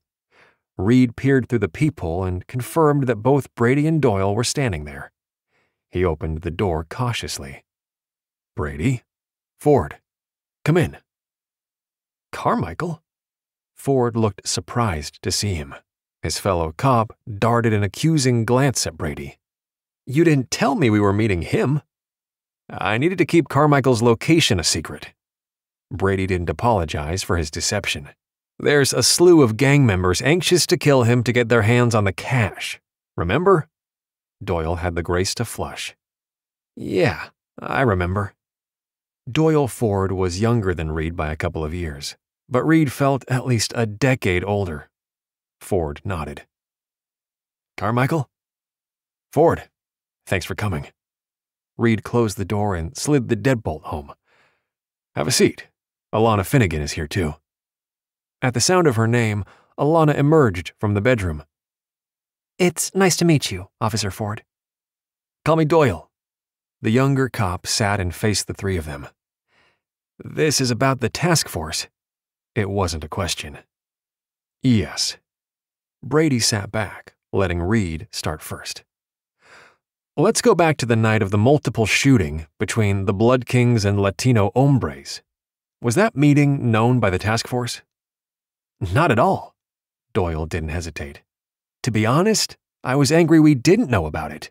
In my opinion, our snitch was useless. And who was that? Reed asked as if he didn't already know. From what Doug said, the snitch's name was a secret. Javier Patron, Doyle sneered. I didn't trust him one little bit, but Tate insisted he was helping. Interesting, Tate trusted you with that information. Did you meet with Javier too? Reed tried to understand the dynamics. No, Tate was the only one to meet with him. We tried to keep the meetings under wraps, and that was easier to do with only one cop involved. So, only you and Tate knew the snitch's name? Doyle nodded. Reed continued. Do you remember seeing Wesley Durango the night of the gang shooting? Doyle took a moment to think back. I remember him being there, but I lost track of him at some point. I remember somebody saying the rookie was sent to the hospital to guard Garcia. My partner didn't go in the ambulance, and he ended up dead. I'm trying to get a sense of when he disappeared, Reed said, if you can remember. Again, Doyle thought for a moment, then slowly nodded. The scene was chaos, but I think I saw Wes standing near the ambulance while the crew was working on Garcia. It wasn't much, but he'd take it. Who nominated you to the task force? Captain Adams. He called me into his office, told me that he thought some new blood would add a different perspective. Doyle looked between Reed and Brady. I'll confess, I thought I was in over my head. I've been in Milwaukee for two years, but the level of violent crime I've been exposed to is very different from what I was used to back in Stevens Point. I can imagine. Reed thought it was crazy to put new officers on the task force. Do you know Olivia Baker? Yeah, I know her. She was the first to transfer. Told me how much action she was seeing on the streets. She recruited me and Tate. She was cute, but dated a lot of guys, so I stayed clear.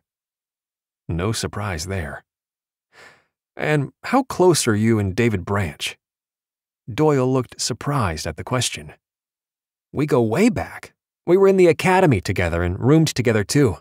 We decided to transfer to the big city where we'd see more action. Doyle's eyes abruptly widened. You don't suspect Davy of being involved, do you? No, I don't. But Captain Adams was beginning to ring several bells for him. You know Wesley Durango was murdered, and so was Tate Brown. What? Doyle paled. I knew about Wes, but Tate? How? When? Who killed him? That's why we're talking to you, Brady said, speaking for the first time. Tate Brown was coming to the FBI for an interview about the task force and was shot in the parking lot of our building. Doyle jumped to his feet. You think I'm next? That everyone on the task force is a target to be murdered? Hold on, I didn't say that.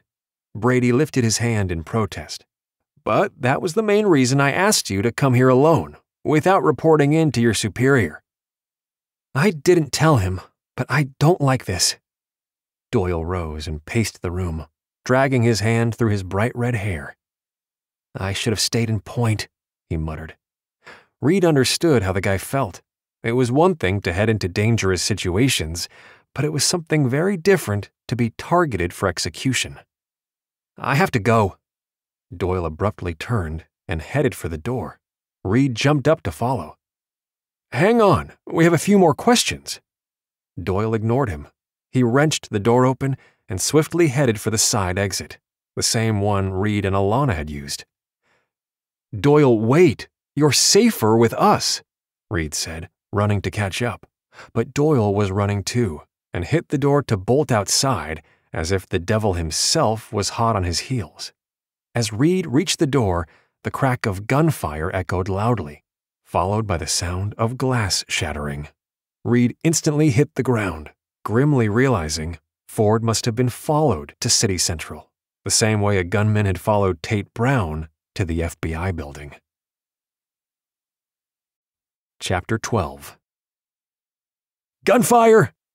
Brady leaped across the room and wrenched open the hotel room door, but then he glanced back at her.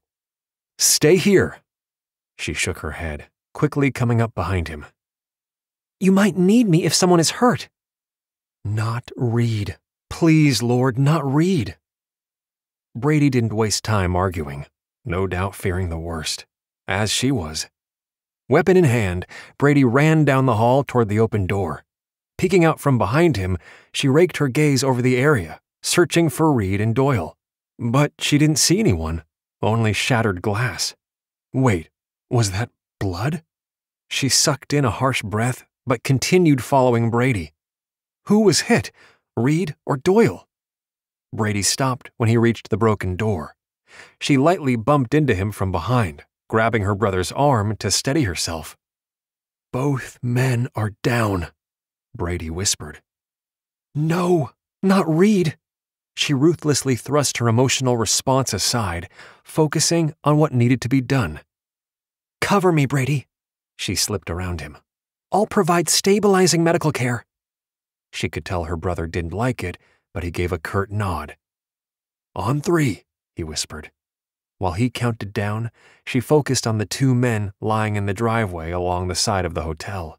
Reed was covering Doyle, which didn't surprise her. When Brady hit three, she burst out of the hotel as he fired into the air. The gunfire was incredibly loud, but her attention was focused on the two men on the asphalt, surrounded by blood. Get down, Reed said in a harsh whisper. Call 911 to get an ambulance. Brady did. Are you hurt? Doyle is worse. There was a hint of desperation in Reed's tone. He took the brunt of the gunfire. She nudged Reed aside. Let me see his wound. Reed reluctantly slid off his fellow officer. He didn't look at her, but swept his gaze over the area where she assumed the gunfire had originated. We can't stay long. I don't know if the shooter is still here. Brady joined them, flanking her other side. I'll run around to grab my SUV, okay? It will be safer to get you, Alanna, and Ford out of here. Hurry. Reed's voice held a note of desperation. Alanna tried to tune them out as she palpated Doyle's entry wound. The front of his chest was awash in blood. The bullet had entered two inches to the left of Doyle's sternum, close enough to have hit his heart. The cop didn't appear to be breathing. She pressed her fingers along his neck, searching for his carotid pulse, but felt nothing. His skin was already beginning to feel cool. No pulse, no breathing. A gunshot wound to the chest. She could try CPR, but if the heart was damaged by a bullet, it would be impossible to keep blood circulating throughout his body. All efforts to revive him would be useless. She dropped her chin to her chest, hating the fact that there was nothing more she could do. Even surgery wouldn't help him now. He's gone, she whispered to Reed. Reed's jaw tightened, but he didn't glance at her, never taking his eyes off the area surrounding them. Stay down until Brady comes. His flat, emotionless voice sent a warning chill down her spine. She was just as upset at knowing the body count of dead cops was up to three. How many more until they figured out who was behind this? She struggled to remain calm, despite the tension radiating off Reed. A small pool of blood formed beneath his left arm. It took a second for her to realize his dark sleeve was soaked with blood. Fresh blood, not from Doyle. You're hit! Her voice came out louder than she intended. Reed still didn't turn to look at her. I'm fine. Caught a bullet that ricocheted off the building. He tipped his head. There's Brady. Get ready to jump inside. Not without you. Her gaze dropped to Doyle. Are we leaving him here? We have no choice. The cops who respond will arrange for him to be sent to the morgue. Reed clearly wasn't happy. Brady pulled up alongside them. Go, Alanna. Get in the back with me so I can tend to your arm. Without waiting for his response, she wrenched open the back passenger door and crawled in. Reed followed, slamming the door shut behind him. Hit it, Brady. In answer, her brother punched the gas, barreling down the side road, past the shattered door, until they were behind the building. Then Brady took the SUV up and over the curb, cutting in front of two other vehicles to reach the interstate. Brady, do you still have the first aid kit I made for you in here? She palpated Reed's arm as best she could through the blood soaked shirt sleeve. In the back. Brady met her gaze in the rearview mirror. He's hit? He can speak for himself, Reed said. A minor wound on my upper arm. There's nothing minor about it. Alanna turned in her seat so she could reach into the back. When she found the large bin she'd put together years ago, she lifted it up and over to set it at her feet. That's a first aid kit? Reed arched a brow. Looks like a suitcase. You should be glad. I made sure each of my siblings was prepared for an emergency like this. She opened the bin and rifled through to find what she needed. There were cleaning wipes that she used on her hands. She then pulled out a bandage scissors along with several large pads. They were plastic on one side while having an absorbent material on the other. Placing one pad beneath his left arm, she used the scissors to cut away his sleeve.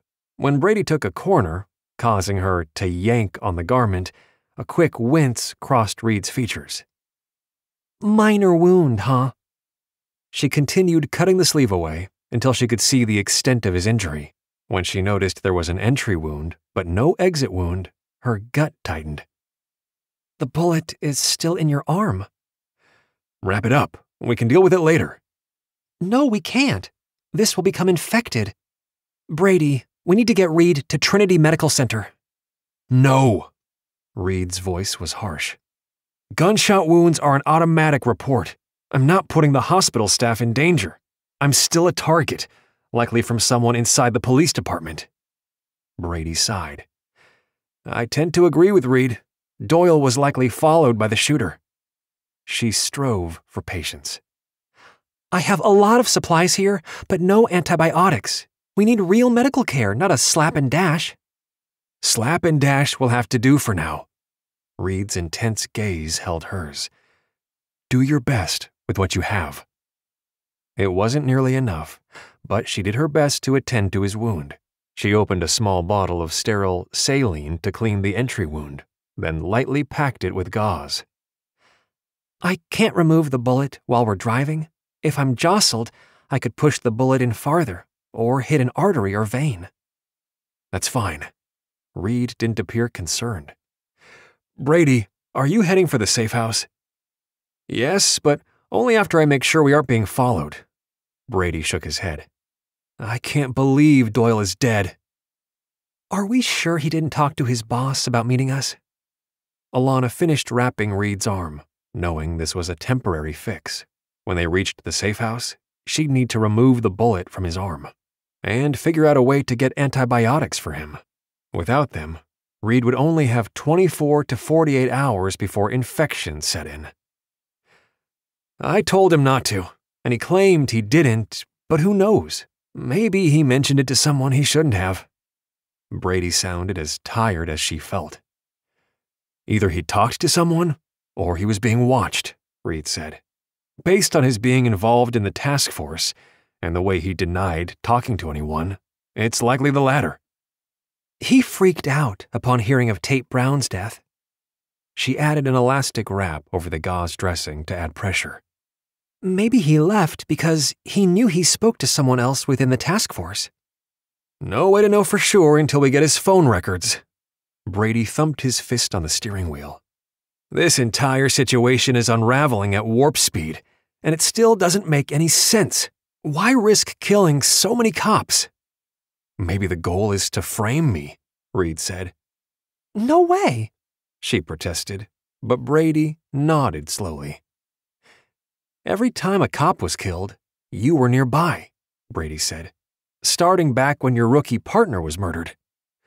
Yeah, and for all we know, the target that's been put on my head didn't come from Garcia's gang members seeking revenge for his death, Reed continued. The price could have come from the same dirty cop that set the task force up for failure. Dear Lord, she whispered, because now she could see the strong, silky thread connecting each incident back to Reed too, as if he were a fly captured in the middle of a spider's web, and there didn't seem to be any way to escape. Three strikes and you're out. From the beginning, Reed had wondered why the gunmen were hanging around outside his house. Even the price on his head had seemed an unusual undertaking for the Blood Kings. But when Doyle Ford had been shot right in front of him, there had been no denying he alone was the common denominator. That once Reed had been shot and killed, evidence would be planted somewhere that would point to him as the bad cop. And after he was dead, there wouldn't be a way to clear his name. When Ford had gone down, Reed had hit the ground too, then crawled on his belly to reach his fellow officer. He'd suspected the cop was dead, but had protected him the best he could. So much death and destruction. And for what? Money? His left arm throbbed painfully. Maybe he should just put himself out there, sacrificing his life to prevent other innocent lives from being taken. I've made several turns. Brady's voice roused him from his dark thoughts. I think we're in the clear to head to the safe house. Good. I need to get a better look at Reed's injury. Alanna tapped her giant first aid kit. And a way to get antibiotics ASAP. I'll be fine. He understood her concern, but the way things were happening at the speed of light, this would be over long before infection had the chance to settle in. We need to call Bridges. Two members of the task force are dead, and the rest of the team needs to be put on notice and stashed in safe houses too. Just because Doug is a Fed doesn't mean he won't be targeted for elimination. Brady touched the communication system. Call Doug Bridges. There was a ringing sound, then Doug's voice came through the speaker. Brady? What's going on? Doyle Ford was shot outside the side entrance of the City Central Hotel. Brady cut right to the chase. Every member of the task force needs to go off grid, including you. How in the world did that happen? Doug's tone was incredulous. We don't know if Doyle talked to someone despite your directive not to, or if he was followed. What did you find out from the SAC? Donovan told me he felt like he was getting the runaround from the chief. No straight answers, but a lot of innuendo, especially related to Reed Carmichael. Shocking, Reed muttered. We think Reed is being set up to take the fall on these murders, Brady explained. They all happened when he was nearby. Based on how fast we lost Doyle Ford, I can't argue. Doug paused, then added, And maybe the price on your head didn't originate with the Blood Kings at all. Exactly, Brady agreed. We've already figured out that the dirty cop managed to get the word out on the street about that. Regardless, we need a game plan, Alanna interjected. And fast. Having three dead cops is unacceptable. There must be a way for the FBI to pull rank on this. I'll see what I can do, Doug said. We should be able to convince Donovan to put more FBI resources on this. Let's get Mark Callahan involved, Brady suggested. We know we can trust him. He was asked to help dig through intel, but we need him now more than ever. Hang tight. I'll be in touch. Doug ended the call. I'm not sure adding another Fed is a good idea, Reed said. Bad enough you and Doug are in danger because of me. We're all invested in this, Carmichael, so get over it. Brady's voice was curt. Mark Callahan will be a good asset for us.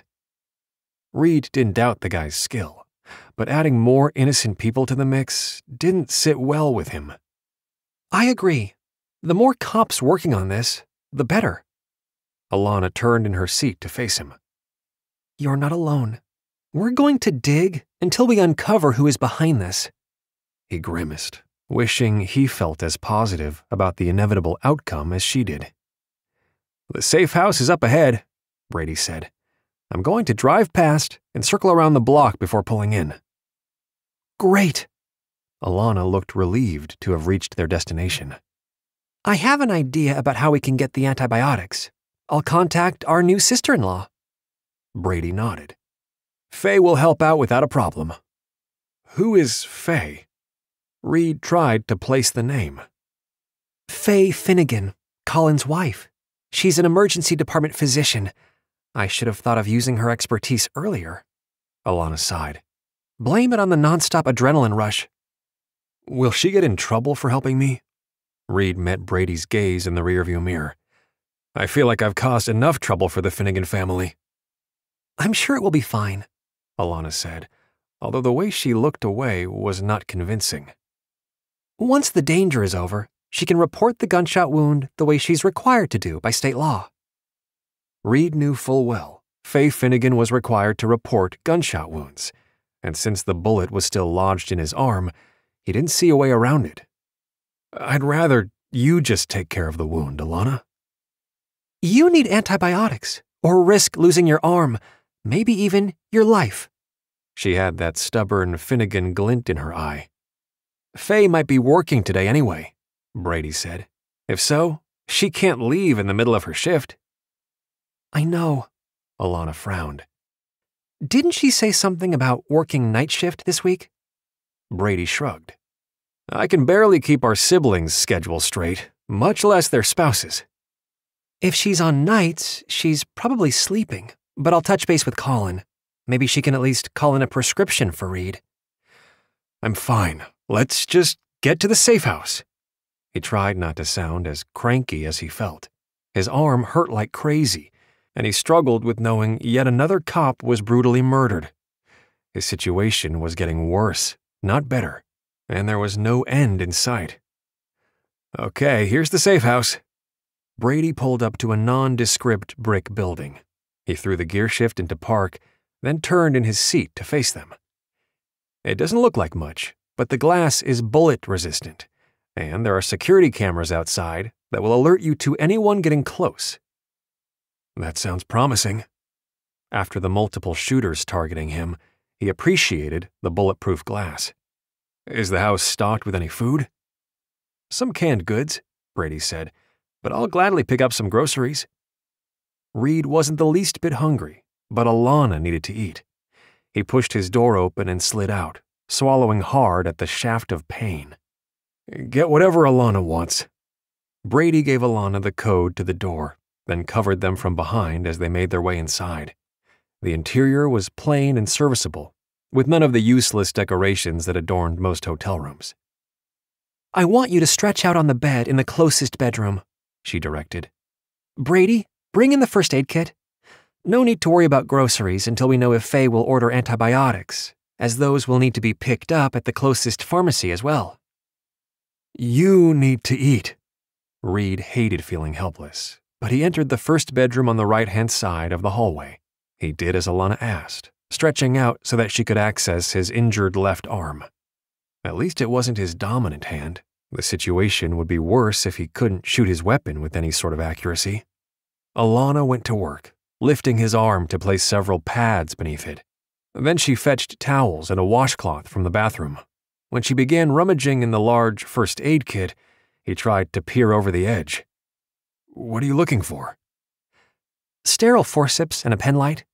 She set them aside. I'll need to wash the wound with hydrogen peroxide, which is going to hurt. She met his gaze. Very badly. He tried to smile. Can't be worse than getting shot. The surge of adrenaline that you experienced in the middle of the shooting would have dulled the pain. She captured her lower lip between her teeth. I hate knowing I'll hurt you, but I need to get that bullet out right away. I'll manage. Go ahead and do your thing. In a minute. She glanced over her shoulder. Brady, did you get in touch with Colin? He didn't answer, but I left a message specifically asking for antibiotics from Faye. Hopefully, he'll call back soon. Brady entered the room, his gaze assessing the scene. Do you need my help? Yes. Hold the penlight. She opened many packets of gauze, setting them nearby. Then she took a moment to remove the dressing she applied in the car. Her gaze finally met his. Are you ready? He nodded, curling his right hand into a fist to brace himself. Go for it. Her brow furrowed as she donned a pair of gloves and dipped the washcloth into the warm solution of hydrogen peroxide and water. The pain was worse than he'd anticipated.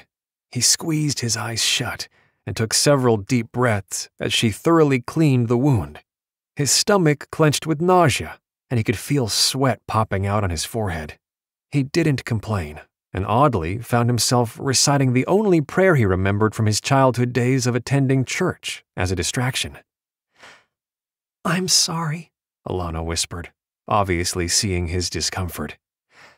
Brady, hold the pen light up a little higher.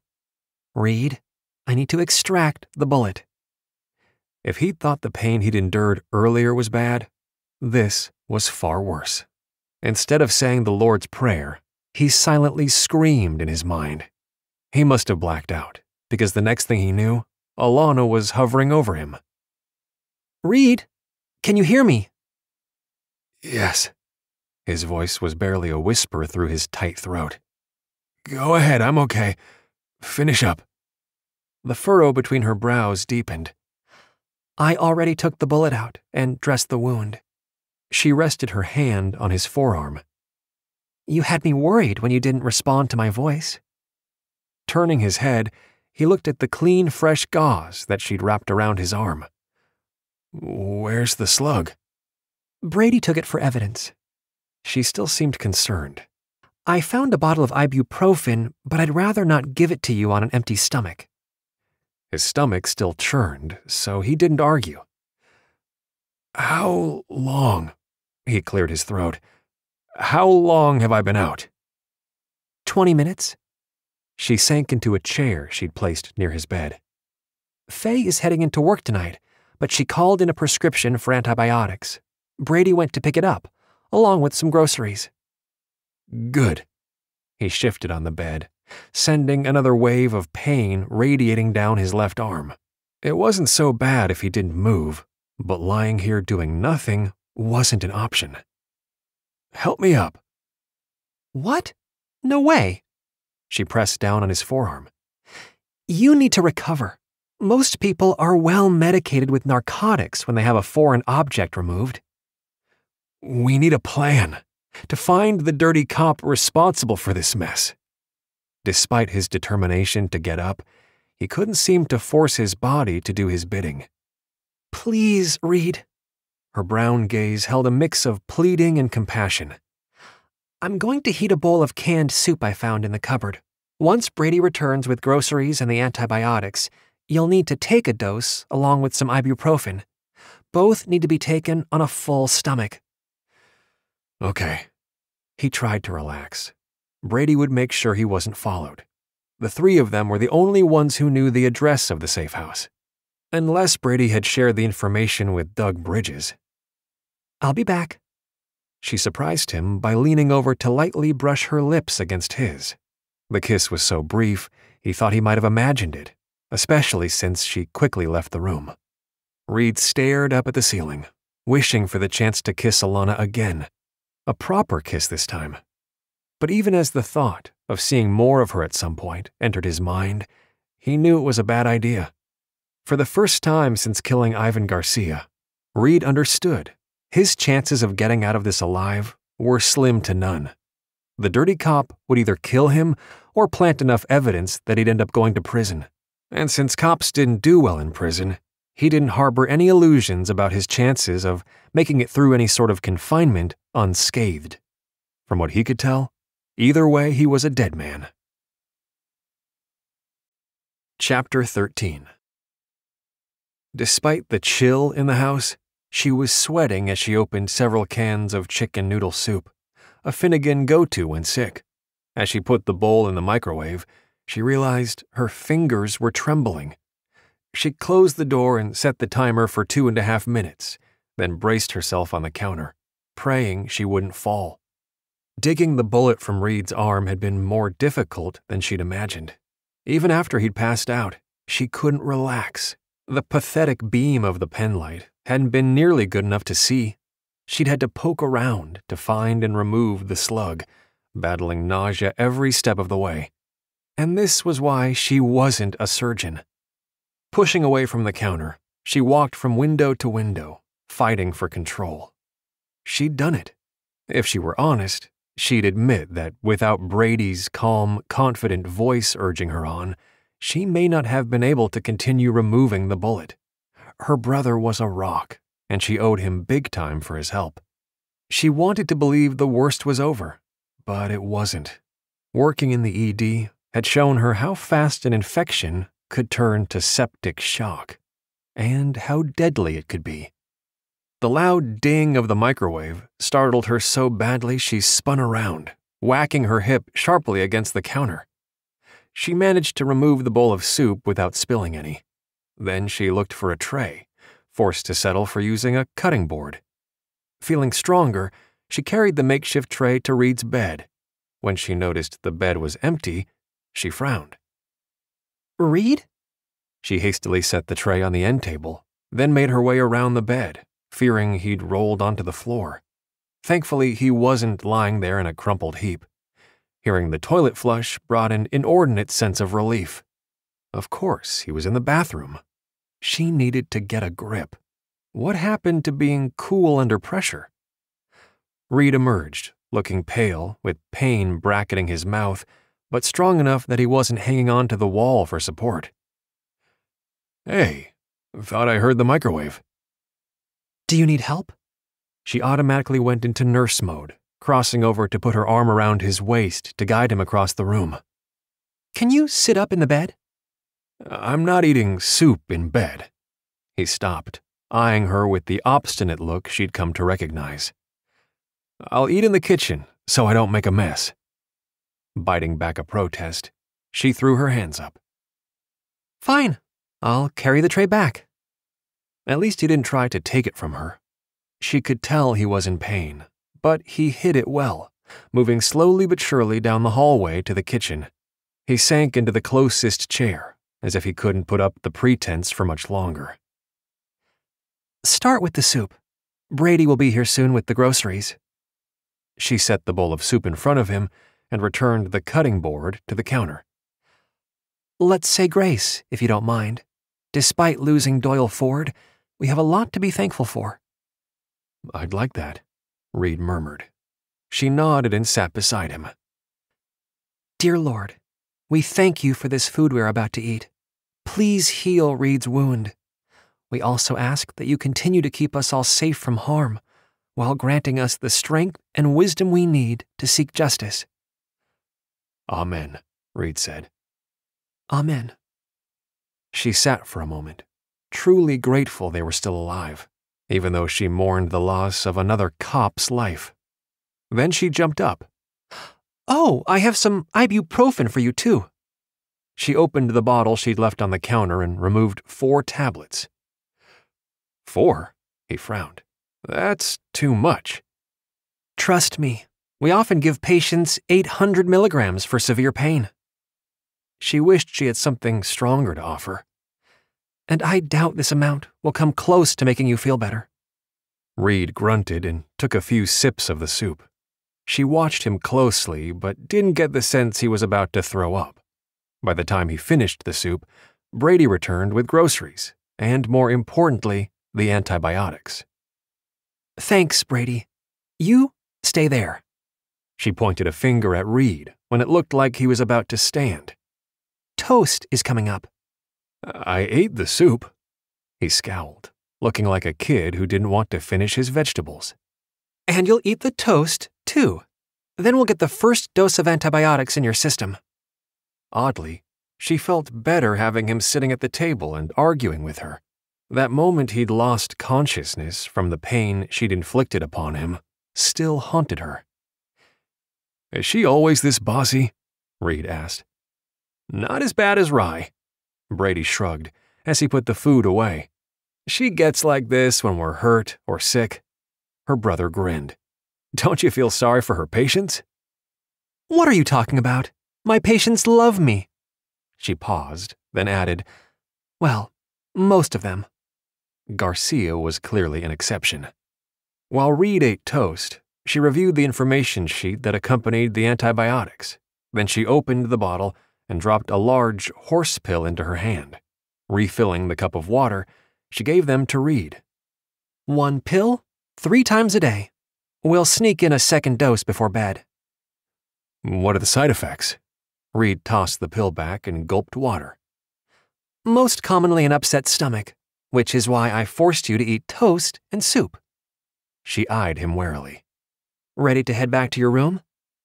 No, I need to talk to Brady about a game plan. We can't sit around here forever. Reed frowned as her brother pulled out a frozen pizza and preheated the oven.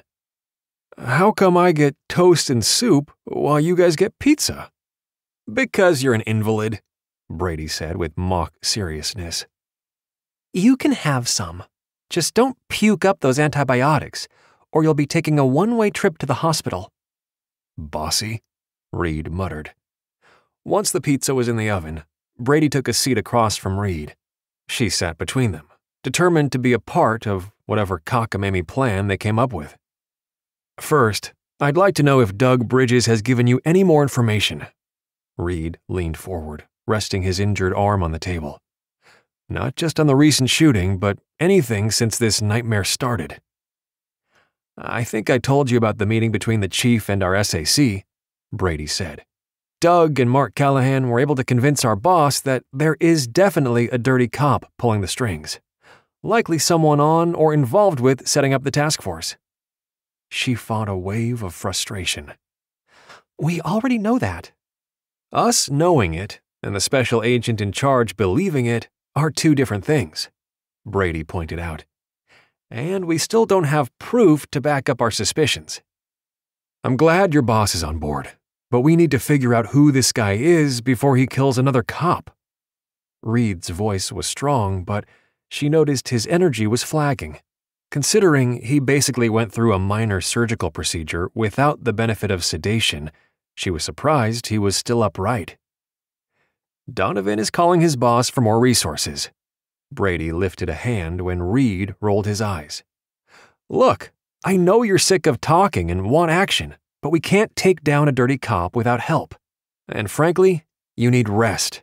You look as if you're about to fall off that chair. I'm fine, Reed grimaced.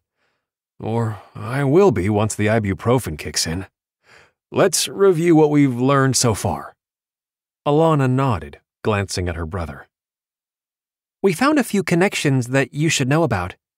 First, Doyle Ford, David Branch, and Olivia Baker are all MPD officers who transferred in from Stevens Point.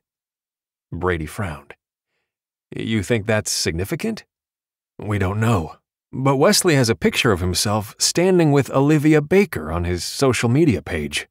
Reed hesitated, then added, I dated Olivia for several months. Did you part on bad terms? Brady asked. No, we agreed we wanted different things out of our lives. Doyle mentioned she gets around, and I'm not surprised by that. There are too many connections to be a coincidence. True, Brady sighed. What else?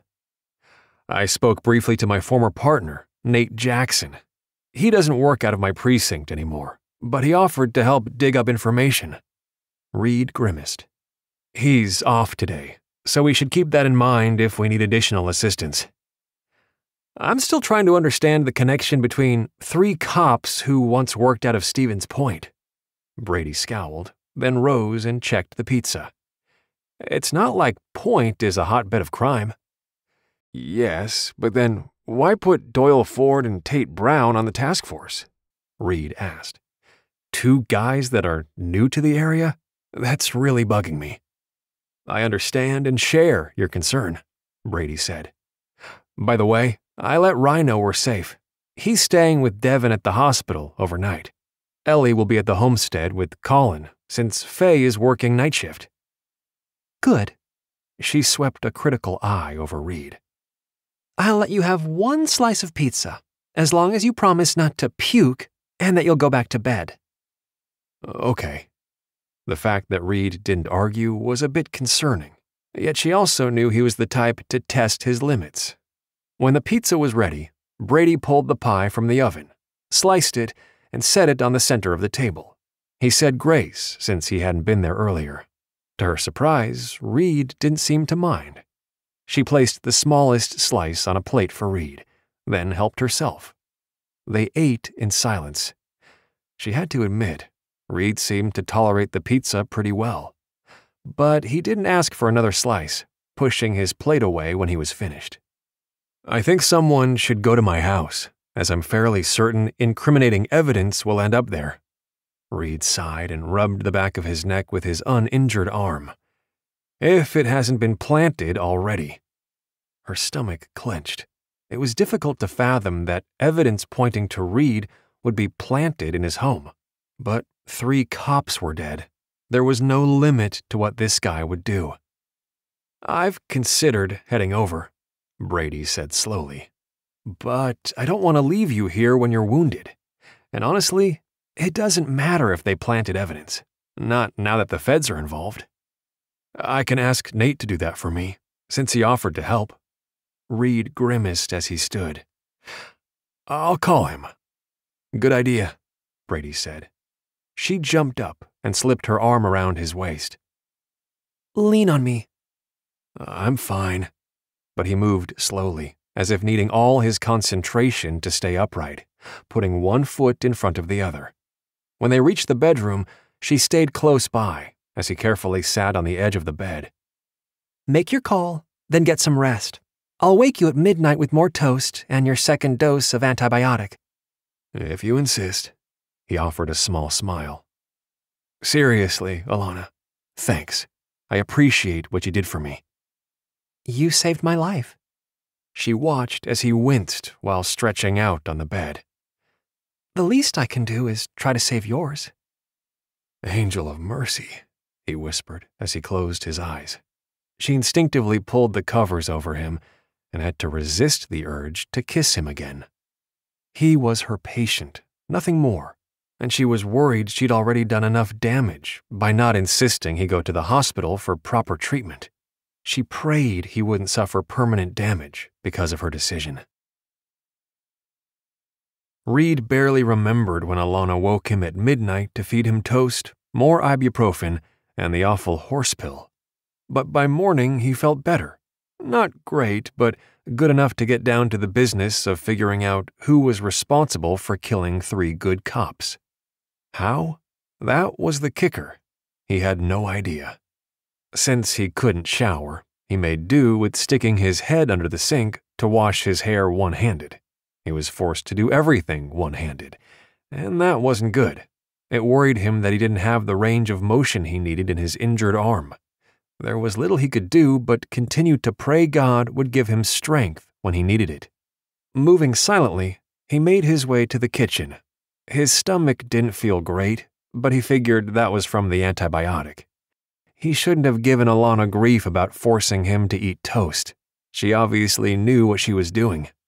He was glad to see one of the Finnegans, probably Alanna, had set up the coffee maker last night. All he had to do was push the button. As he watched the machine begin to brew, he thought about the message he'd left his former partner last night. Nate hadn't answered his call, so he'd left a message about heading to his place to see if there was evidence planted there that would be used against him. Good morning. He spun at the sound of Alanna's husky voice, his hand going to his gun. Then he relaxed. I didn't hear you come in. Her smile widened. I heard you bumping around in the bathroom. I'm glad you're up, though. I need to take another look at your arm. Not until I have coffee. He didn't relish the thought of a dressing change. Thanks for setting it up ahead of time. You're welcome. She opened the fridge. How about eggs and toast for breakfast? That would be great. He'd thought sharing a house would feel less intimate than being in the hotel suite, but it wasn't, not by a long shot. He poured coffee for them, pushing the cream and sugar toward her. He tried to stay out of her way as she prepared breakfast. Hearing someone coming down the hall made him sigh in relief. Thank goodness for Brady. Yeah, I'm up. Hang on. I want to put you on speaker so Reed can hear this too.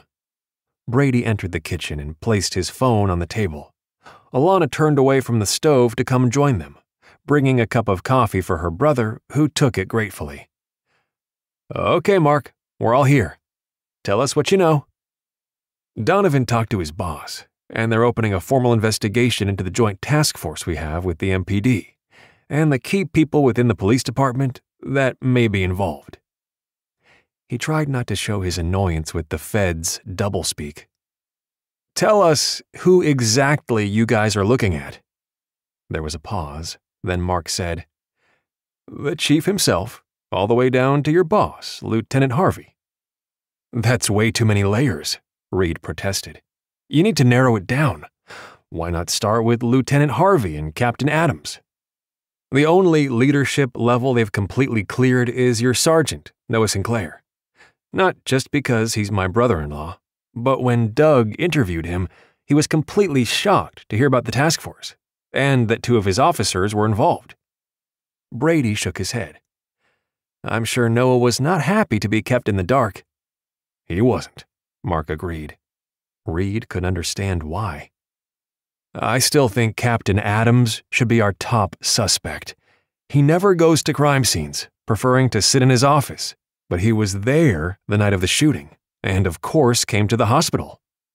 The more Reed thought about it, the more convinced he was that Adams could have taken Wesley aside and had him killed without any of the other cops noticing.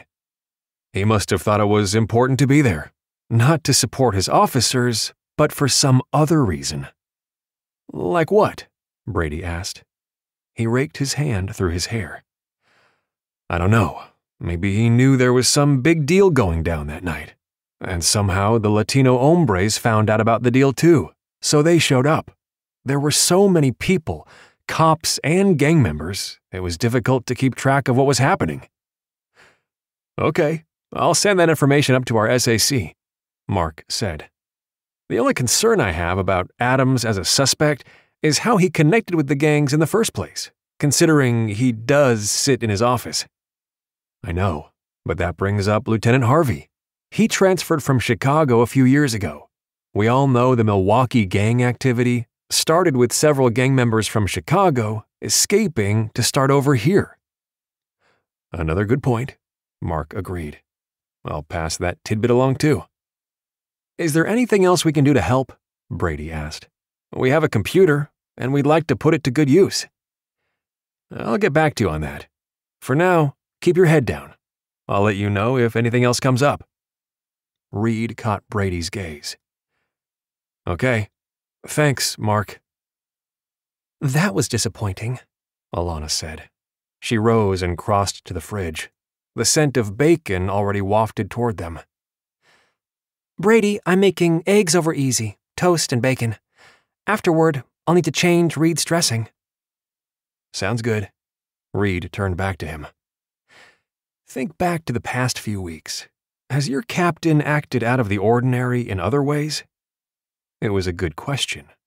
Reed ignored the throbbing in his arm and tried to go back over the past few weeks. He didn't interact with the captain on a daily basis, but he vaguely remembered his partner mentioning a strange interaction with the captain.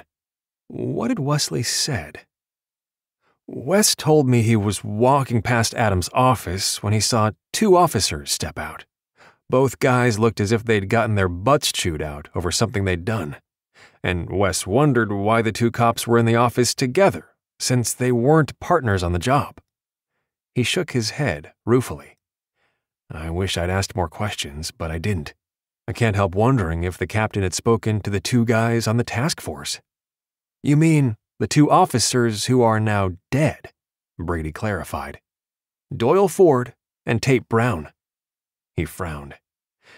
Yeah, I wish I could say that those two were the cops Wesley saw with certainty, but I can't.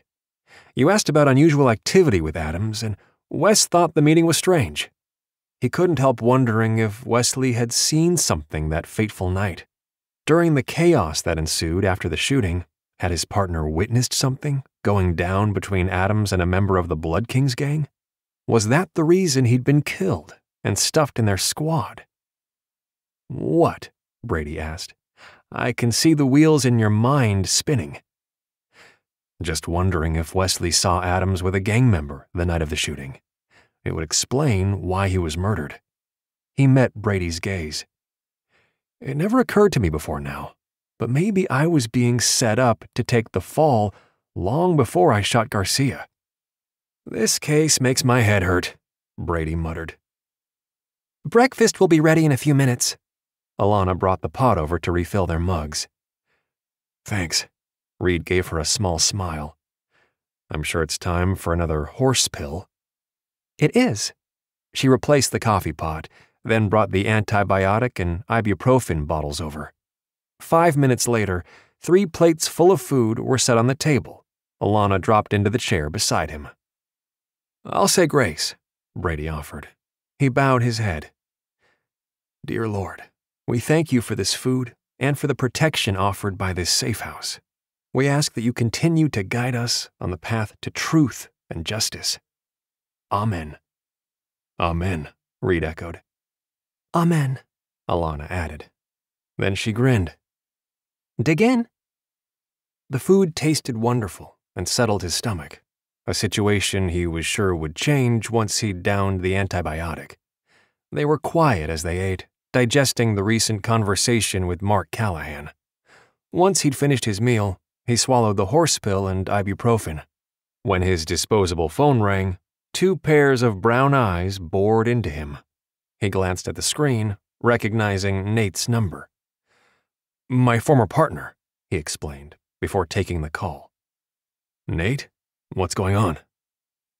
I found a wad of cash and drugs inside your house, Nate whispered. I barely got out of there before several squads pulled in. His gut clenched. Did you take the evidence with you? Yeah, that's why you asked me to go over, isn't it? Can we meet so I can hand it over? Nate sounded as if he were on edge. I don't want to be caught with this stuff. Yes, we'll meet. Get out of there for now. I'll call you back in a few minutes. Okay, thanks. His former partner disconnected from the call. What evidence? Brady asked. Money and drugs. Even as he said the words and had expected something like this, Nate's blunt statement was a shock. He was being set up as the dirty cop to protect the real bad guy. Chapter 14 Why did you agree to meet with him? Alanna stared at Reed.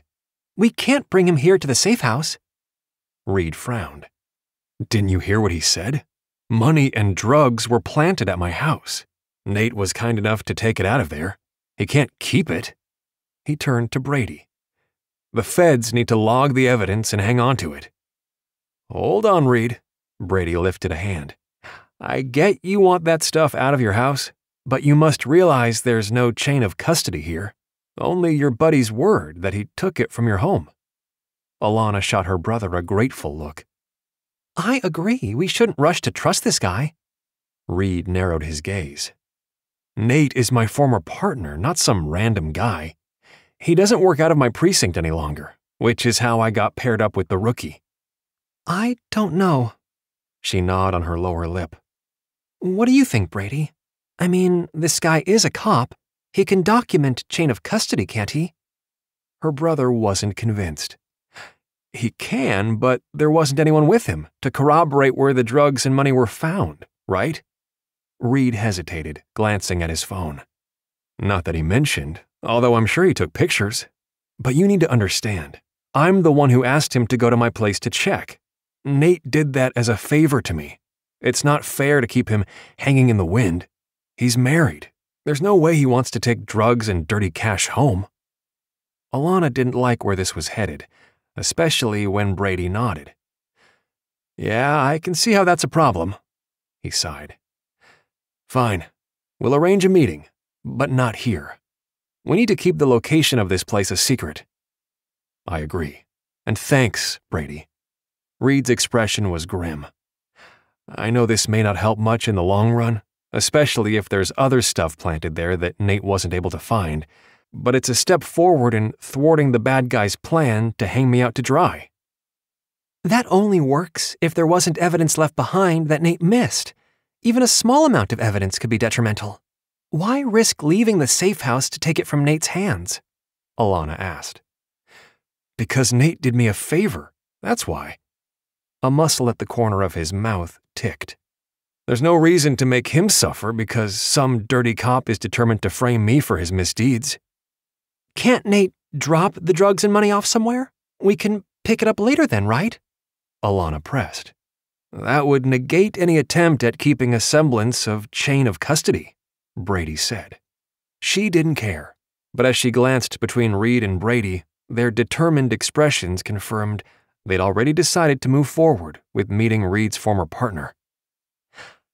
I'm going on record that I think this is a bad idea.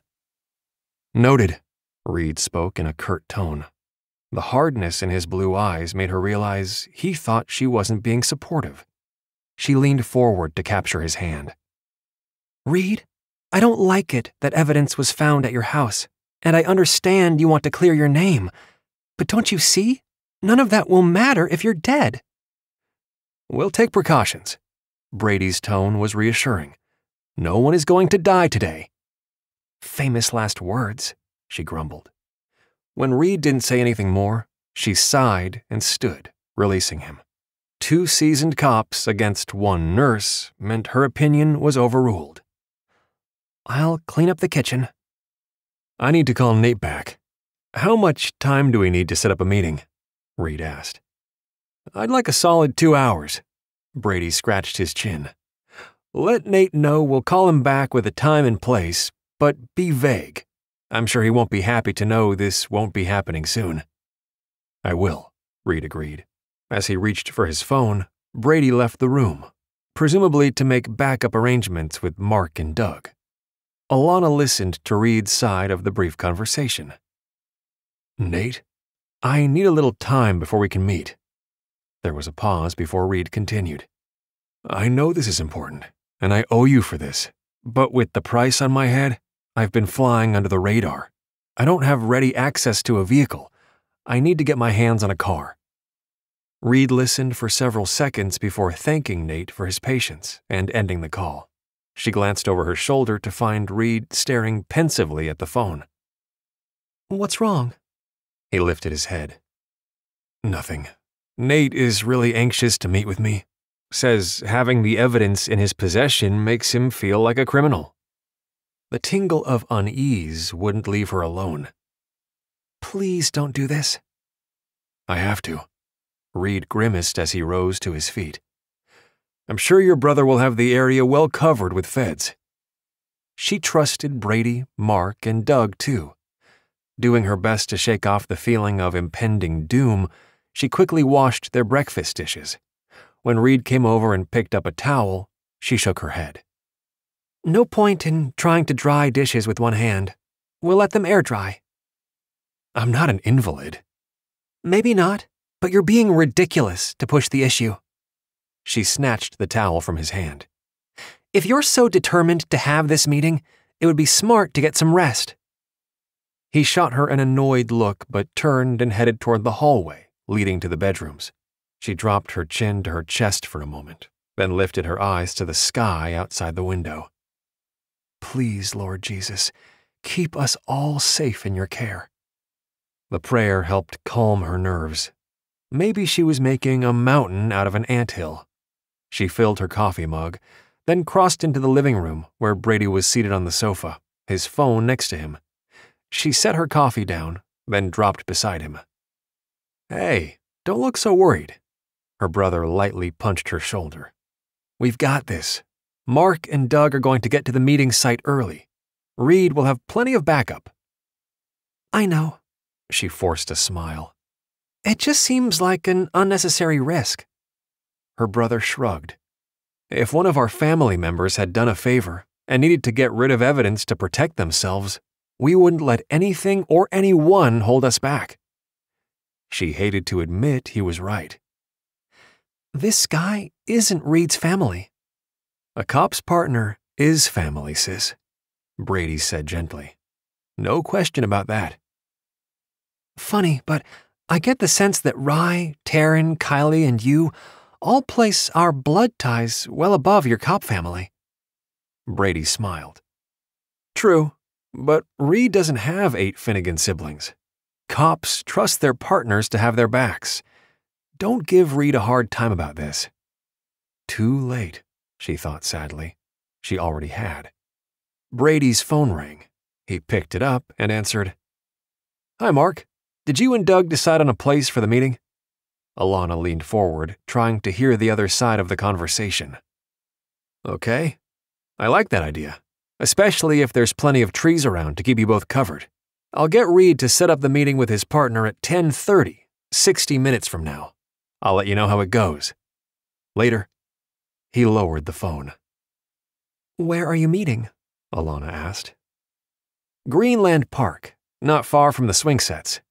Brady grinned. I'm very familiar with the area since it's Caleb's favorite place to go. I thought that's the park where Caleb escaped his kidnapper. Why on earth would you take him back there? The counselors suggested it as a way to replace the bad memories with good ones, since he was rescued from there too. Brady shrugged. It's working. Caleb hasn't had a nightmare about the kidnapping in the past three months. Okay, Greenland Park. She wished she was as familiar with the area. Will Reed's partner view the location as a setup? It's not a setup, Brady argued. It's a way to provide cover should Reed need it. If Nate simply hands over the evidence and leaves, he'll never know Mark and Doug were there. If he doesn't, he shrugged, then he'll get the full wrath of the Bureau. Okay. She threw up her hands. But I'm going too. He frowned. Not a good idea. Too bad. Reed isn't at 100% with his injury. If something happens and this meeting goes south, I want to be nearby to render aid. We'll bring the first aid kit too. Fine, but you'll need to stay in the car. Brady lifted a hand when she was about to argue. Don't push me on this, or I'll drop you off by Rye. He's at the hospital with Devon. She winced. Which reminds me, I better call to see how she's doing. You do that. I'm going to talk to Reed. We'll leave here in 15 to 20 so we're there ahead of his partner. She nodded, understanding the logic. She quickly called Rye, thankful he answered. How is she? Good, but the contractions started up again last night. Rye sounded exhausted and concerned. The doc wants to watch her one more day. I'm sorry, but it's for the best. She's in good hands. I know. Hearing the strain in his tone, she wished she could give him a hug. Thanks for checking in. I'll let you know if we're able to head home. You do that. Everything is fine here. She didn't mention the upcoming meeting. Take care of your wife and baby. I will. He ended the call. Reed and Brady came into the living room as Brady explained the plan.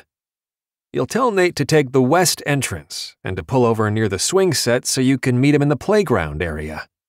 He won't like that if there are other people around, Reed said. There's a picnic table off to the side. That's where you can take custody of the evidence. Let him know that's your only option. Brady's gaze was serious. We want to be prepared for anything. Understood. Reed moved away to use his phone. From what she could hear, it seemed his partner was happy enough to go along with the plan. As they drove to Greenland Park, she sat in the back seat, twisting her hands together. Despite Brady's assurances, she was still worried. But all she could do now was put her trust and faith in God's hands. When Brady pulled over at the side of the road, on the opposite side of the swing set designated meeting place, Reed glanced at him in surprise. We're walking in from here? Yes, I want to keep this vehicle hidden from view. Brady threw the gear shift into park and killed the engine. The three federal agents had met briefly so that Brady could get an earpiece and radio. Reed had balked at having one, knowing Nate would be suspicious. I know you think all of these precautions are overkill, but I'd rather be prepared for the worst. I understand. Considering three cops were dead, he could agree Brady's precautions were not unreasonable. I'm going to hang back, hiding in the trees over there. Brady gestured with his hand. Alanna promised to wait in the car. You'll do the meeting alone, but you need to let us know with a hand signal if something seems off. Between the three of us, we hope to stay on top of things, but since you don't have a radio, you'll need to let us know another way. I'll use a peace sign. Reed knew he could manage that much with his injured arm. Okay, let's do this. Brady pushed out of the vehicle. Reed opened his door, but Alanna's voice stopped him. Please be careful. He glanced back at her. I will. You stay safe too, understand? Yes, but you're the one walking into danger. She lifted her phone. My orders are to call 911 if anything goes wrong. We'll be fine. He wanted desperately to kiss her, but settled for a warm smile instead. I'll be back before you know it. You better. Her attempt to look threatening was cute. Shaking off her concern, he slid from the SUV and shut the door. The cool October breeze made him hope there weren't too many families or kids hanging around nearby. Not that he expected anything to go wrong, but as he walked across the dewy grass, he was relieved to note the playground area was vacant.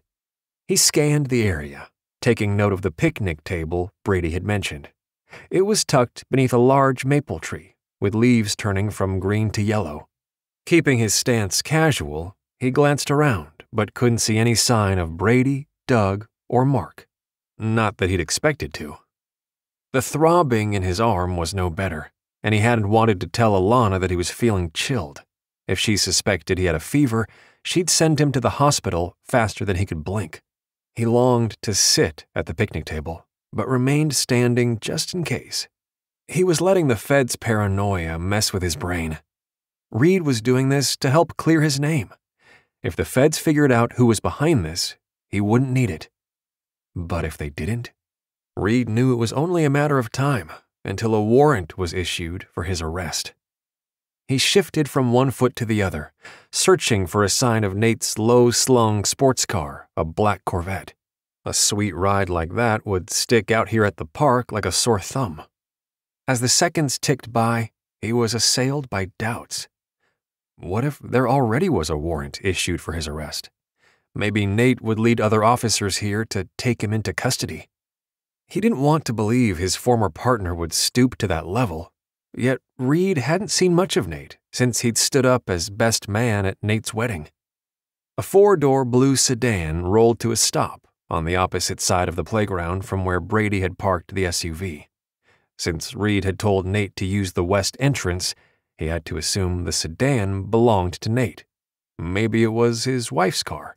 More likely, Wendy had forced him to sell the Corvette for something more reasonable. Reed relaxed when Nate slid out from behind the wheel, then opened the back door to pull out a large box. It took a moment for his former partner to notice him standing near the picnic table. Nate quickly averted his gaze shifting the box in his arms so he could close the back door. A tingle of alarm settled at the base of his neck. He didn't make the peace sign, but it was obvious his former partner was uneasy. Did Nate believe he was a dirty cop? That the evidence wasn't planted after all? No, that didn't make any sense. If so, Nate wouldn't bother to meet with him here. He'd have left the evidence wherever it was stashed in his house. Nate carried the box toward him his expression impassive. Reed purposefully stayed where he was, forcing his former partner to come to him. Hey, Nate. Thanks for coming. Yeah, sure. Nate didn't smile in greeting. The tingle along the back of his neck morphed into a full blown chill. Something was off. Keeping his stance casual, he rested his right hand on the butt of his gun. With his injured left arm, he lifted his hand and got ready to make the peace sign. You owe me for this, Nate said as he moved closer. I wish you'd never contacted me. What if IAB had eyes on your place? Reed lowered his left hand without making the signal, thinking he'd overreacted. Why would IAB have eyes on my house? I was cleared of killing Wesley with the video of two perps in hoodies stashing his body in the squad. Just leave me out of this next time, Nate groused as he dropped the box on the picnic table. I have Wendy to think about. In a flash, Nate pulled his weapon, pointing it at his chest. Reed wished he'd made the peace sign, but hoped that one of the feds would be able to see the gun, if it wasn't covered by the box. What's going on, Nate? Reed held his hands out, palms forward, as if that would calm down his former partner the one guy he'd considered his closest friend. What's with pulling a gun on me? I've been told to bring you in, so let's go. Nate waved the tip of his weapon toward his blue sedan. Reed figured it must be an unmarked police car. On whose orders? Reed stayed where he was. Let me guess. Captain Jake Adams. Nate's gaze flickered. Yeah, so you get an order from a captain, you follow through. He's playing you, Nate, Reed said. He's the one who hid the drugs and cash in my house. He's the bad guy here, not me. Doesn't matter. Wendy is pregnant, and I'm up for a promotion. Nate shrugged. This is your battle to fight, not mine. I'm just following orders. If you think I'm going to jeopardize my career for you, you're wrong. Reed realized he'd been wrong about a lot of things. Nate's betrayal hit hard, although hearing about Wendy's pregnancy took some of the edge off. One thing he'd learned from the Finnegans was family loyalty. Okay, that's fine. I'll go with you. He eased a step away from the picnic table so he'd have room to maneuver if needed. How did Adams know about our conversation? Did you tell him? A commotion from the trees behind him snagged Nate's attention. Reed took advantage of the distraction by grabbing the box and throwing it toward his former partner. Unfortunately, the box was light. Too light, as if there was nothing inside. Nate fired his weapon, thankfully missing Reed, as Mark Callahan and Brady Finnegan came darting out of the woods from two different directions. FBI, drop your weapon now! Feds? Nate's eyes widened, and he immediately dropped his gun, raising his hands over his head. You brought federal agents to the meeting? Yes. And what did you bring, Nate? Reed crossed over to retrieve the box. When he opened the flaps, he wasn't surprised to find it was empty. Nothing. A flash of movement caught his eye. When the door of the back seat of the sedan opened, he shouted, Gun! Brady and Mark hit the ground, rolling to cover both threats the person in the vehicle and Nate. Brady was closest to his former partner and managed to grab his ankle before he could escape. Gunfire rang out. Reed crouched behind the picnic table, which didn't provide as much cover as he'd like, and returned fire. Who's in the car, Nate? Reed shouted. There was no answer. The abrupt silence that fell across the area was somehow louder than the gunfire. Reed gingerly stood, trying to get a better view of the sedan. There was another burst of gunfire, but this time it came from the woods behind him. A person fell out of the car, much the way his rookie partner had.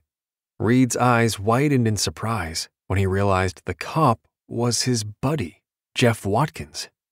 How was it possible he had no friends in the force? Shooter is down, Doug shouted.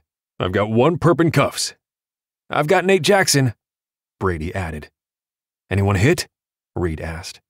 He glanced at his injured arm, grimacing at the blood that had seeped through Alanna's dressing. Just a nick, Brady responded. Reed swallowed a groan, knowing Alanna would be upset about her brother getting hurt. Not that he blamed her. This mess was his fault.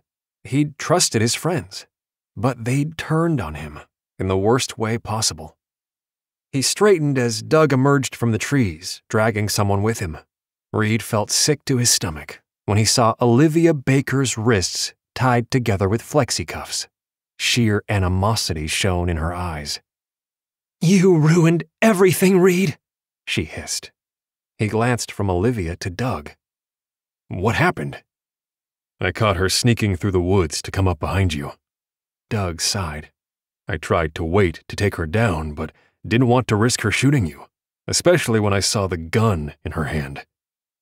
Reed nodded, stunned to see the two people he'd trusted standing in the clearing. Are you all working for Adams? Did he convince each of you that I was the dirty cop? A flicker of surprise darted across Olivia's features as Nate looked at her to answer. In that moment, he knew. Olivia was the one working with Jake Adams, and she'd used his closest cop friends as pawns to get to him. Chapter 15 At the first sound of gunfire, Alanna called 911, then pushed out of the SUV. She wasn't foolish enough to run directly into a gunfight, but she crouched and ran to the nearest tree. If someone was hurt, she wanted to be ready. Not Brady, Reed, or anyone helping them. Please, Lord? Her silent plea echoed over and over in her mind as she peered through the colorful foliage to see what was happening. The abrupt silence that followed the staccato shots was unnerving. She couldn't see much from her position, so she edged closer, using the trees for cover. When she heard Reed ask if anyone was hit, and Brady's response, she turned and ran to the SUV for the first aid kit. Then she darted through the trees to the clearing. The first thing she noticed was the bright red blood staining Reed's arm dressing. Then she swept her gaze over to the area to see there were two people in cuffs a man and a woman. She'd never seen the man before in her life, but from the angry expression on Reed's face, she presumed he did. The woman was the one they'd seen in the photograph with his deceased rookie partner. Brady was over near a sedan, checking the man lying on the ground. He shook his head as he stood, indicating there was nothing more to do. Since she knew her brother was fully capable of checking for a pulse, she'd taught him herself after all, She didn't go over to investigate further. Your wound is bleeding. She set her giant first aid kit on the picnic table near Reed. There was a large cardboard box there, too, but it was empty. She stared at the man Mark Callahan held in cuffs, realizing he must be Nate Jackson and that he'd betrayed Reed. Scumbag. Clearing her throat, she gestured to Reed. I need to patch you up. Brady first. Reed nodded toward her brother. What? She stepped forward, raking her gaze over her brother who'd rejoined them near the clearing. You were hit? I'm fine. A bullet pinged off a rock and hit me in the leg. He gestured to the dark stain on his lower calf. The slug only grazed me. Another wound with the high probability of infection. Alanna turned back to Reed. She reached out to take his hand, then scowled at the heat radiating from him. You have a fever. Her tone came out accusatory, as if he'd gotten his wound infected on purpose. Maybe. He brushed off her concern. But the bigger issue is whether or not either of these disgraced cops are willing to rat out Captain Adams to save their own skin. You're the dirty cop, Nate said harshly. Why did you do it, Reed? Money? No. Adams is the dirty cop. And yeah, he's absolutely in it for the money. Reed glanced at the woman standing beside Doug Bridges. And Olivia is in on it too. I don't know what you're talking about. Olivia scowled. You're the one we were trying to apprehend. Yeah, and got Jeff killed because of your efforts, Reed shot back.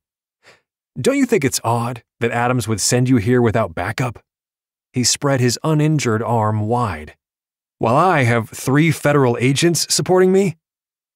That was enough to convince Nate. He turned to glare at Olivia. You did this? You lied to me?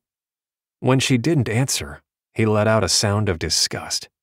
I'll tell you everything you need to know, Reed. I thought I was helping by bringing you in. She told me this was an undercover op sanctioned by Adams, and that she needed me to get to you. And you didn't question it. Reed shook his head in disgust. Jeff paid the ultimate price for your stupidity. Another man had needlessly lost his life, and she prayed this was the end. Yet, even as awful as this was, Alanna was grateful that God had watched over them. Wailing police sirens filled the air. Backup was on the way, and she hoped this would be the end of the danger, that they'd nail Adams for his role in this.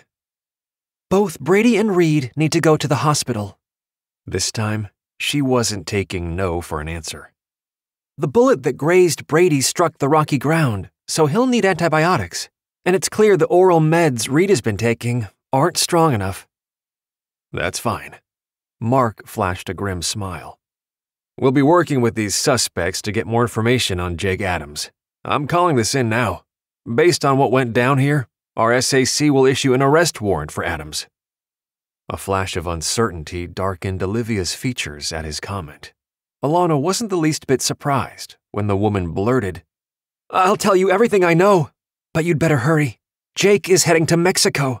The Blood King's leader has a boss there. I was supposed to join him when we'd finished here. Conniving witch, Alanna thought. Finnegan's didn't swear, but if there was ever an occasion that called for it, this was it.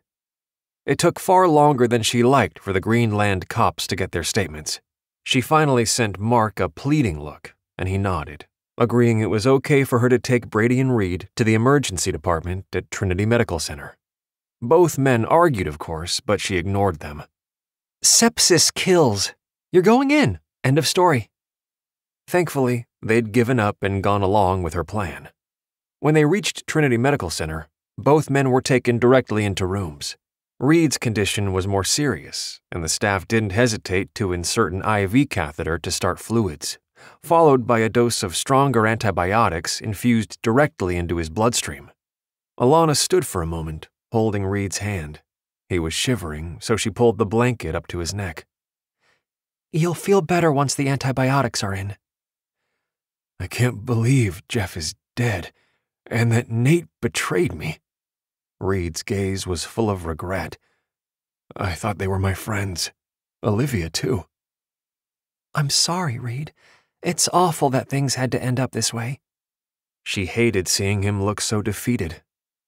It's not over until Adams has been arrested, Reed muttered. He gingerly shifted on the bed. I'm fine. Go check on your brother. She didn't want to leave him. Not now, and not ever. But she nodded, thinking he might need some space to grieve in private. I'll be back soon, okay? Sure. His eyelids drifted closed. She slid her hand from his, then turned to search for Brady.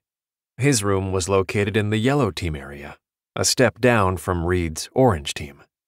It could be worse, she reminded herself. They could have ended up in the red team, or dead. Brady was on the phone when she came in. She rolled her eyes, pointing to the sign that discouraged cell phone use. He ignored her. Thanks, Mark. We'll let Reed know. Know what? She moved closer, taking note of the bandage on his lower leg. Her brother also had IV fluids going, and she knew he'd get a dose of IV antibiotics, too. Did they find Adams? They caught him at General Mitchell Airport. Brady grinned. Kylie and another deputy helped grab him. She nodded, knowing her sheriff's deputy sister was doing her six month rotation at the airport. I'm glad. Me too. Brady let out a heavy sigh. Reed was right. Adams came from Chicago. His younger brother is a cop there. They're looking into him, too, as far as gang connections. There's still work to do, as far as gathering evidence that will irrevocably nail his hide to the wall, but the good news is that he can't hurt anyone ever again. He's already cost the lives of so many. She rested her hand on her brother's arm. Thanks for everything. Without your support, I'm not sure Mark and Doug would have been so willing to help. Trust me, they would. It was a team effort. Brady grinned. Let's take the win. By the way, I just spoke to Rye. Devon is being discharged today, but not until this afternoon. He's heading down here to check on us. Mostly you. I'm glad to hear Devon is okay, but you should have assured Rye there was no reason to come down. He wouldn't listen anyway. Brady waved a hand. You know Rye. True. Since there was nothing more for her to do here, she gave Brady a sisterly kiss on the cheek. Behave and follow doctor's orders. I'm going to let Reed know the good news about Adams. You do that. Brady's eyes twinkled. I suspect we'll be seeing more of him over the next few weeks. She rolled her eyes without answering.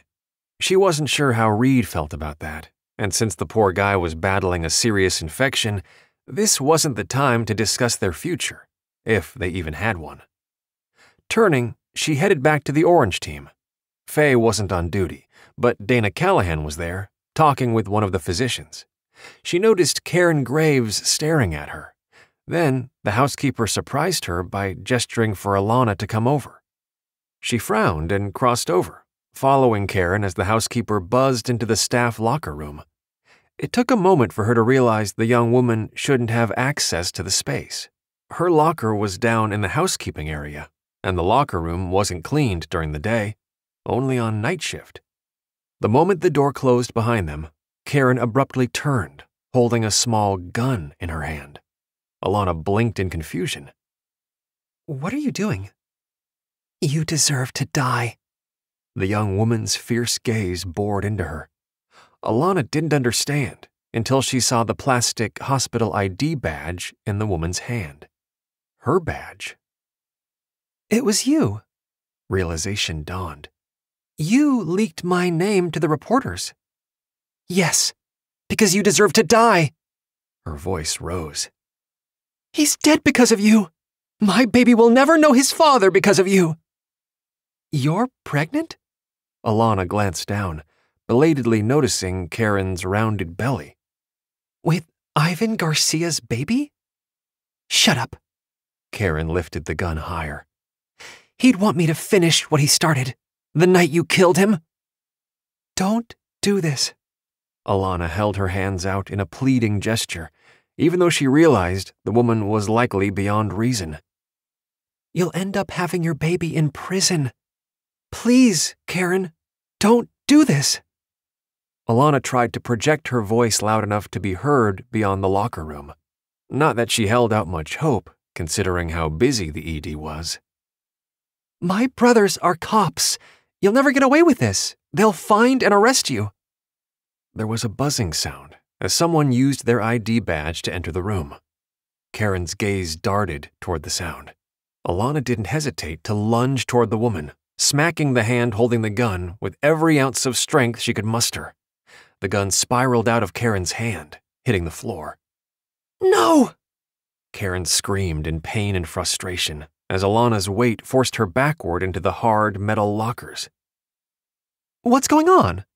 Dana Callahan gaped in surprise, then quickly stepped forward to help hold Karen down. What did she do? Gun! Her voice came out as a high squeak. She tried again, willing her heart to settle down. She pulled a gun on me. It's over there, on the floor. Why? Dana asked. Garcia! Alanna pulled back from Karen, but continued to hold the woman's arm in a tight grip. She's pregnant with his child. Lord have mercy, Dana whispered.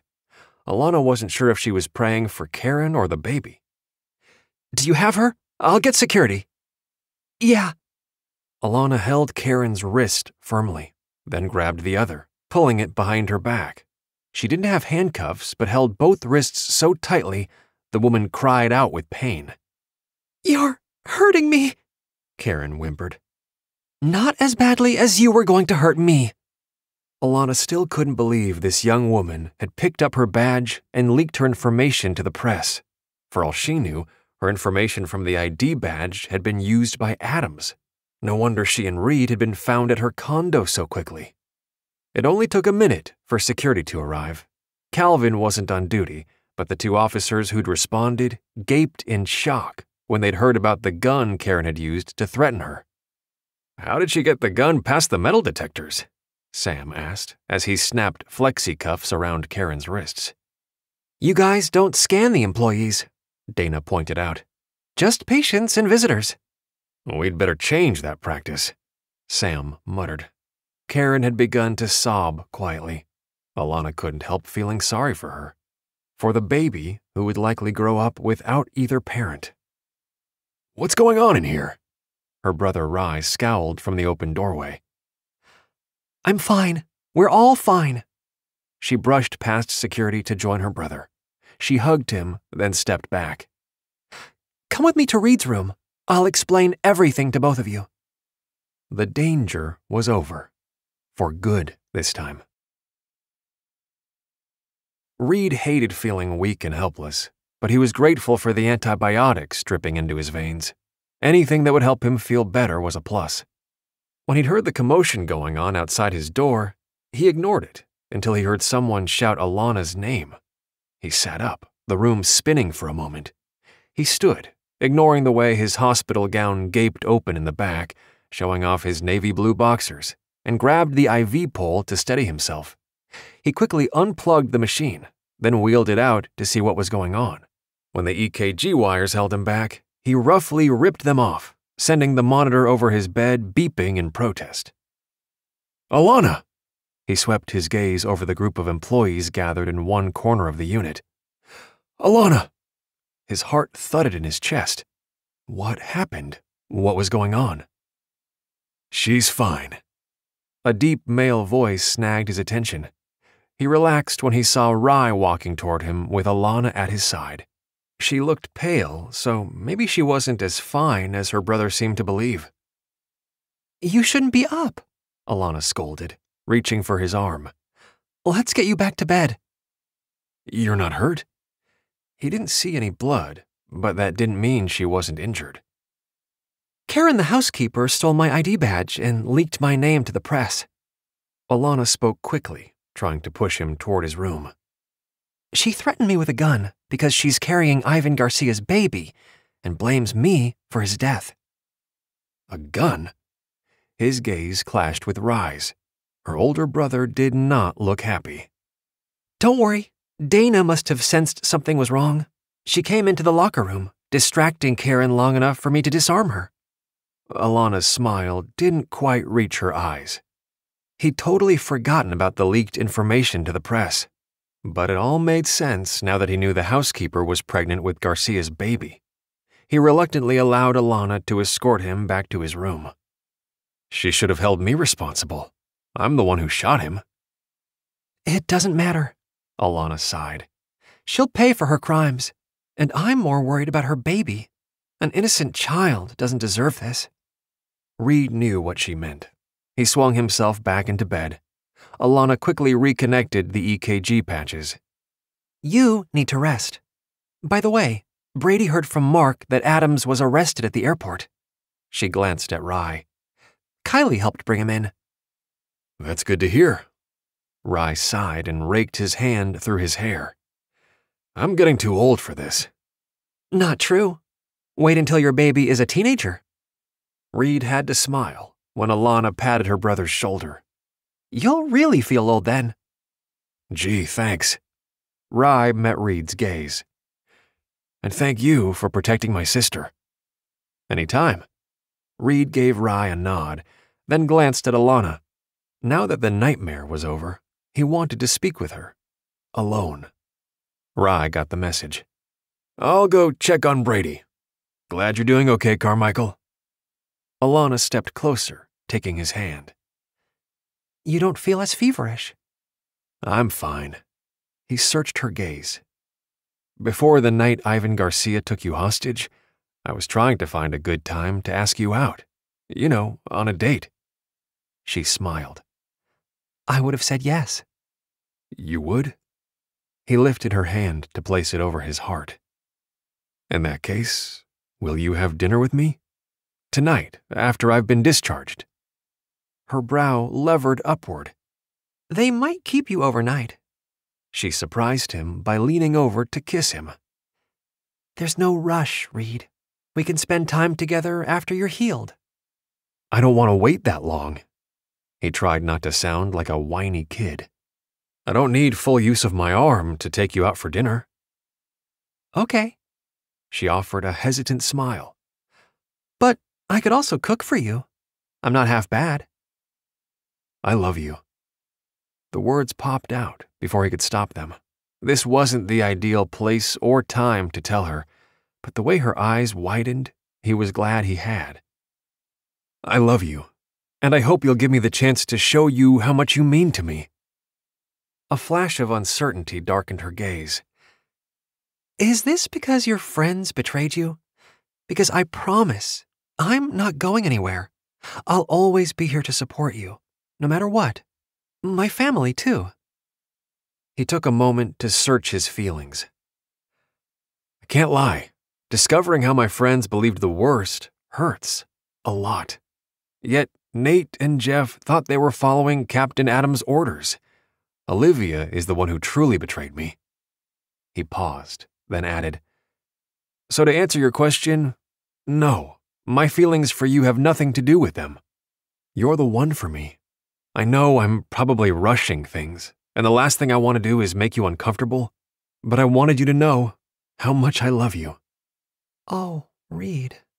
Her smile widened, her deep brown eyes shining with happiness. I love you too. Really? He truly hadn't expected her to reciprocate his feelings. Okay, now I'm feeling guilty for rushing things. Just agree to have dinner with me, and we'll take it from there. Her warm chuckle washed over him. Despite being stuck in a hospital bed with IV antibiotics infusing in his arm, he was happy. Yes, Reed, I'll have dinner with you. Did you mention that he'll have to attend family dinner on Sunday? Brady asked from the doorway.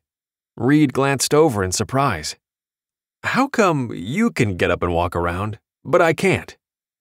Don't be a pain, Brady, Alanna frowned. There's plenty of time for Reed to run the gauntlet of Finnegan teasing. Not if he's professing his love for you.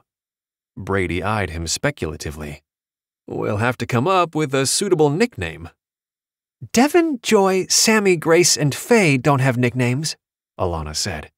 Why are you picking on us girls and the men we care about? Because we can. Brady winked. I just wanted to update you on the case.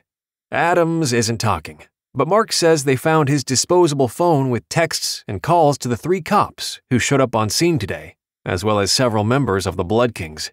Doug is convinced Adams is going down and hard, and Reed's former partner is cooperating fully with the investigation. We did good work today. Yeah, we did. It still bothered him to lose Jeff, not to mention the other cops who were caught in the line of fire. His rookie partner, Wesley Durango, Tate Brown, and Doyle Ford had paid the ultimate price. He'd tried to hold on to his faith and not question God's plan, but it wasn't easy. Still, there was some satisfaction in tossing a dirty cop in jail, especially knowing Jake Adams would face the same fate he'd feared for himself. Maybe Adams would decide to cooperate to avoid being in jail with anyone from the Blood Kings. At this point, he didn't care, as long as the rest of the good cops on the force were safe. He focused on Brady. Thanks for letting us know. Anytime. Oh, and miraculously after Adams' arrest, there's no longer a bounty on your head.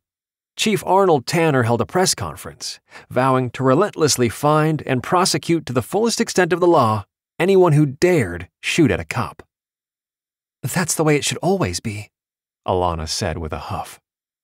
I know, but we're certain the bounty on Reed's head was put out there by Adams himself through his connections with the Blood Kings. Brady's expression turned serious. I'm glad you're not hurt worse, Reed. The Finnegan clan owes you for saving Alanna's life. You can repay him by not giving him some silly nickname, Alanna shot back. Maybe we'll call him Superman, you know, because he flew to your rescue. Brady looked thoughtful for a moment before turning away. Don't worry, we'll come up with something. Take care, Reed. Alanna. Superman isn't terrible, he mused after Brady left. Trust me, they won't be that nice. Alanna scowled. They dubbed Bax Scala, Kylie's husband, Penguin, just because he's rich enough to own a tux, and wore one to Rye and Devon's wedding. He was the only one in formal wear, and the guys were relentless. Thankfully, Bax took it in stride and doesn't seem to care. Hey, he brushed a kiss over her knuckles. I love your family, and I don't give a rip about a silly nickname either. I have an older brother too, remember? All I care about is you. That's sweet, Reed. She shook her head with a rueful smile. I think you might be the one guy who isn't intimidated by my brothers. Not in a million years. I respect them, and I can't wait to meet the rest of your family. Be careful what you wish for, she teased. Then she bent over to kiss him again. This time, he pulled her close, kissing her deeply. He loved her so much. She broke off the embrace, glancing up when his IV began to beep. Your antibiotic is finished. Good. Maybe they'll cut me loose too.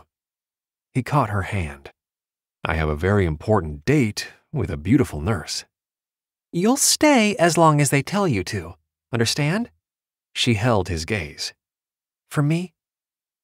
Only for you, he agreed. He wanted to be back at full strength, too, because the entire world was brighter now that he could bask in the warm glow of Alanna's love. Epilogue Three weeks later. Alanna was relieved Reed had been given the okay to begin strength training in his injured arm. His plan of leaving the hospital the same day as Brady had not happened. He'd ended up getting five days of IV antibiotics to fight the infection that had festered in his wound. She couldn't quite shake the guilt, knowing she was the one who'd removed the bullet and hadn't forced him to go in for proper treatment. Reed had pointed out that everything had happened for a reason. They'd gotten Adams, and that was the most important thing of all. Apparently, Adams' brother, the Chicago cop, was also involved in getting money from the gangs in return for protection. Both cops had been arrested and were being held without bail. Karen Graves had pled guilty to menacing with a deadly weapon, a far cry from the attempted murder charge Maddie Callahan had initially slapped on her. Karen lost her job at the hospital for bringing a gun to work and for her felony conviction. Alanna decided maybe it was okay that the young woman had taken the lesser charge, for the baby's sake. Her buzzer rang, startling her from her thoughts. Even though she knew Reed was due any second, she answered, Yes, who is it? Your hot boyfriend. Reed's chuckle made her smile. Come on up. She shook her head at his antics. Despite being wounded and losing so many of his friends, Reed had found solace in attending church with the Finnegan family. She was thrilled at how he'd attended Bible study with her, too. Hey, beautiful. Reed pulled her in for a kiss. Ready to go? The bigger question is whether you're ready to face the family. This Sunday, everyone except Faye and Sammy had the day off, a very rare occurrence. He puffed out his chest in a comical imitation of Superman.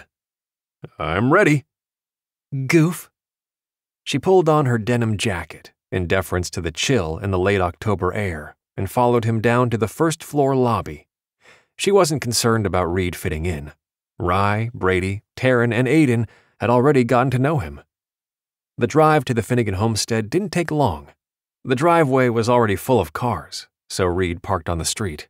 They entered the house without needing to use the security system, since there were so many cops with guns inside. Clark, it's good to see you. Aiden clapped him on the shoulder, taking care to avoid his injured side. Lois and I wouldn't miss it. The Superman moniker had stuck, but they'd all taken to calling him Clark in honor of Clark Kent.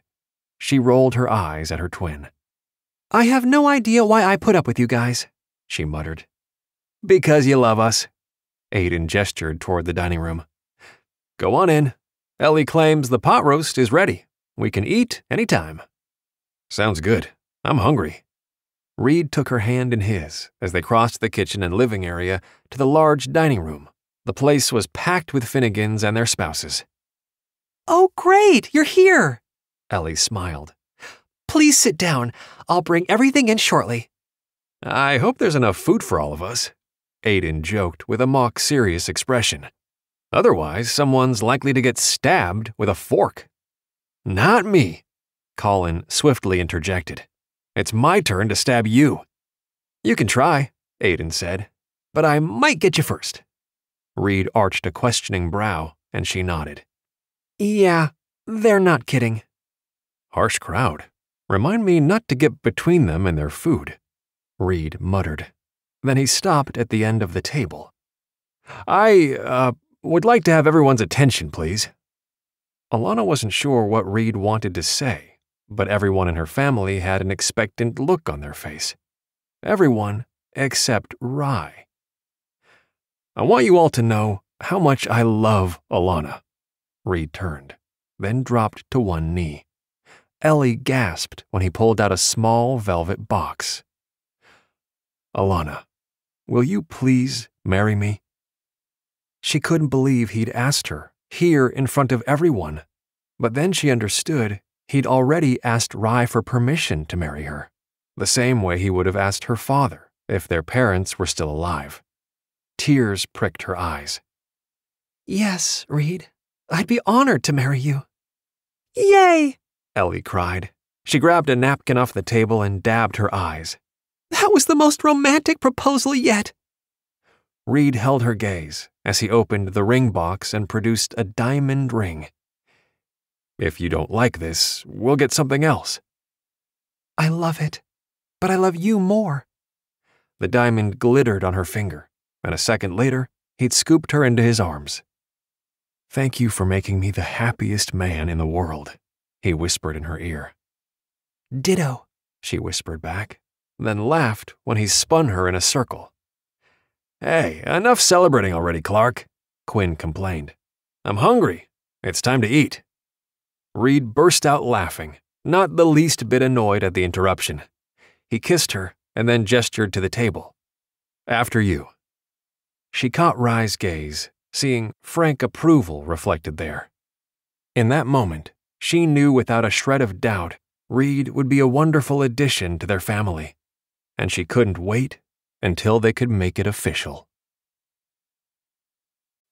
Thank you for listening to Critical Response, Book 7 of the Finnegan First Responders series, written by Laura Scott, performed by Alex Knox, post production by Sean Toole.